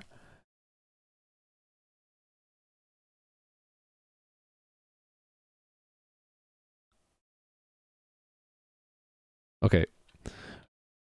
I don't want to absorb too much. What I, you know what I'm going to do though? Um, I'm going to look at that later after I've had a, a rest break. So I'm going to say um, alternate implementation. Using find map. Uh, I actually want the actual raw code. As long as you're okay with me putting this in here, man. Actually, I don't need to do that. I'll just refer to it here because we know that it'll last 30 days. Yeah, I need to take a break anyway. Please let me take a break. Too many example. I'm, I'm, it's kind of cool that I got everybody thinking about how to do this the most idiomatic way or the most clever way. Or smart. I don't know what word to put in there. Filter map. Find map. And there's another filter inside of there. Right, and then that works because this is an option, so it's either going to return it or none. Yeah, that works, doesn't it? Yeah, we're golfing. Is that what it's called? Golfing? Alternate implementation. And you were using filter map and find map. But essentially it's, yeah, using filter map is the key one, right? I guess filter map and find map. there we go. Another one? I can't look at I can't look at paste bins all day.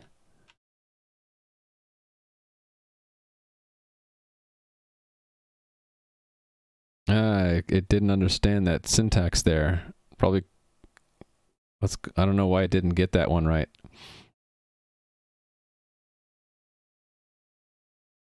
You know, I don't mind just. Um, I'm not going to look at it too deeply. I'll say alternate. I want to look at these later after I've had a break. Um, probably after the stream. The difference in this one is.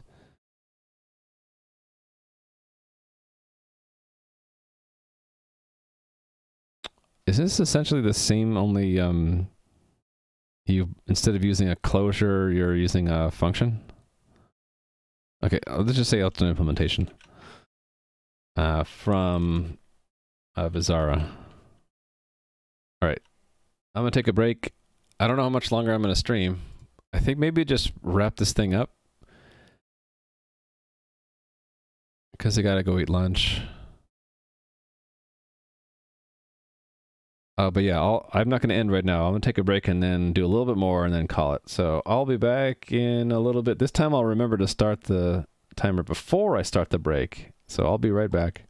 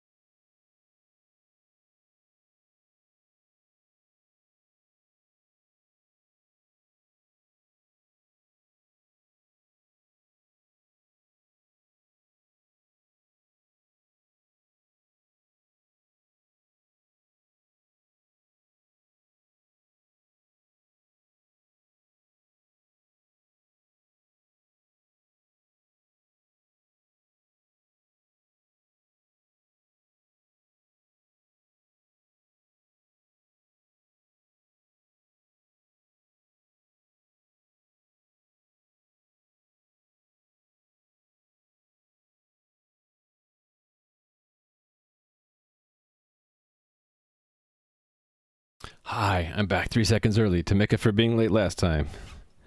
So while I was walking around the house, I uh, realized that there's one more thing that I kind of wanted to do, which is what you guys were asking me to do before, which is try to use um, the uh, deserializing to a structure to avoid having to do all of this stuff. so I think what I'll do is I'll have it as a another alternate implementation, um, or maybe just make an alternate structure Yeah, why not? So an alt, uh, not not an alternate structure, an alternate function. So I actually don't need this anymore. Let me do it with proper deserialization. I was 35 seconds last time? Wow. I didn't know it was that late. I um keep the break timer in sync as much as I can with the BRB counter, uh, but I give myself some slop. So as soon as the break timer was done, and I could use move my mouse again. I I switched the scene again. It's going to be a major refactoring. You think so? What if I just do it in a small piece here? What if we just say um, we're going to deserialize this value into a structure just to read out the... Um, actually, I guess we don't want to do it get component. I want to do it somewhere else. What if we just do it with item has matching name? What we'll do is we'll deserialize this into a structure and just pick out the item name. I would just do that. It could have been using the structs the whole time, but I can't make the entire message fit a struct because we want to have have it support um, like ignoring items that are um, not matching the the pattern. So like the container of this item I don't want to destructure this entire message or the components list, but I can I can parse individual items, individual entities I wasn't doing to mess with. I, I need to understand how to do it both ways. It, it well, yeah, but what if what if it um, violates the structure? I don't want it to like uh, panic or skip the entire list. So it's not about unknown fields. It's if what if things just aren't the don't match the um, syntax at all. So if this this is an array, but its elements might not conform to that shape, I don't want it to skip the entire array. Hey there, Microsoft Hooligan. And I also forgot to wave to Bizarre, who's been here forever. and Perry was here and I didn't notice. Oh yeah. Said hi to Tuabud. Otherwise it's been lurking in the background.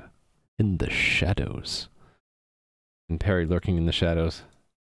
I also forgot to say hi to two, but I think I was just in the middle of something when I was running into that stuff. Rust compiler is here too. Benchmark it. Yes. Actually, I kind of wanted to do that today too. Um, but I um, I need to either run it in PowerShell or um, or get a tool that will do it. I'm not on Linux, so I can't do time, which would be cool.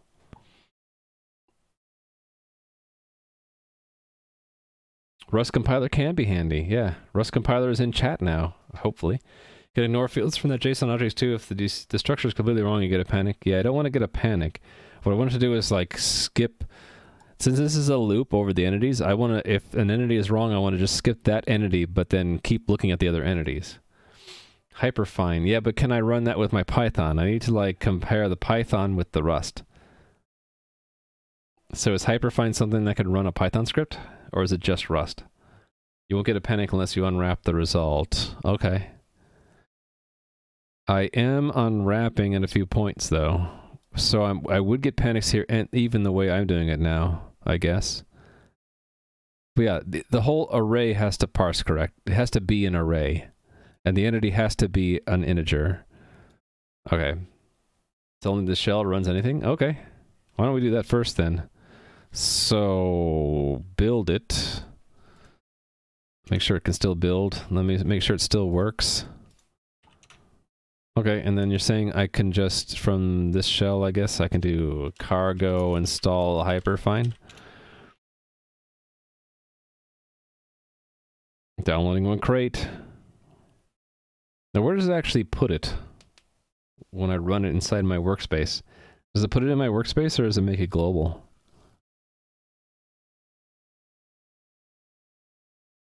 building a lot of things. It puts it in my global. Okay.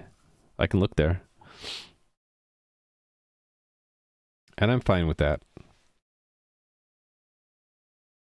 If it's a useful tool. If not, I guess I can uninstall it. I hope it's installing a bunch of stuff, so I hope uninstalling is just as easy. or else I have a lot of things I gotta uninstall. See you, Nui. Thank you for being here. 107 out of 108. I can't wait. It's got one more. One more to go. You can do it. Hyperfine. You know what's interesting is ever since I um, lost my connection to Twitch, I haven't dropped a single frame yet. So I wonder, I, I did switch uh, uplinks from Phoenix to LA. I wonder if it's a problem with the Phoenix data center. All right, so how do I run the thing? Oh, interesting. So I would just run the other command I did. Uh, in the other folder, the other terminal here, and just put it in front.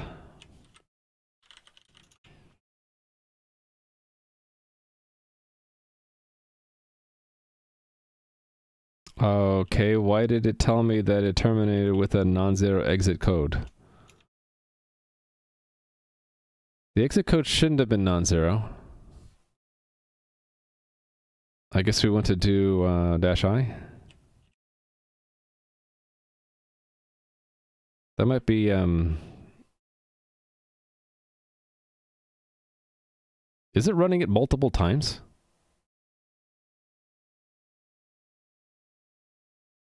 Hold on. How many times did it run my program? Don't forget to build with release. Oh yeah, I need to get a fair comparison. Oh, it ran. It didn't. Okay, I understood. I understand. I think it, it ran. Took each argument as something to run. Okay. All right. All right. So I need to like. How do I make that one argument then? Just like that? I don't think that's gonna work. Or would I do a backslash for these. Or I could just run it with the... Uh, actually, that is a script. Will this work? Is it running it multiple times? It ran it 10 times? I didn't know it would run it more than once. But that's actually kind of cool. So it gets an average out. Let me see if my server actually saw that. So that actually would be kind of brutal on my server, wouldn't it?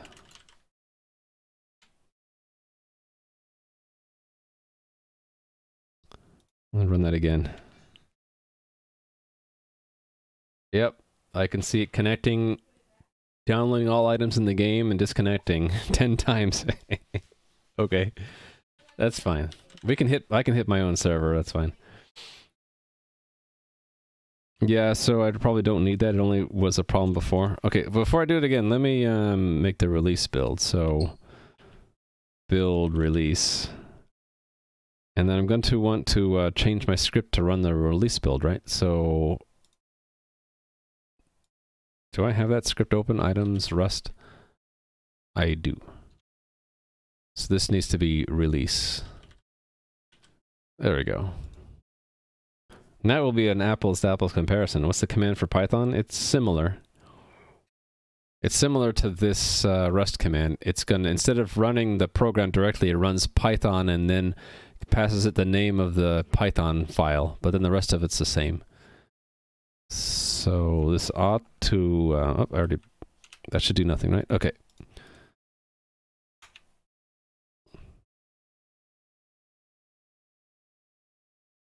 So it's only a little bit faster. Look at that. And now we're going to run the same thing with Rust with the Python. Well, there you have it. Python is more than takes more than twice the amount of time. It's not terrible. I would I was hoping for uh, double the speed or you know half half the time.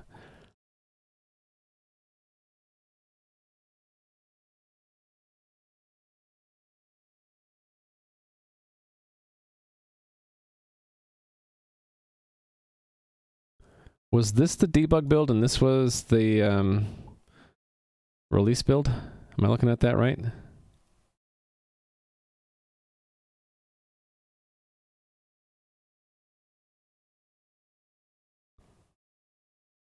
Yep. Okay. Use both scripts in the same. Oh, okay. So um, to do that right, I gotta do um, that and then another. Whoop! Hit enter. I'll just let it run.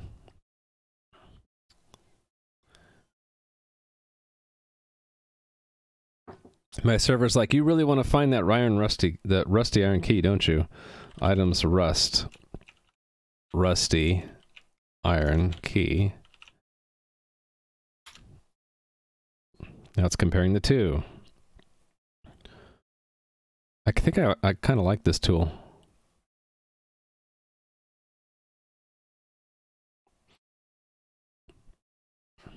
It's definitely faster.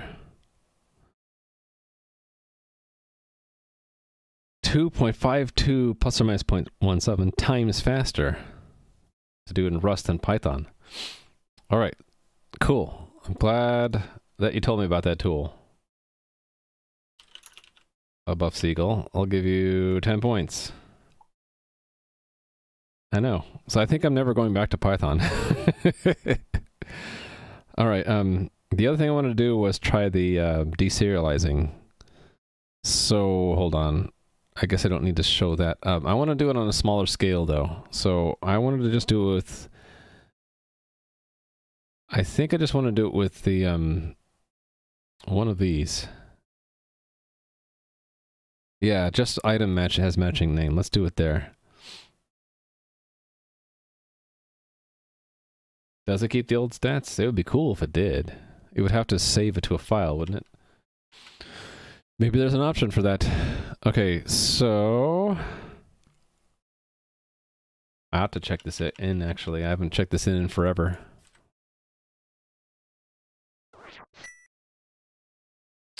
Thank you for that follow. I appreciate it. So now we're actually holding on to the items that we match. And then printing out the ones which are fetched.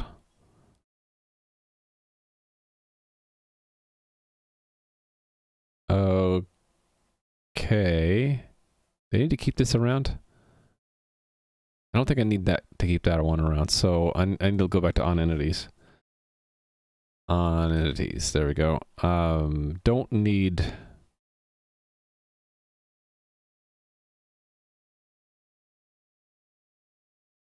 Why did this return that?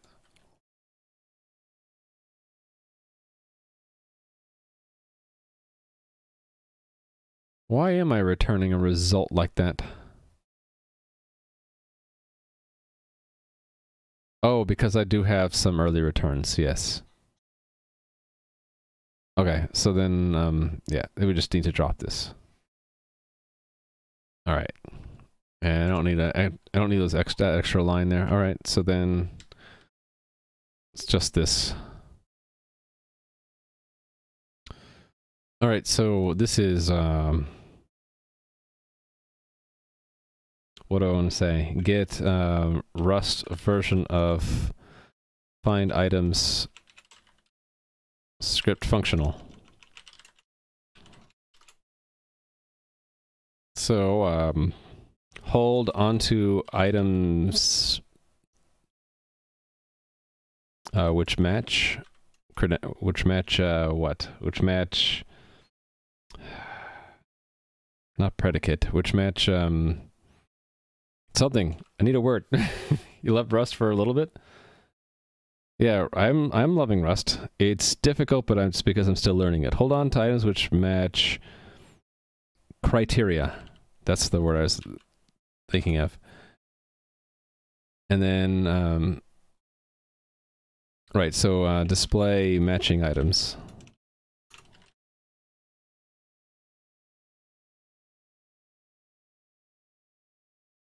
And then, um, Find items which match by name.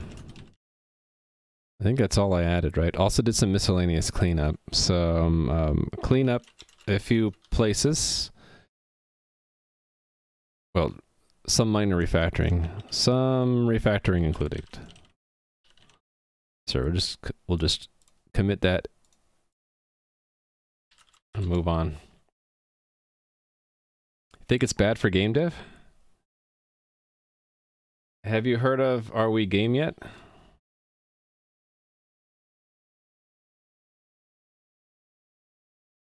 Are we game yet? You heard of Are We Game yet? That's what I would ask you. I haven't looked at Are We Game yet, but I've I've heard that um, there's a lot of resources and discussion there about using Rust in games. No one has made a AAA game in Rust yet. It's only a matter of time. Zig syntax is poo, huh? I'm going to look at Zig soon. I actually looked at it a little bit this morning. It didn't look that bad, but I only glanced at it. Soon, trademark. Is Jai actually available? I thought uh, John's still working on it. And it's not public yet. Maybe it is, I don't know.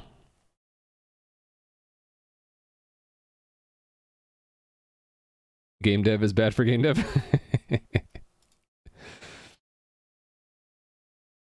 I don't know there's a Rust emote. Someone has a Rust emote. Nice. Jai isn't public. Yeah, that's the one thing that like I just kind of chuckle at when people say that Jai is going to save game dev. I'm like, well, if it ever gets released. Rust is just too complex? Game dev isn't about safety? Um, I, I guess if you don't care if your game crashes.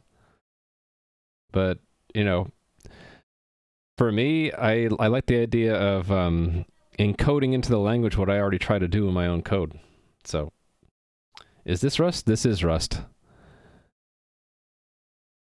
It's not idiomatic Rust, though, so I'm still learning. Something more idiomatic would be kind of like this, where we're using um, chains of function calls to um, to inspect and unwrap options and then this one where we're um, we're doing we're iterating a list of components and finding something that matches these this criteria and then extracting out a piece of it.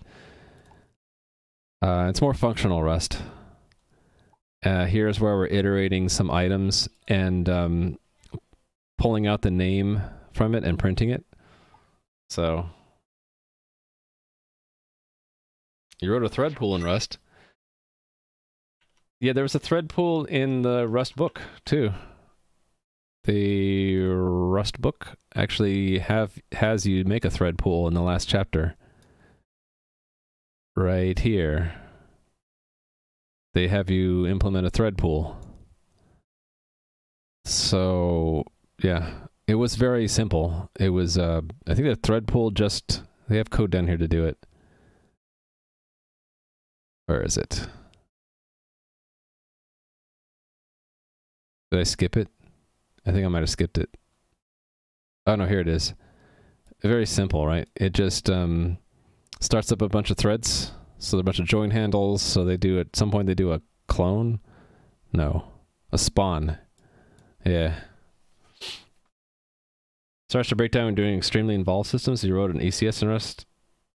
That from the outside is awesome, but internally was a nightmare reminds you of JavaScript. Yeah, that um, there's a lot of things in here that are very similar to JavaScript. Also, things that are similar to C++ too. Yeah. right with three five four partner. um, what I had got a kick out of today was learning about the cow. Did you know you can turn things into cows with into? It's true if the thing that you're putting it into is a cow which is clone on write, which is a way to make a clone of something if it needs to have a larger lifetime than you um than your what you're passing in. Yep. I don't know. I kind of like it. It formalizes a process I already use in C++, which is what I like about it. So the fact that we um, I have to be very conscious about the lifetimes of objects. I actually never gave this a nice name. I should just probably call this context, shouldn't I? The lifetime of the context is the same as the lifetime of the item name slice and also the um, the keys to our handlers map and our handlers themselves. Should I just fix that now? All of these A's should be context. I don't think I use A for anything else. And that should still build, right? Build, please. No problemo. Okay, so I wanted to do one, one last thing today, which is I'm going to um, redesign, re-implement this instead of using um, these uh, as and then um, you know mapping them. We're going to use um, deserialization of the JSON. So I just need to learn how to do that. I bet it's talked about way back here, right? If I could go back in my history to where we're in um, tungstenite. Yes. Go to the documentation for tungstenite, please. So there should be something in here for um, deserializing, right? Oh no, it wasn't tungstenite. It was um shoot. It is uh not tungstenite. Wrong thing. I need to go to serde. serde Rust. Yep, it is serde. Doc serde. There we go. All right, let's learn how to do deserialization of JSON. Maybe they talk about it in their documentation here. I don't know. Okay, that's the wrong place. Deserialize? Deserializer? You'll want serde JSON? Probably. You're probably right. Yep. Thank you. This is on untyped, and they'll have a example of typed. Here we go. Okay, so we need to derive serialize, deserialize, and then we just do. Ah, I see how that works. Cool. Let's just do it. Ending up using a port of STB image. Once had a PNG loader cargo with Rust at 72 dependencies. Took three seconds to load a PNG. Three seconds to load it after you built it? That doesn't sound right.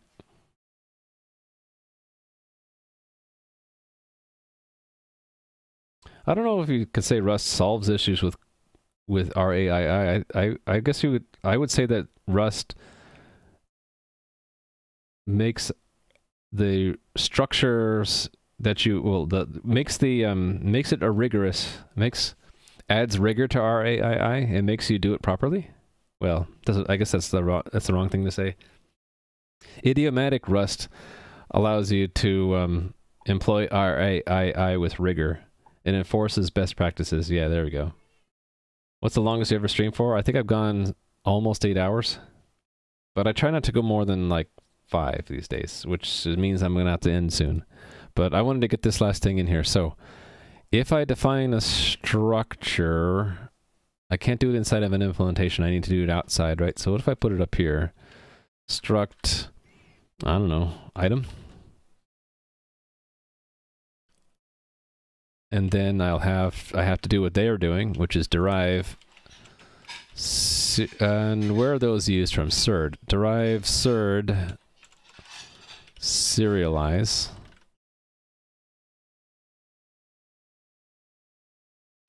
I'm concerned that I'm not getting auto completion here.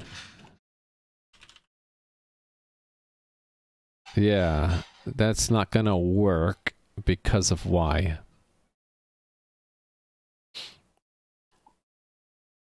Yeah, so you're saying I don't need serialize. You're probably right. You probably just need deserialize, yeah. But it didn't understand serde, which is weird. Is it? It might be because there's nothing in here. Yeah, that might be why. I'm not actually using it as a dependency. Yeah, I'm not. Okay, so what version do I want? Let's go to cargo.io, crates.io. What's serde up to these days? It's up to 1.0. Cool. 1.0. And then I got to do a cargo build, and then I need to reset the language server, right? Because we pulled in uh, another dependency. Not sure if it's like Zig where it can beat C. We'll find out. Okay, so, um, whoops.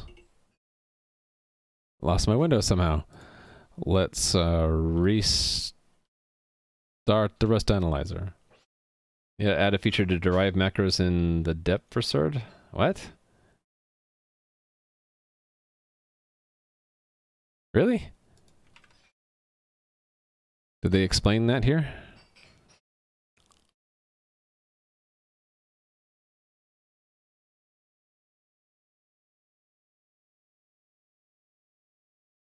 I had no idea you had to do that. How do you do that? Features equal derive? Is that something that I learned in the book and forgot? Where's the book? They talk about this? Features derive? I just forgot about it.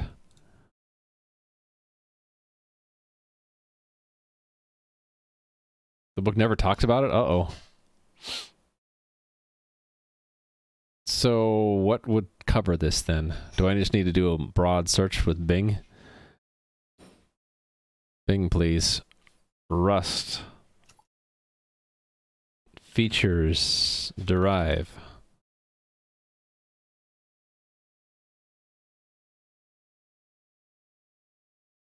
Or is it part of uh, crate? Rust crate?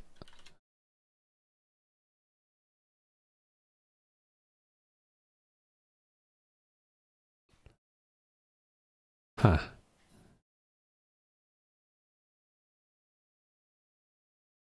Okay, they just say to do it, but they don't explain why.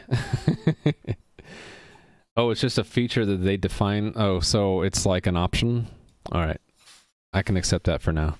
They're basically saying we're not going to give it to you unless you ask for it. So we'll ask for it. So it's an alternate syntax here, right? I have to say um, version equals, and then I have to say uh, features equals derive. All right. So then build it. Yeah, it's making making it uh, unlocking different parts of it. Optional compilation. Interesting. Okay, it's weird that the book never talked about that. You can do derive serialize or deserialize on your structs. Yeah, that's what I'm doing right here. So after it builds it and then I restart the language server, now it's okay with that. And I just need to add fields that map what I'm going to be de deserializing out of here. So it is going to, um, how do I say this? I'm going to leave this line as is, but it's this one I care about. So it's going to be an object with a name inside. So it's really just, it's really just name um, name is a. Uh, do I have to say string or can I say slice?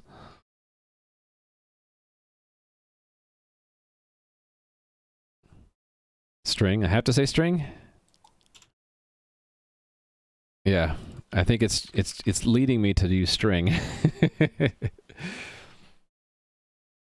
they probably say that in the documentation too, and I just missed it, right? Because I'm not reading it closely enough. Yeah, they say string. Probably because it's it needs to own it.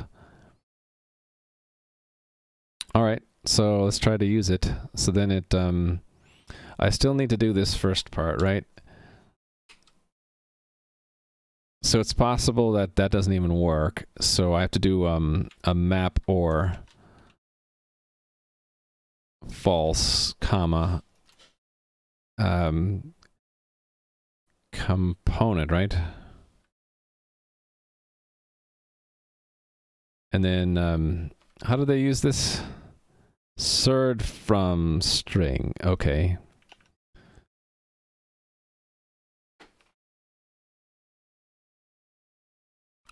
From, am I typing it wrong? No, it's serde JSON from string. From string, um, it's not going to be from string though, is it? Hold on. Am I already, is it already too late if it's a value? okay, there's a farm value. Good. I see that now. So there's components. Um, actually, it's component. And then that we want to, um, actually, I don't want to map at that point. I still want to do an and then, right? because that can that returns an option.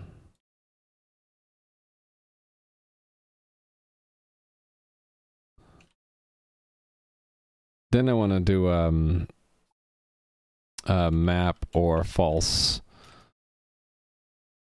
And then, um, am I doing this right? Component dot name.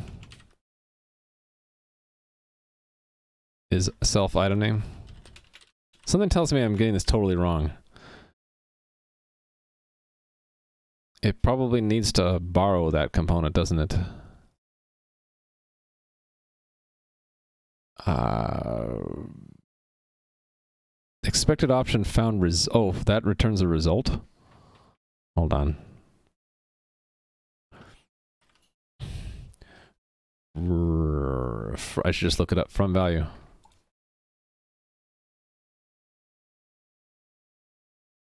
It does return a result. Okay, so I can't do, um, it's not map or, is it?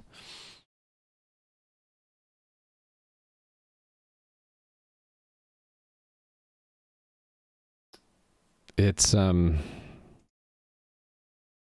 I, hey there, Backcraft. I'm, I'm trying to remember my, my Rust. Is it okay or? Yeah.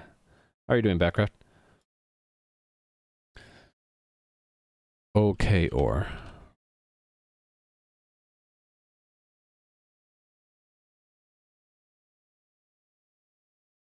It's not okay or. What does okay actually do? Returns the option if it contains a value, otherwise returns opt B. Um, I don't know if that's what I want. Just okay.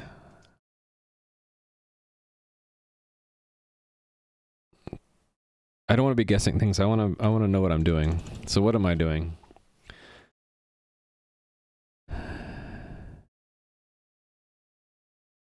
My Workrave is getting in my way. Actually, if I close that, I'll have more space. So what does OK actually do? Discarding the error, if any. Is that what I want? Um, yeah, go up here. What is OK? Tell me what OK is. Result? I always forget.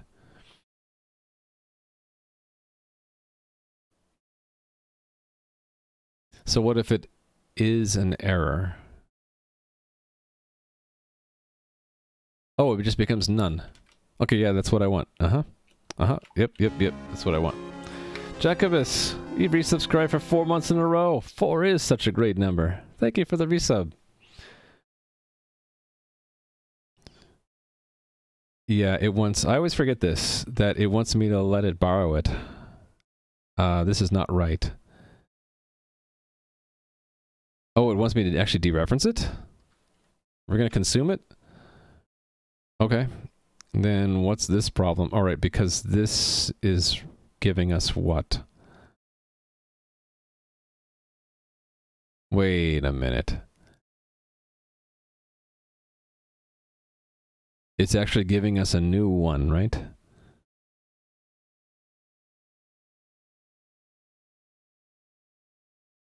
Oh, that's right. They did that in the example code.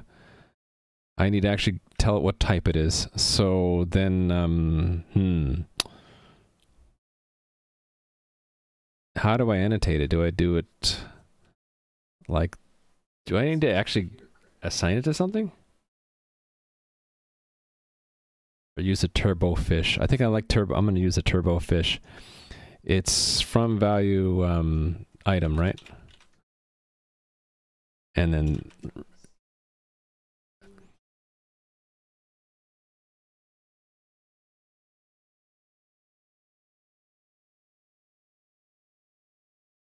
It really wants me to dereference it. But now it's... It can't move it because it doesn't own it. Okay, is there something with from value? From value consumes what it's given? Looks like it does. It's consuming it, right? Yeah, so don't I have to do a component dot to owned or something? There we go. Or clone. Yeah. Clone a bit be more obvious what we're doing, right? Yeah, because we we can't steal it from there. Right, I think I got it. Now, did I need this at all, or I do because okay, I do it for this reason, so that this works, so that this type is an item. Right, item name. Okay, so let's see if that works. That's the alternate implementation.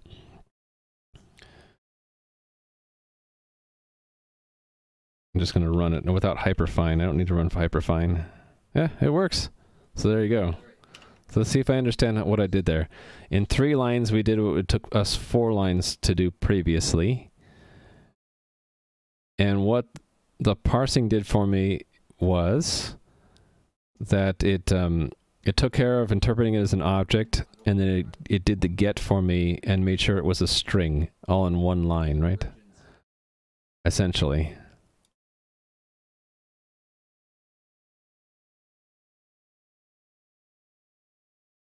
Yeah, and I also got the whole component out, not just the name, which is kind of handy. Could also annotate the component item.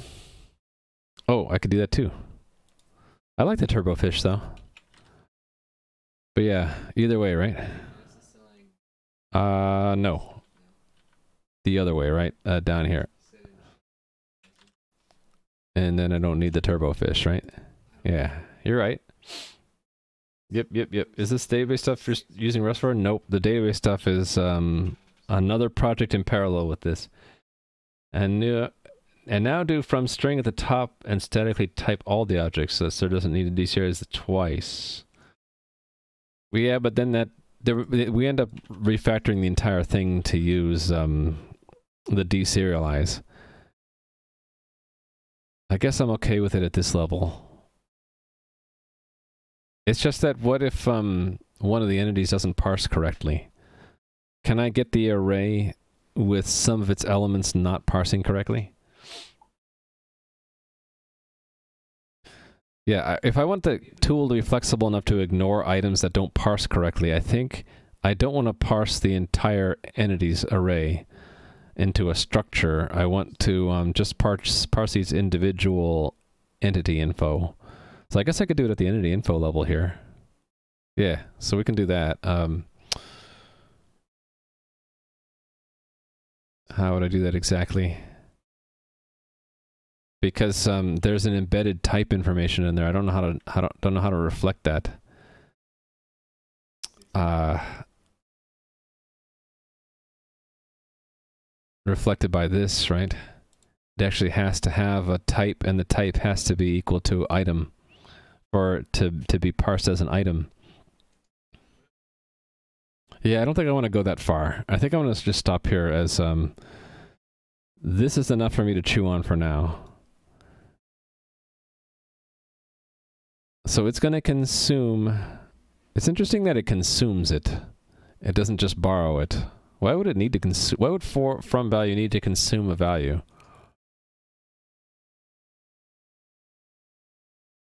Isn't that weird? You can make an enum for different types, yeah, but I don't know how to do an enum with deserialize. Think it should work?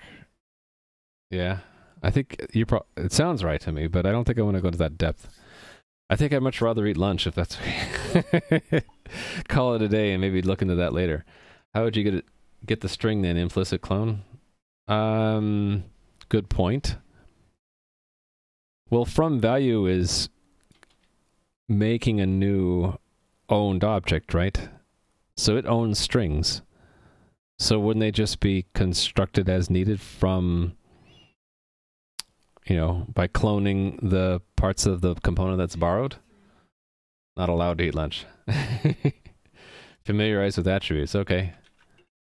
Actually, I'm just going to take that and put it in my notes since I got to wrap up today. Uh, I didn't.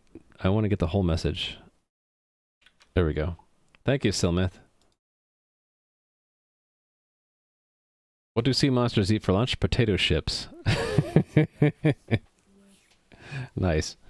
His ownership, it could just move from without clone. I see what you're saying. So it's a trade-off, right? If it consumes the string, it can reuse its bits for other things. That makes sense. We can't ban Mr. Balrock because Mr. Balrock has a license in here to tell bad dad jokes because I'm a dad and I appreciate dad jokes. That's why from value takes ownership. I guess it's implied by the the word from. From implies consumption, right? Or does it? I thought it was into that. Isn't it into that implies consumption? So this is sort of weird to me. Unless I'm misunderstanding it. It implies both. So from is both consuming its input and constructing something else. Okay, then I got it. Then yeah, in the staff room. Okay, Mr. Bauer, you're kind of pushing it there. Sort ignores unknown fields per default, so you can write a struct that only contains the fields you can. Yeah, I'm okay with it ignoring unknown, unknown fields. What I'm concerned about is, let's say there's an item whose name is not a string but an array for some weird reason, right? Then it would um, give, give me a parsing error. And I'm okay if the parsing error at the level of looking at one item, it would just, you know, discard, just skip that item. But if it's at the level of looping all the entities, if like we parse the entities into uh, deserialize the entities, then any one broken entity would cause the tool to break. Yeah, I have poly. Yeah, the L these entities might not be items; they might be um, monsters. So Although that's not quite what you get when we do the query. I think it actually... Actually, now that, I'm, now that I think about it, does it return just items? I can't remember now. What message does it send? Oh, yeah. It does, it does filter by just the items. So conceivably, if all the items in my game follow a certain shape, then I could parse the entire entities list and it'd be fine. But if I like asked for all entities in the game, not just items, then since it's a polymorphic JSON, it wouldn't quite match any um, deserialized for the entire entities. But I could, I could, I could, I could go with deserializing entity info, and then I wouldn't need to do the as u64 as array and all that junk. Do I want to do that, or do I want to eat lunch?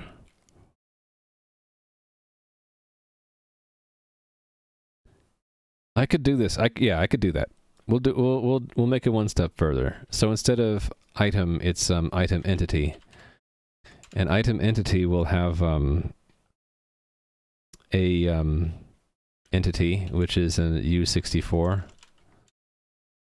and it has a item which is um do I have to I can't nest them in definition, right? I have to actually make two structures.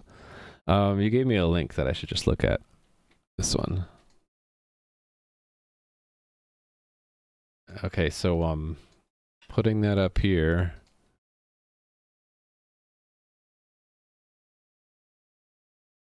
Okay, so I have to have two structures. Polymorphic JSON is it's an extremely useful thing. You want to see what I've done with it? I've done some crazy stuff. Game dot uh, snapshot. Uh, collapse everything uh, didn't mean to do that, uh, collapse everything. So because my JSON is polymorphic, my entire entity component system fits within a huge JSON object right now. Um, I am moving this to a database, so I'm kind of not going to need polymorphic JSON much longer, but yeah. For example, a character has uh, one shape, but then an item has a totally different shape. Right? Uh, different different fields entirely. And then um, some things get really wacky, like uh, uh, where is it? Uh, collapse it us all again. Components, components, dialog, um, where it's nested, nesting within nesting within nesting. I mean, it just gets crazy. Look at that. So um, this allows me to have in the entity component system, dialog entities and character entities and items all existing as just JSON objects. Well, we're adding some structure in the form of a database, 71529. So like I was saying, like this all is like how we used to do it. So you can argue that I don't really need this much longer. Uh, why does it keep uh, insisting on oh because the game is running it keeps re resetting the snapshot every 30 seconds yeah so um this actually will probably go away and won't be JSON much longer. Now that I think about it, it'll be more binary. Um, but for now, this would have to be another structure, right? How do we do that?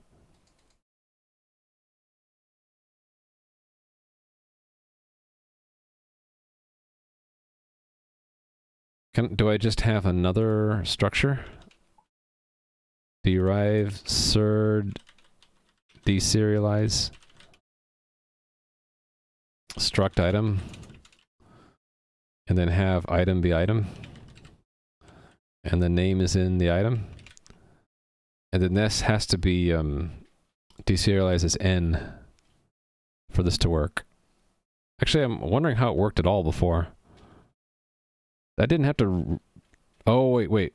Because I didn't look at it before, right? Um, how did it work, actually? From value. Actually, how did that work?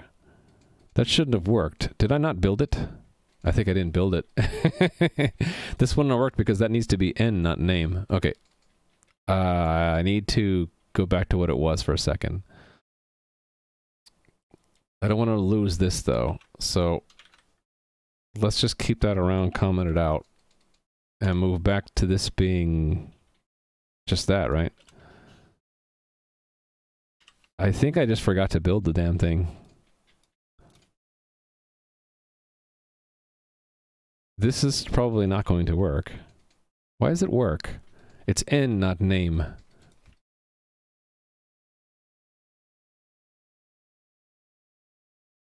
Um, from value.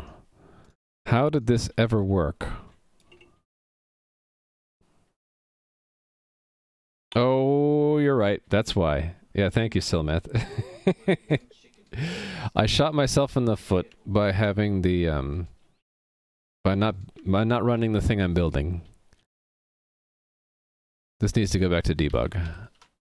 Yes, that's the reason. We've been making the debug build and not running the debug build. Yeah, so it can't find it, and the reason is that it's in not name. Um, but then I need I can annotate that, right? I can um that's what I was just reading about. serde rename, right? Now, which way does it go? Do I do serde rename equals n here? Is that what I would do?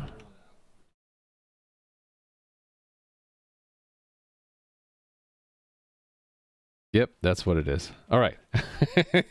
now we actually tested it with deserialize. Now I can uncomment this and I need to move this one up here. All right. And then this needs, that shape has to actually um, match exactly what I had in the, um, here. Okay, and I don't. It's components, which is an array. Okay, how do I represent that? Components? Array of item, I guess? No, it's, um, there's another level, right? Uh, that would be um, an enum component. Component. Vec. I can't use a slice? I want to use a slice, though. I'm so used to using a slice. You guys are right, though. Um, Vec, and then this says uh, item minute. Can I do that? And what's wrong with this? The trait is not satisfied Oh, because I need to deserialize a component. Fair, fair enough. Cool. But how does it know it's an item? Good question. I have no idea how to do that. This is a variant attribute. Variant attributes.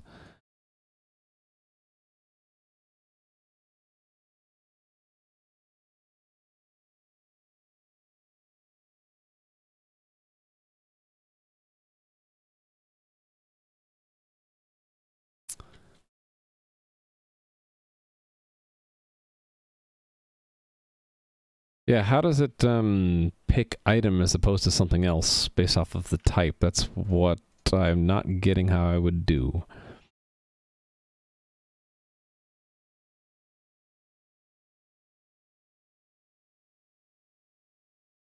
I think this is too complicated for me to do on an empty stomach.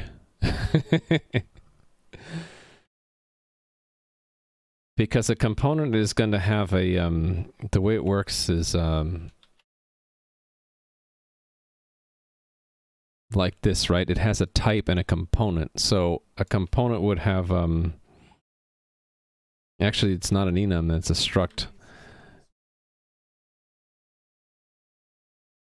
Uh, well, okay, there is a there is a enum, but there's also a struct which has the uh, component holder. And there's a component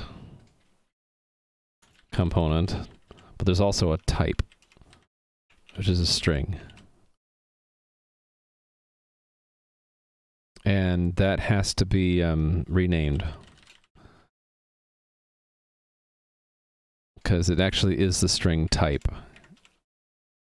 There we go.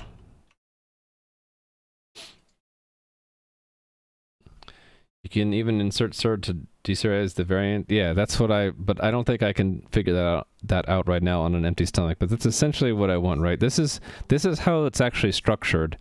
That an entity. It's actually not even just item entity. It's a um, entity info. An entity info has the entity number, and then it has a list of component holders, and each one has a um, type and a um, component, and the component is the is an enum because it it it varies on uh, what the string is. We pick which one. Look at tagged and untagged. Yeah, but I want to eat lunch. enum representations.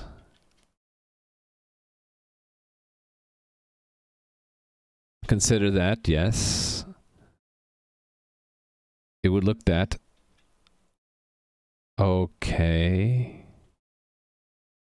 Type.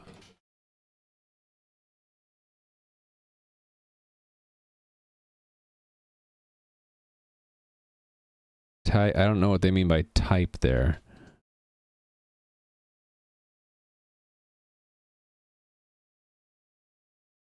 Oh, if you have type there. Okay, got it. Yeah, I was looking at their JSON up here that didn't have a type. And I'm like, okay, well, yeah, there it is. I think we're using adjacently tagged, aren't we? That's what I've been doing. Okay, so I get it. So I would not need a component holder. I would have component, and it has to have um, a serde tag equals type content equals component. And then we have, I have to annotate this, don't I? I have to um, rename from item. I'm guessing? I don't know.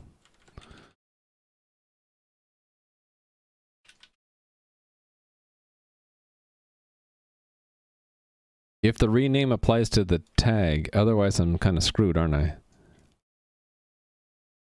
Like, how do I how do I rename the tag? Oh, wait a minute. Um, wait, wait, wait, wait.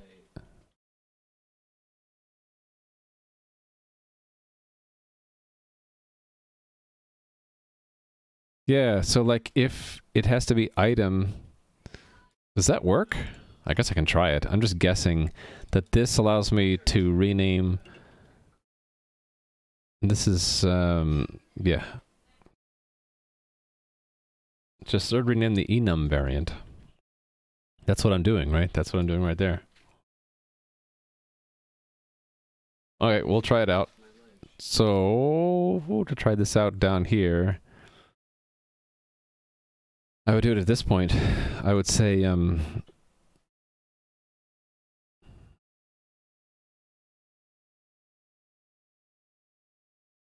Well, at this point, it should match an item, right? So I, I, I can just do an unwrap on it. So let, um, well, entity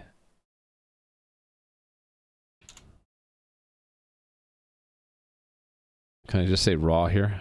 Well, value.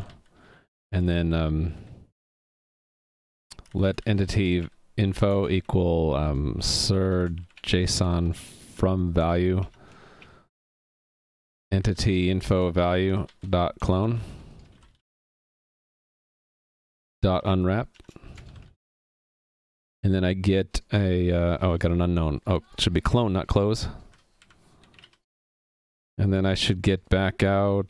It still doesn't know the type oh, because I need to tell it what type I want. I want a component. Component. And then um, entity is entity info dot um okay why did it, it still doesn't know the type. Why not oh i know i want entity info duh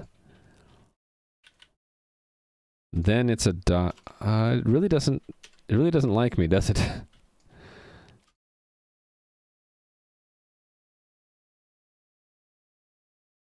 it should just be entity Yeah, okay. Autocomplete is just having a fit. You don't have to do it in the for loop. I can't deserialize all entities because, um... Okay, I can if they're all items, yes. But then I would have to have another declaration for the vector, right? Can I do it from a vector? Or from an array? Let's just do it at this level. um, so components is um, entity info dot components. So now we've extracted out the entity and its components, and then um, right. So I just need to item has matching name needs to be given the component now.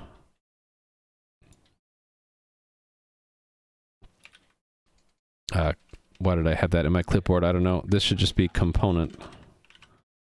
Actually, don't I want item?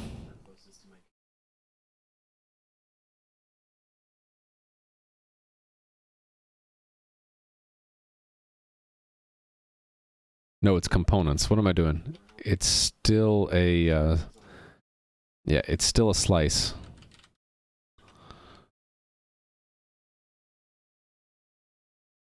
How come it can't find that? Oh, because it's component. There we go. No, I extracted it, the component out. So um, it's a component, not an entity info. It's a vector of components. Yeah. So then um, a bit back up here.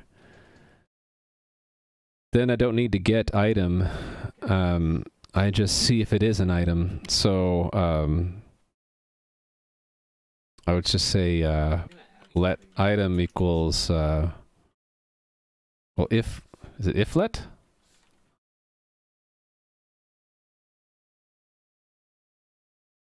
I forget the syntax. It's even the simplest stuff, and I can't remember it. Probably because I'm tired.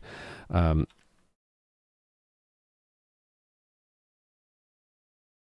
oh wait, no, wait, wait, wait, wait. I don't need to do that, do I?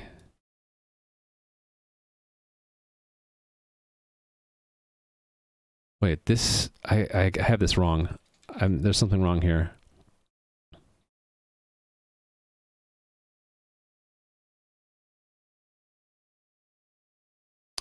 Oh, that's right. We still need to loop through it.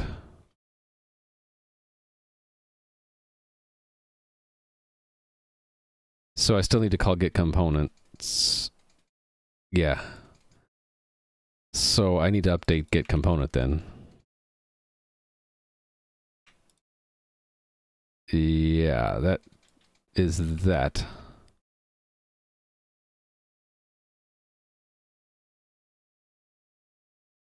And yep, it's just returning a component of that type. Okay, but it's not by string anymore, so it's got to um,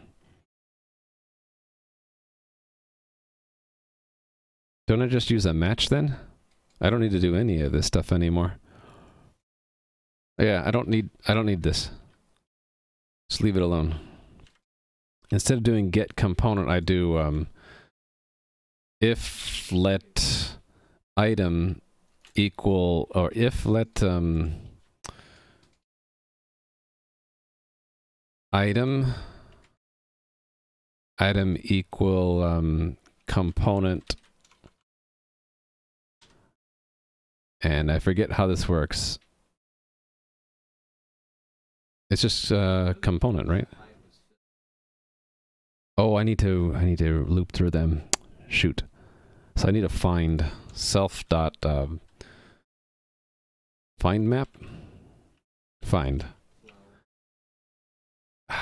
Not self components. iter find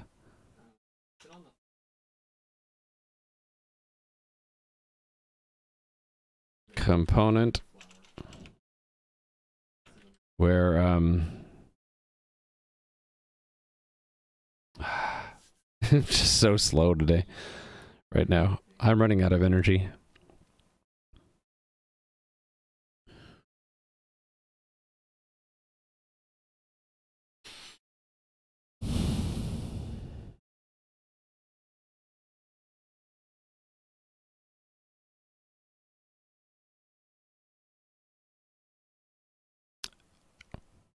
It would be like if if let item item equal component. Right? Is that even valid syntax? I don't think it is. Do you have to say true else false? No, but I um yeah, I guess so. It would be cool if that just worked as a Boolean expression.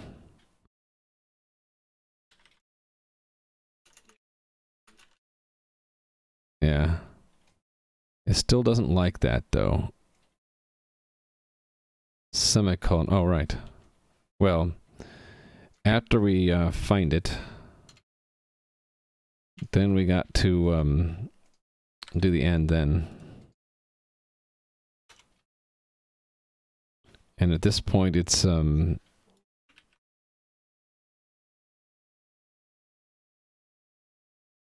isn't it just map item name?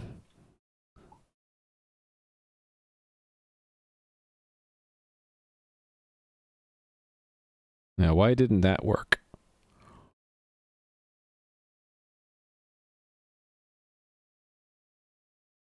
Found struct item. Do I have a struct name item?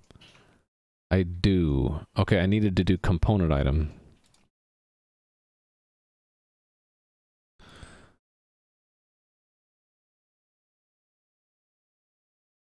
Okay, what's wrong here?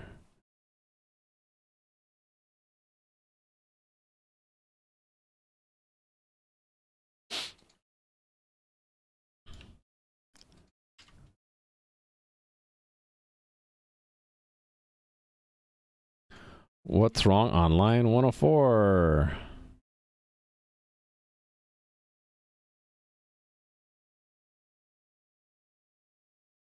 Expected signature of a function that takes a component, not an item.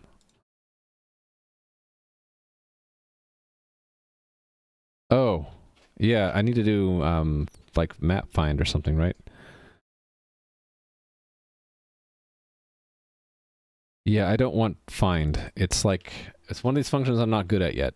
Um, is it find map or map find? Map find. Is that I want? Is that what I want? Find map.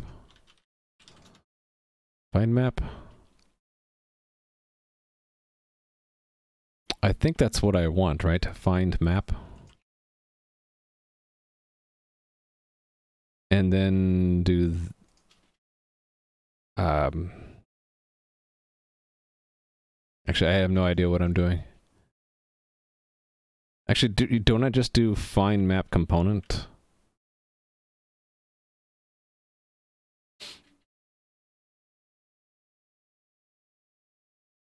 I mean, I guess I could do that. Some item, otherwise none. Yeah. It still didn't doesn't still doesn't like my map for though.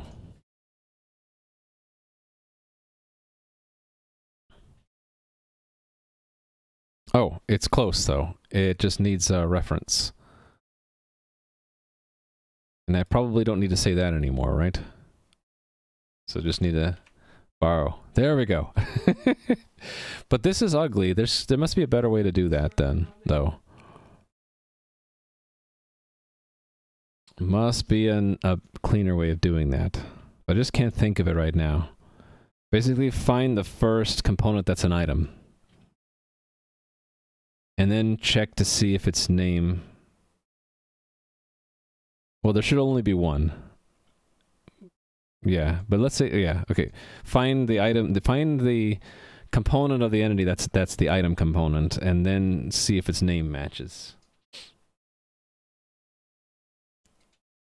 So how do I have it find the component which is an item? Write your own unmap unwrap item function.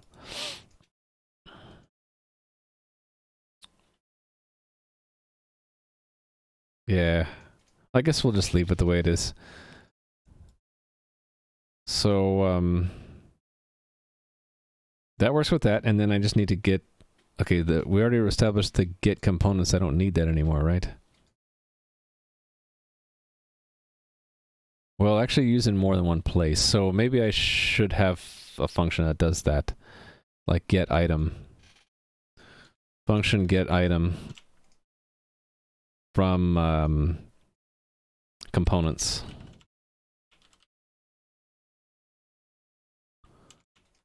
Component returns an optional item.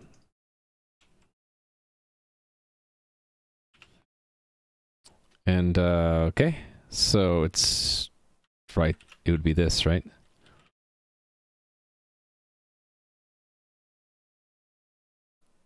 Okay, let me at least pretty this up a little bit.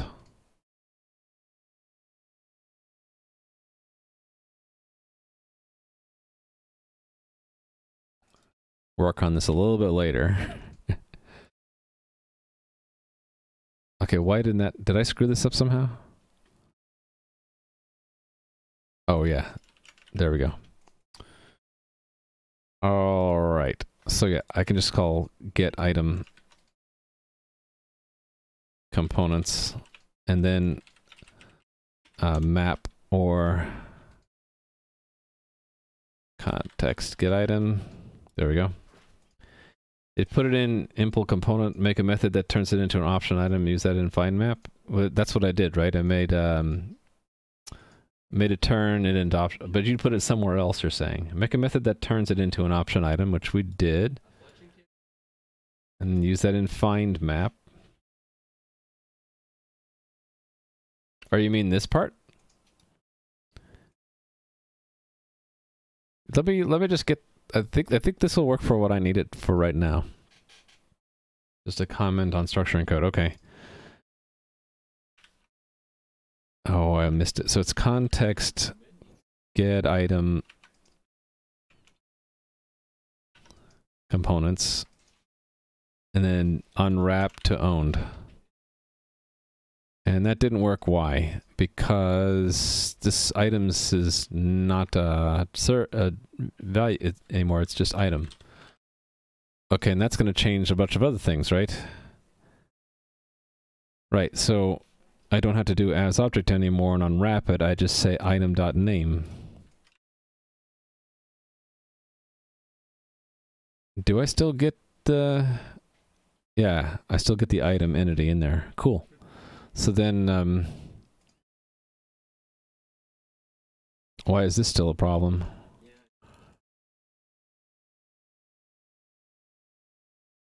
Oh, uh, okay. Um,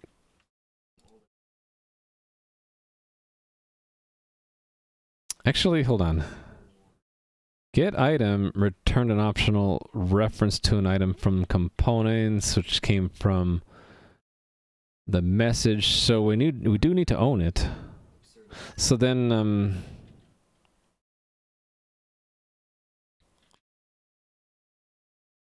That is owned. So what's the problem? What did I do wrong here?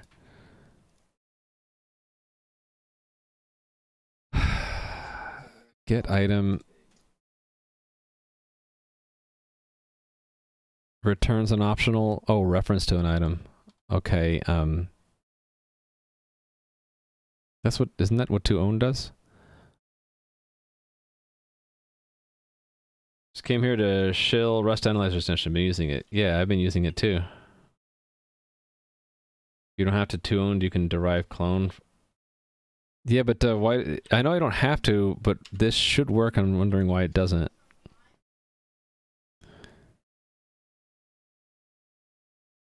Oh, the problem is that I need to borrow the components. Duh. okay. Oh, but there's another problem? There's two problems. Expected item found a reference to item. Oh, to owned returns a reference? So would it be just into? Aha! Oh, maybe not. Not into. Do I just do unwrap and that's it? No, that's not enough. To owned?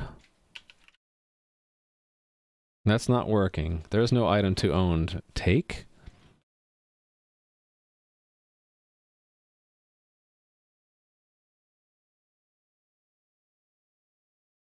So I have to implement to owned?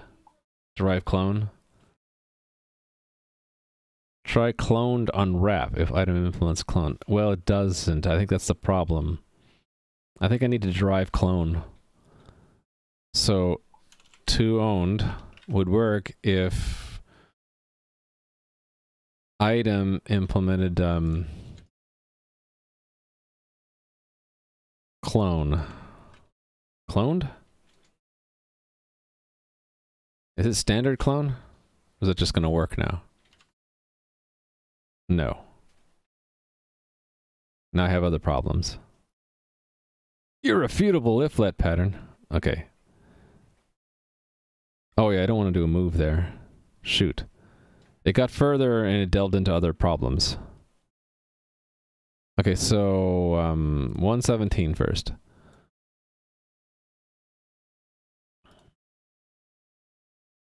This is a problem because of what reason? Get item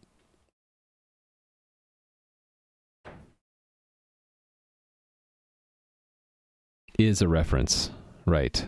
Okay, and then this error up here, where exactly are we?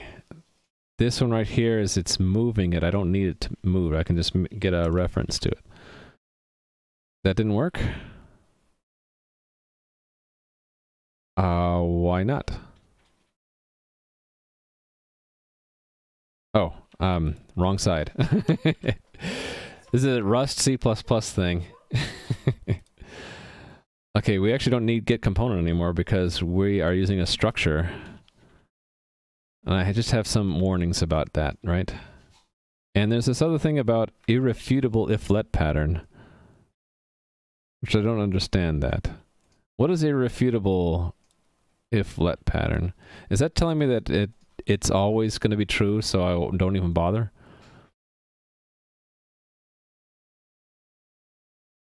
It can't fail. I don't understand what it meant, what that means, actually. There's only one variant. Oh, but if I add more later, then it would um, break. I'll just leave that warning in there. Yeah. So this should just work, right? Even with those warnings? No. Expected variant tile, unknown variant tile expected item. Okay, so it does panic on for the tile part. Okay, so yeah, it doesn't it doesn't quite work. Um, it ran into a tile and didn't know how to um, handle that variant. So I, I would need to have a variant for everything, right? Because it looks like we will panic on it doesn't know what to do with about the tile. Yeah, it expected it to be item and said, nope, it's not an item, it's a tile. So yeah, how do we, how would I like ignore variants other than item? It doesn't ignore it, looks like. You might be able to make a fit all variant. Yeah, so this is this is the problem I run into when I try to make things type strict with these these um flexible JSON types. Uh, where was I? I was here, right? Can we have something that's a catch-all?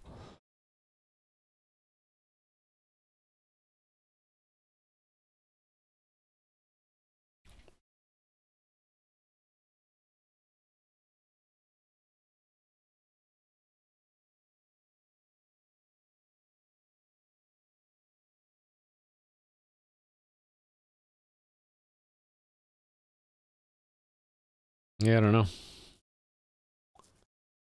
Yeah, I guess I could do that for now. So that would be um tile. That's the only other one we're going to run into, right? Yeah, tile. Uh empty. Tile tile. And it's lower it's going to be lowercase in the discriminator.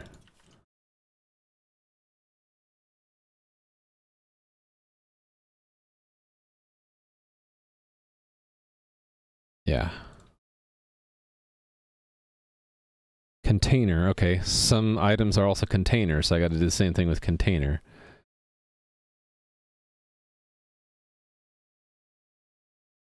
Container.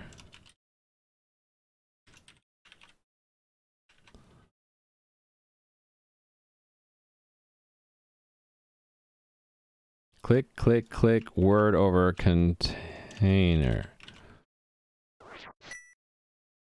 Well, thank you for that follow. I appreciate it. We'll make this work. Forcing it down its throat. Invalid type null expected a string. Invalid type null expected a string. Okay, well, there's a null in there somewhere, I guess. Oh, bummer. Hey there, Flyboy. So there must be an item in the game with no name. Uh, I suppose we could debug that. Okay, so on 193, we could, um, rather than just unwrapping that, I can do um, if let.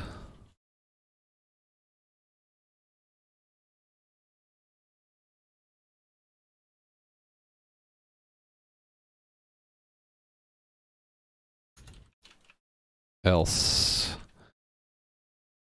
How does this work again?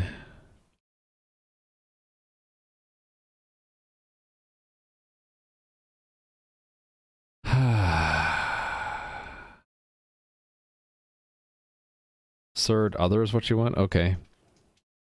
But, um, okay, well, I guess I can try that first, since I'm kind of not sure what to do there yet.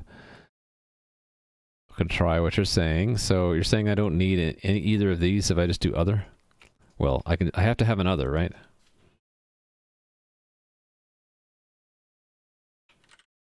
Other. Whatever.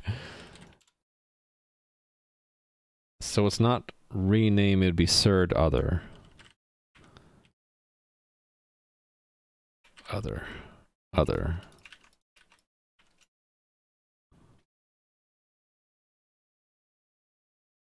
Just have an empty variant with no associated data? Oh, you mean like that? That's smart. Trying to deserialize YAML into something you can strict that is strictly typed. Yeah, this strictly typed business is okay. It doesn't like other. So what am I doing wrong?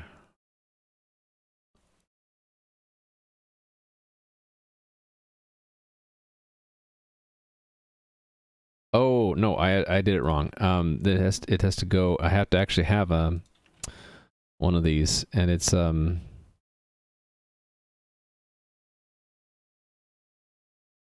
Oh no no no no no no no no no. Is that was that it? Okay, thank you. what would I do without you? Come on, D. I'd probably just struggle with it for a while until I figured it out. All right. Um.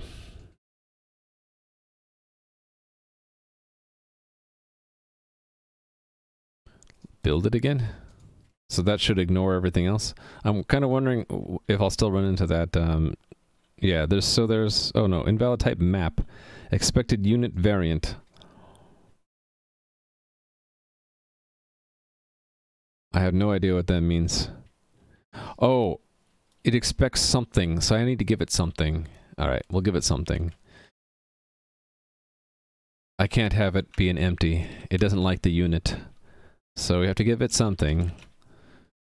So other is just going to be empty for now. And why did it not like that?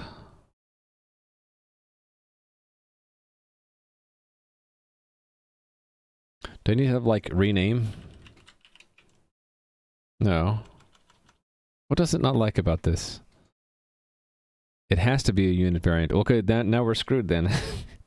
if other only works with uh, unit and not maps, then this is not going to work. Um, so I guess I'll just go back to what I had before. I had um, tile and container. Right?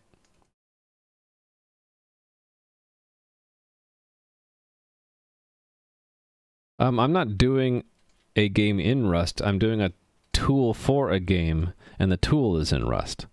So I use um, a lot of different languages in the game, and um, I'm very new at Rust. So I, I figured I would start out practicing Rust on something, a small part of the game. So it's actually not the part that you play; it's the tool that I would run to find to find items that are lost in the game. So the way it's supposed to work is actually shown up here if I scroll up a bit.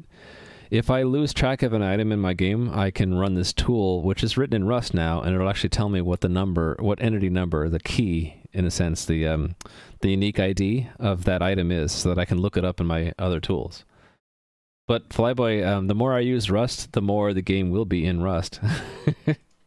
So if I start to port the aspects of the game that you actually use to play it, like the the client or the backend server, then it would start to become more and more rusty, so to speak, right?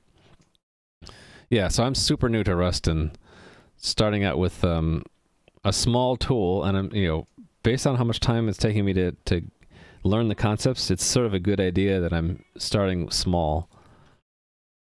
You know, start small until I get comfortable with it, and I can use it for more things.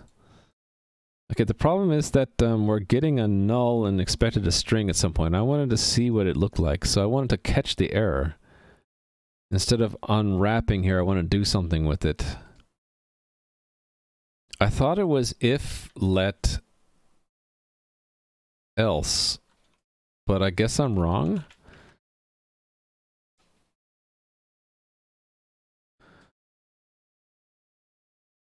This is an expression, right? So Oh, right. It's the other way around. I need to say, um, how do I do this? I don't know how to do this. If, yeah, but how do I, how do I get entity info in so I can use it later? I guess I have to put the whole thing in here, right?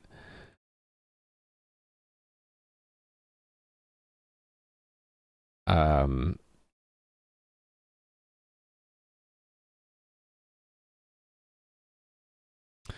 I can't use entity info. I have to do, um, yeah, okay entity info, right? Like you just said. But this isn't quite right, is it? Don't I have to do like, this is a result entity info? Something like that? Or can I just leave that off? What is entity info then? It's unknown. So yeah, don't I need to qualify that? Like, is and is that a reference or not? I don't think I have the syntax right. Um, I don't know how to do this. this is too complex for me right now. Turbofish. Good idea. So that would go, um, when in doubt, turbo fish. Do the turbo fish. It goes there.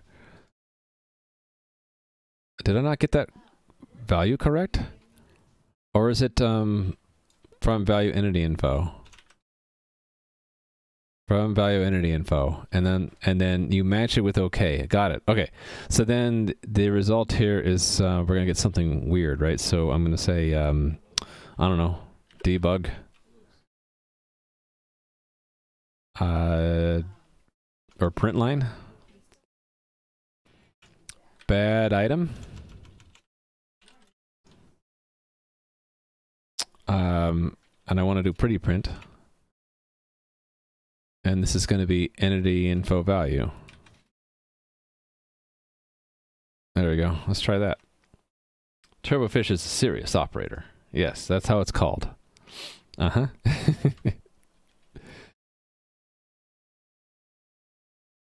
All right. see what we get. Okay, what is that bad? We got a couple bad ones. What are these bad items we're getting back?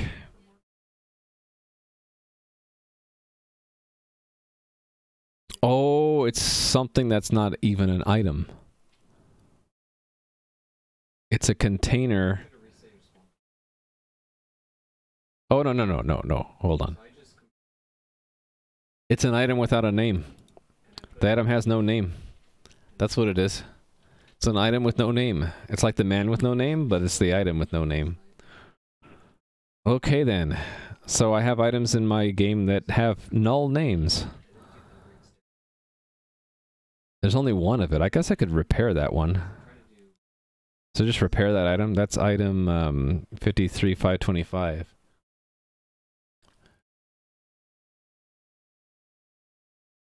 Fifty-three five twenty-five. Fetch. It's this treasure chest, which is where I would um hit go. How do I actually see where it is in the game? Position, right? Oh, it's not even in the game anywhere. Something is Oh, it's a chest that someone is holding in their inventory. And I never named it. Okay, well, I can just give it a name. Mr. Midori's treasure chest.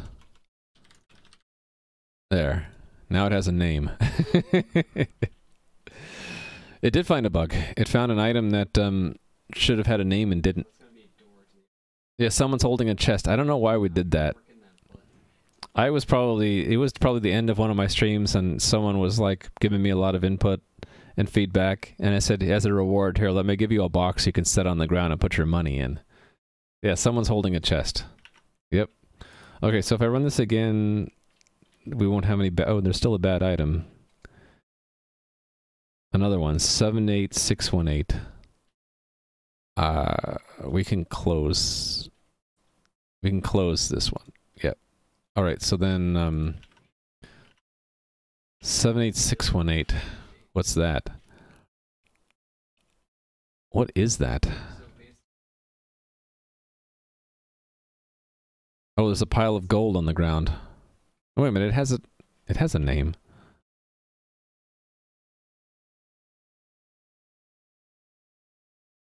Why did this end up being a bad item? It has a name. Gold. I guess I should print out what the error is. Yeah.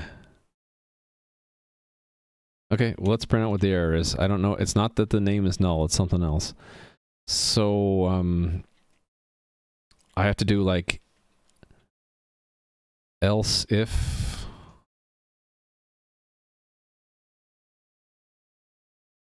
I do an else if here.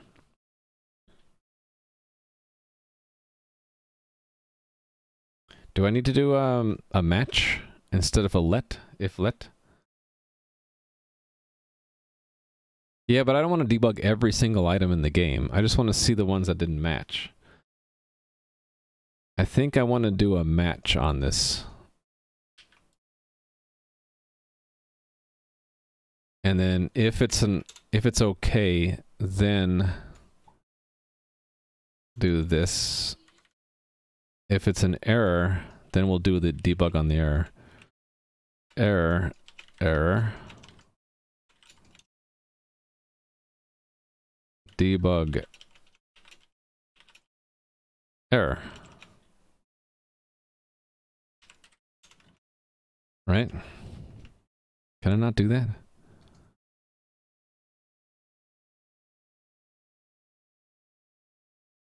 Um, okay. Need to return something. I think you're right. Well, no. I just want to consume it, right? Drop. Uh, I have to do it the other way, right? Drop. Drop it. Drop it. Drop that. Drop that error. All right.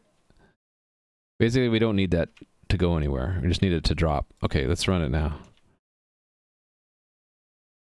Unknown variant look. Expected. Oh, some items in the game have a look variant. Interesting. Did that one have a look variant? It didn't. I must have looked at the wrong item before.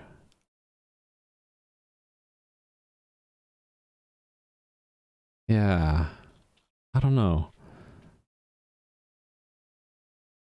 Yeah. Okay. I just it's one kind of component an item can have, but you can see you guys can see the complexity involved here. Like, in order to get it to match this deserialize, I have to like cover all the other kinds of components an item might have attached to it. And so I don't know. I don't know if I would use it for this purpose going forward. We'll just keep it now as an as a because I've already invested in it, and it's called the funk, sunken cost fallacy. Look. I think I will put the code back to using to not using deserialize or from value. Yeah, okay, so now it's now it's working and it's doing less um, dynamic access to the JSON and just throwing away the extra data we don't care about. Dr. Martin Mullen about sunken cost fallacy. I don't know Martin Mullen. you can make look an option type. Marble Machine X project? Okay, I don't know. Is that Code font? Yes, it is.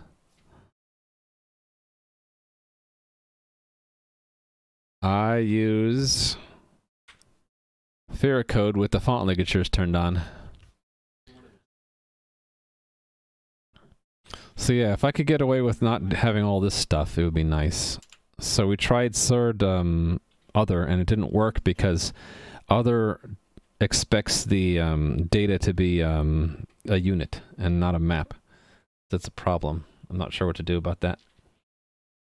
But let me just call it here. I have gone way over time. Third alias look alias tile, just one variant. If we want to like toss them all away, you're saying? So what would I do? I would just have one of these called other Is that what you're saying? And toss toss it away by having um, alias. That's what you're saying, right? To do that. But I don't I don't like the fact that I have to list them all the these th different things that we're throwing away. That's that's a bummer. Should still work though, right? Yeah, that works. It's it is worth trying. It's it's good. I like the even if I don't end up using this code going forward, it's nice to experiment and look at what you can do with it. To, it helps me learn this stuff, so I do appreciate all of that. If if if the way I've been developing and porting this code seems strange to you, a lot of it's because I'm using it as a vehicle to get really deep into Rust and understand what the heck we're doing. So I've now gotten exposed to how we use um, the derive deserialize with serde and um, deriving the uh, clone attribute and all that, and the the renaming and the alias. And we've been exposed to a lot of different things, including um, the cow. Moo. Didn't know anything about the cow before today. Didn't know you could do that. Um, and then how we did um, manipulation of serde JSON objects without doing deserialize. That was really interesting because I got exposure to the the different um, functional stuff. Wonder if it worked getting rid of the other object, just have an empty variant. Uh, maybe. Well, yeah, that's what we tried. But it didn't like it if the data actually had a map in there. that wasn't. We tried that and it didn't work because um, it said, well, this is the the data for that. It's a unit, but it's given a map, and so it didn't fit. Oh, it's still not working for externally tagged unions. And that's probably for the same reason that I ran into, right? It should work without any data, but it, it doesn't because it expects it to be exactly a unit. Yeah. All right, maybe I should plus one this one. I'm logged into this, right? Can I just plus one it? I am logged in. We're going to do it, chat. Thumbs up. I thumbs upped it. I wonder if that helps at all. I should say featured on my stream today. Did not because you have external tags, not inner ones. Yeah. All right. So I'm keeping this around because I'll probably go back to that because this way it lets me um, be more, a little bit more dynamic about it and not need to specify these um, variants that we don't actually care about. It did compile but failed at runtime. Yeah, it's it was a runtime error. Yeah, it failed failed to parse, saying, "Oh, I have this map, but you don't have any anything in the other to store it in." All right. I hope you guys enjoyed the stream today. I'm out of energy. I had fun though. I hope you had fun too. I'm glancing off to the side here because I need to find someone we're gonna raid.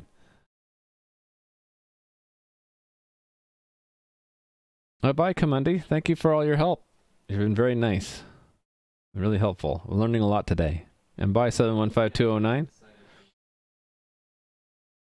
I don't think there's anyone that I know that's doing Rust right now.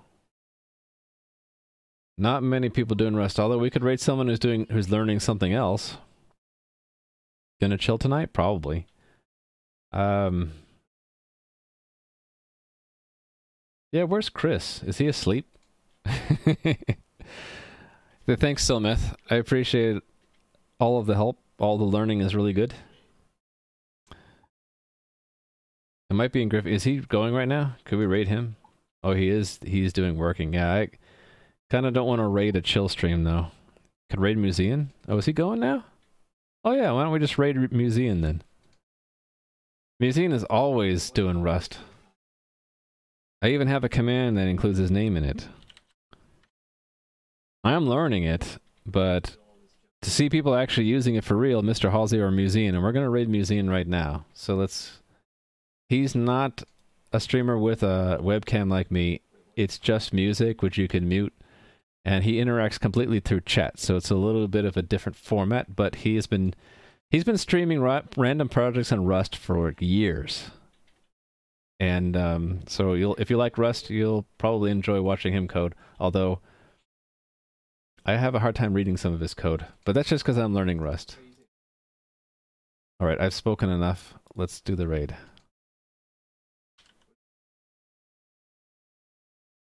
I hope I typed his name right. Looks right to me. Okay, here we go. So I'll be back on Thursday. My schedule is such that I can't stream on most Wednesdays. So I'll be back on Thursday, but it'll be the same time every day I do stream It's 9:15 in, in the morning for me, 16:15 UTC. So I will see you on Thursday. Thank you for all the follows. Thank you for that follow just now. And I hope to see you guys on Thursday. And stay safe and enjoy museun's stream. Bye.